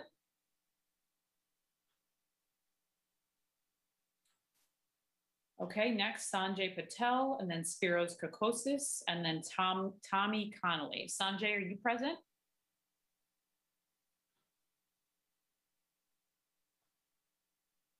Okay, next we have Spiros Kokosis, Tommy Connolly, and then Johnny Marrero. Is Spiros present?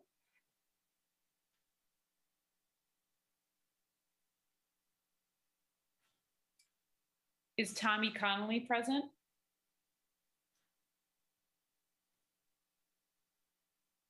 Okay, since Spiros and Tommy are not present, we'll move on to the next panelists. We have Johnny Marrero, and then Zoe Darman, and then Avida Von Vigi. Is Johnny present?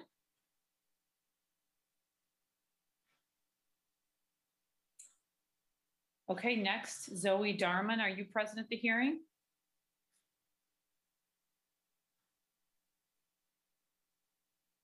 Okay, Zoe, since Zoe is not present, we will move on to Avija Von Vigi. Avija, are you here? Okay. Next in line, we have Bon Yagi, and then Yutaka Takai, and then Nicholas Hartman. Bon, are you here? Yes. Okay, great. Thank you. Please proceed. Hi, uh, my name is uh, Abonyagi. I'm represent Japanese Restaurant Association. We have about thousand Japanese restaurant in, in New York City, and during pandemic, we had a so much hard time. But again, Chairman and the New York City Council Committee, thank you very much for having this opportunity to express myself as the uh, third party delivery charge. Uh, before pandemic, you know, we myself have a restaurant and uh, uh, some of the restaurant we had a charge by different uh, percentage. One is 20%, one was 25. So we had a, a negotiated with that, but then you made a cap. These cap will be uh, over in uh, August uh, 19. So permanent cap on the third party delivery fee because a temporary cap on third party delivery fee is scheduled to expire 90 days, which is August 19. You know, we like to uh, possible keep that the number low, be you know surviving after COVID to recover, we still need it. And also we have a problem, require permission to list the restaurant, you know, the, the this uh, legislation will require third party delivery uh, service agreement with the restaurant before listing them their site. So that we need that also. Prohibit the bogus fee for phone calls. Those uh, we have a lot of problem and uh, transparent phone numbers the third party service sometimes create the second number and you know we lose our own business. Again uh, the third party and the restaurant you know that's like a husband and a wife uh, we have to survive. So we need them but they need us. So we should make some kind of compliment you know the some kind of a, uh, uh, conversation and we can come up with the numbers and Time if a committee expired. can help, it'll be very great.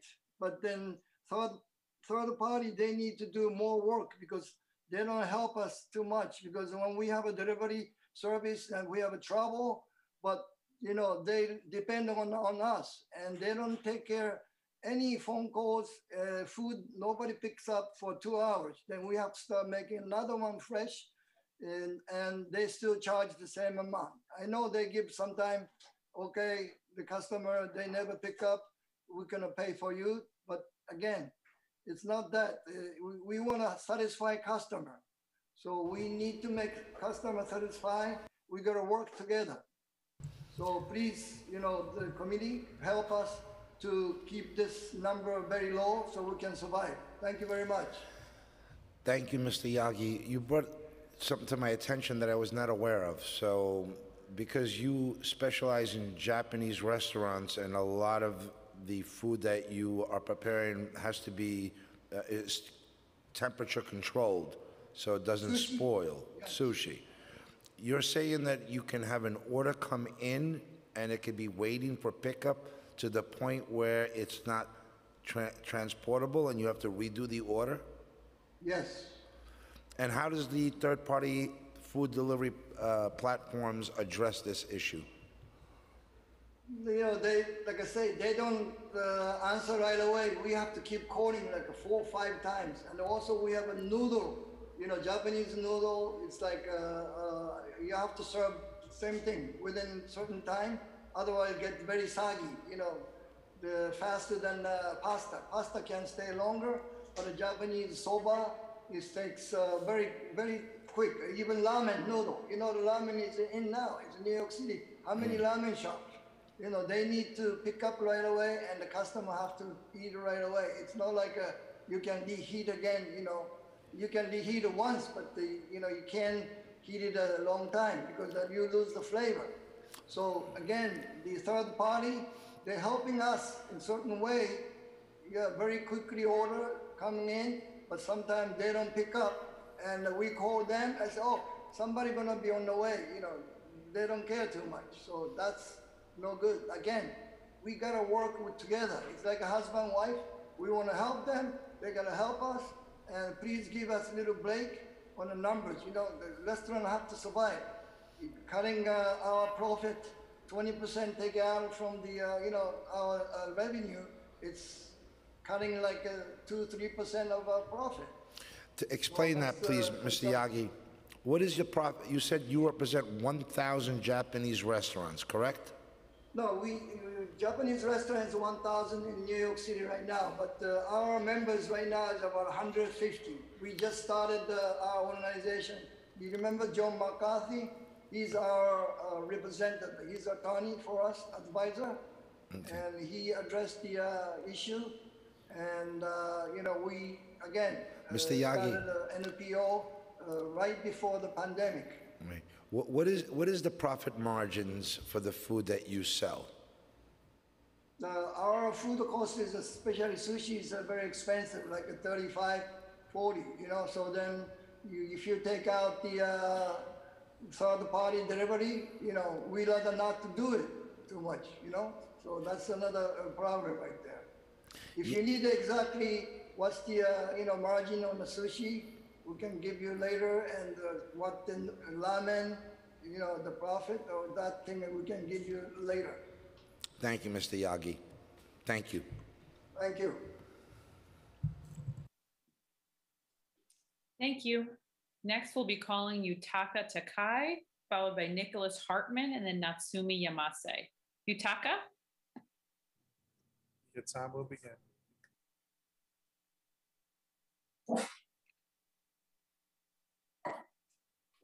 Yes, uh, can you hear me? Yes, we Hello. can. Hello. Yes, we hear you fine. Yeah, okay. Well, thank you for the opportunity today. Well, the uh, well, I am the uh, same as uh, Mr. Yagi. I am a board member of the Japanese uh, Restaurant Association.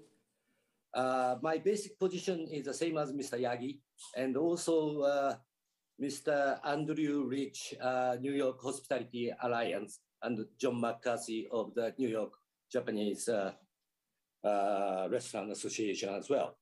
Uh, I am a board member, at the same time, I'm running the uh, four restaurant in New York. Of course, yes, we suffered a tremendous loss in the pandemic. First, second, uh, we need you know quick recovery at this moment. And uh, because of the uh, customers' habit changes, we have no choice but rely on third-party delivery platform.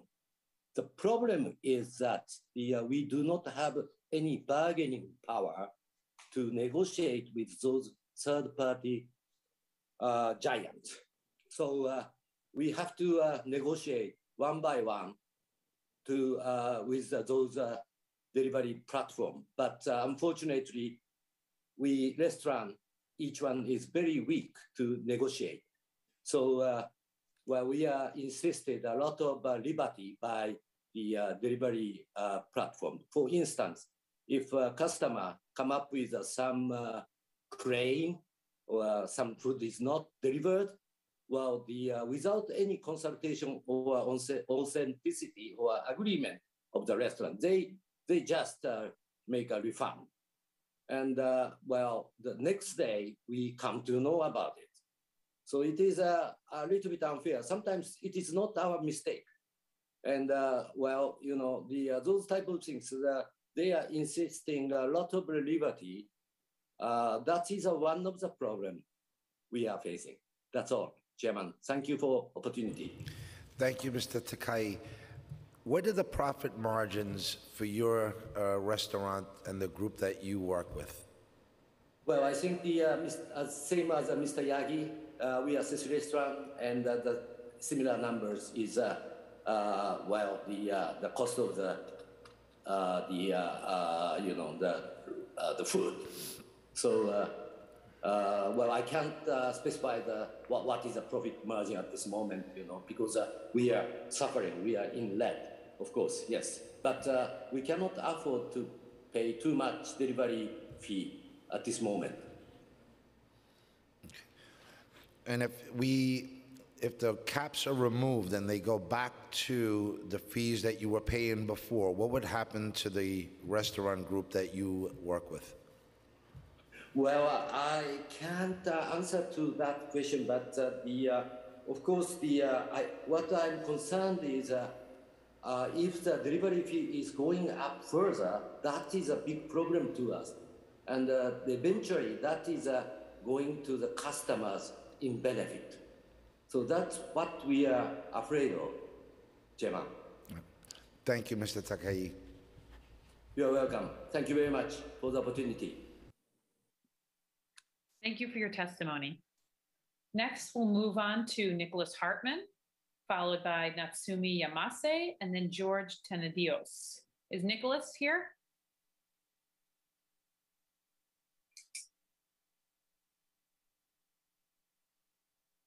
Since Nicholas does not appear to be present, we will move on to Natsumi Yamase, followed by George Tenadios, and then Michael Trank. Natsumi?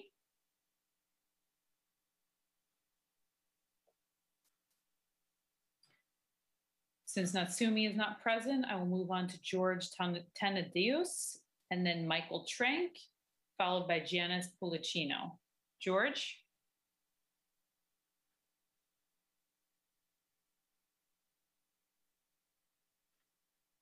Since George is not present at the hearing, we will call Michael Trank next and then Janice Pulicino, followed by William Rubin. Michael?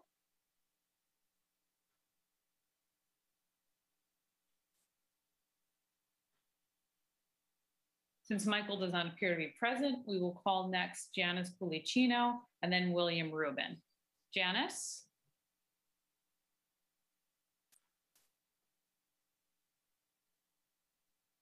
Since Janice does not appear to be present, the next person up will be William Rubin, followed by Taki Wakayama, and then David Wang. William?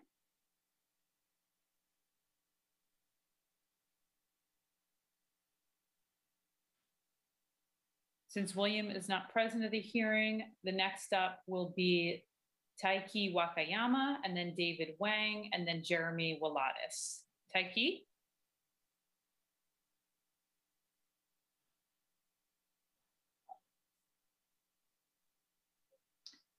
Since Taiki is not present, the next panelist will be David Wang, followed by Jeremy Wladis, and then Cynthia Shepard. David?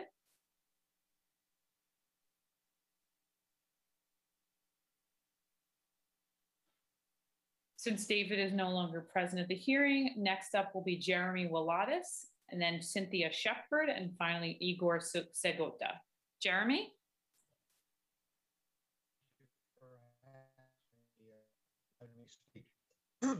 My name is Jeremy, and I own and operate the restaurant group, which has three restaurants in and on the Upper West Side of New York City for about 33 years. Prior to the pandemic, the restaurant business has always been a struggle and a grind to make a living for my family and the team. One of the biggest problems in our business is with all these third party delivery apps. Many restaurants lose money on it continuous annual basis a good successful restaurant can make somewhere in the nature of about 10% profit. That's a good one. The delivery apps come in and charge as much as 40 40 to 50% of the guest's final bill. Uh, it takes money right out of the, our pockets and our team's pockets. The delivery business used to be a profit center. Since then, uh, uh, since the third parties have come in, it's changed the world and all we do it now is for to promote our businesses and kind of give the guests an amenity and keep ourselves relevant. The restaurant business was a struggle before COVID. We needed to do about 90% of our old volume typically to pay the bills. And now the costs have been driven up by all the different issues and problems caused by the by uh, the pandemic. And we need, if we do 100%, we would be lucky. It would be a struggle just to uh, uh, pay our bills. Um, the uh, and there's a good chance we'll never do 100% again because of the people moving out and all the other related issues. These third-party companies come in and change the landscape of the of our business, uh, and and they really hurt our team members and ourselves. Many people uh, in our in my company of the 33 years have been me for 30 years. This is how they make a living. This is how I make a living. I beg of this committee, please cap these fees and give the business chance and the opportunity to be successful. Um, I just want to mention a couple things that I heard other people say. Time You know, we wait for delivery drivers to pick up all the time. The, the representatives, um, the representatives, you can't get one on the phone. It takes weeks. They tell you stories like, oh, it's 25% is the minimum for your fee, particularly Grubhub. Delivery problem, uh, if there's a delivery issue that could be caused by them, they charge us. We can never get our money back, even though the customers got the food and uh, and they uh, charge us for the, uh, the money that was caused by the issues by Grubhub or some of these other people. And they claim that they're their customers. They were our customers before they were theirs. And they came in with these different uh, ways of making a living, very smart for them. And that's, uh, and they've caused us all these issues. I want to thank you, Jeremy, for uh, your testimony and for your patience. I think I heard you say that you need to do 90 cent, 90% of your gross sales before you can uh, uh, turn a profit. That would mean you do 10% profit on your margins? That is when things go right, and that was pre-COVID, and not all our stores have, uh, uh, have been successful. We've changed concepts and everything else, but we've had three locations for many, many years on the Upper West Side. Oh, and and ninety percent is typical if things are going well. That's what we need now, and we're not doing hundred percent now of what we used to do, and we would need probably more than hundred percent because the cost of everything has gone up. So if I was to ask you, what are your profit margins? We're not making money. Uh, Well, so you're typically, uh, pre-COVID, your profit margins were, or don't even ask that question. If you're not making, Last several, Jeremy, if you're not making money, why are you using these third-party platforms? Since they're charging, even with the cap, 20%? uh, because it, uh, it gives people work, it keeps the wheels turning, it's an amenity to the guest, and it's a promotion. Uh, if we stop delivering, people will forget about who we are. We used to make we used to make a profit from the delivery from delivery business, a good one. Used to be really helpful to our industry. Since these third-party apps have come in, it's changed. There's almost no money to be made unless you're doing a real big volume, and we do an open type, one that many people will be happy with. It's not profitable anymore. I can tell you a quick story. There was a place on the Upper West Side. We, we lost you, Jeremy. The reason he closed, and I didn't even believe him, was because of the delivery apps. We, we lost you there for a second, Jeremy. Um, I just want to repeat the question, if you don't mind. So you're using, you, when prior to COVID and third-party food delivery apps, you had your own delivery people? Sorry, guys. Can you hear me? Yes. Sorry about that. So you had your own delivery people prior to uh, the third-party food delivery apps? We did, and obviously people called up directly to the restaurants, which was which is the biggest issue. Right, and then you just simply just placed the order to go and you had your own staff deliver it? Yes, sir. That's what I needed to hear. Uh, Did you submit written testimony, Jeremy? No, I have. I haven't. Will submit it. If you will, so we can stay in touch with you, uh, I want to continue our conversation and dialogue. Thank you. I appreciate everything you guys are doing. Thank you. Survive, Jeremy, just survive. We will. We're fighters and grinders. It's the restaurant business. Thank you. Next, we'll be calling Cynthia Shepard and then Igor Sagota and then finally Zoe Darman. Cynthia? Your time will begin. Hi, hello. My name is Cynthia. My mom is Maria. We're a business. We, well, we had two restaurants, uh, Corazon de Mexico and uh, La Delita de Woodside. Unfortunately, due to the pandemic, um, we had to close one in Long Island City. And we currently are trying to survive with our uh, the one that we have here now in Queens.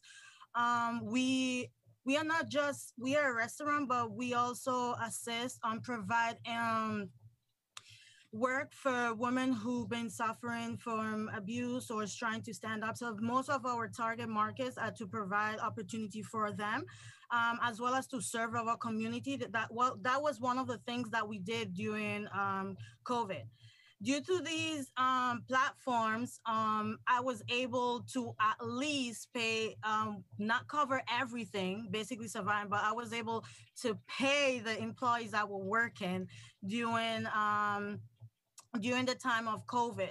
So it was um, due to the cap that was placed, we were able to at least have a little breathing air um, besides of everything that was going around us and it helped us to survive through it. Um, things as things been opening, um, I got really excited thinking that maybe things are gonna people are gonna come back to normal like it used to be people coming in.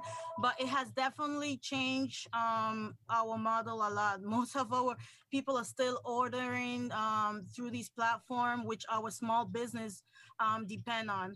Um, we still struggling. I heard that there were grants and stuff given away.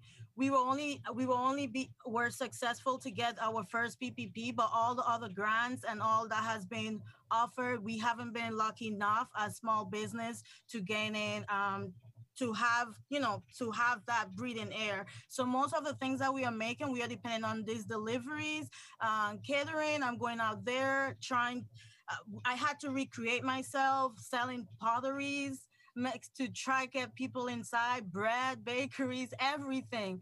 So I've been trying everything, and then through uh, the platform, we've been able to sell most of this. Time is expired.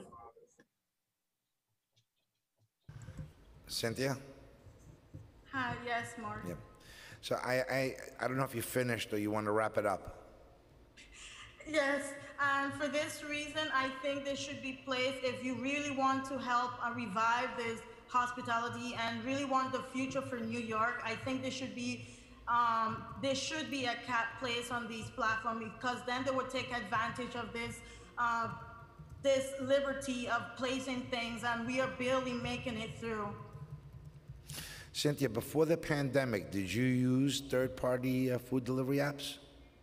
Yes, I did use um, uh, third delivery apps. It didn't used to be my primary revenue streamline, but that we had it and it was a certain potential which contributed to it.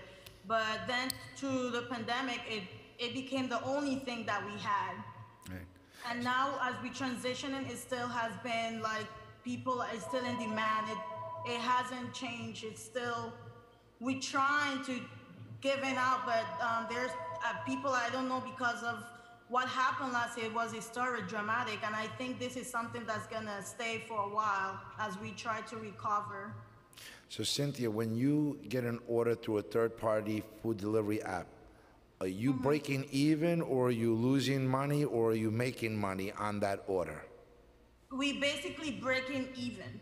What has happened that uh, most of our most of the delivery, for example, the, the plates, the bags, and all of this uh, has increased tremendously.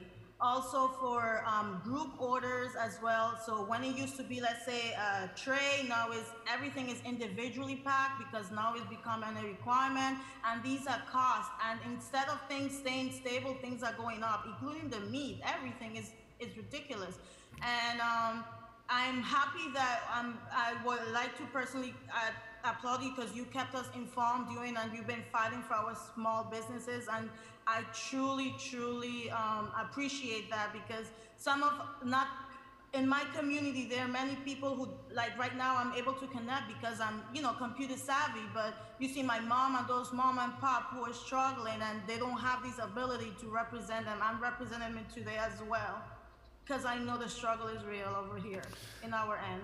Thank you, Cynthia. Uh, Please submit your information so we can stay in touch with you after this hearing. No problem, I will. Thank you. Thank you. Thank you. Next, we'll be moving on to Igor Sagota and then finally Zoe Darman. Igor?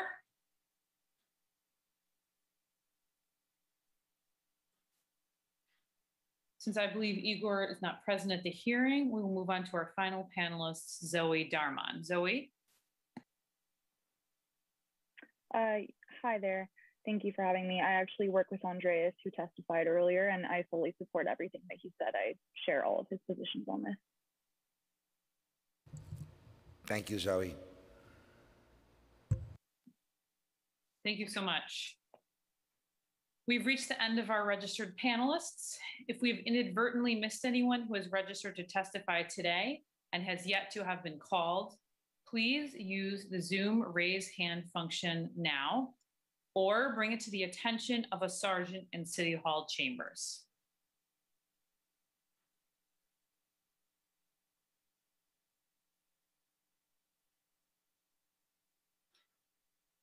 Seeing that there are no further panelists, I will now turn it over to Chair Gjonaj to offer closing remarks. Chair?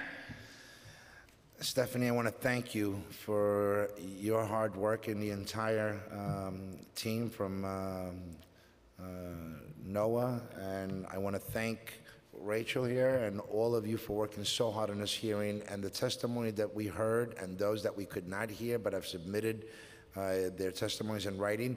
We will be following up with you. I want to thank all of you for your patience and your time and your input. It is extremely important that we hear from stakeholders as we determine how we're going to shape the future. I want to thank Councilwoman Brooks Powers for uh, sitting in for me and for participating. I am grateful to all. This hearing is now adjourned. Thank you.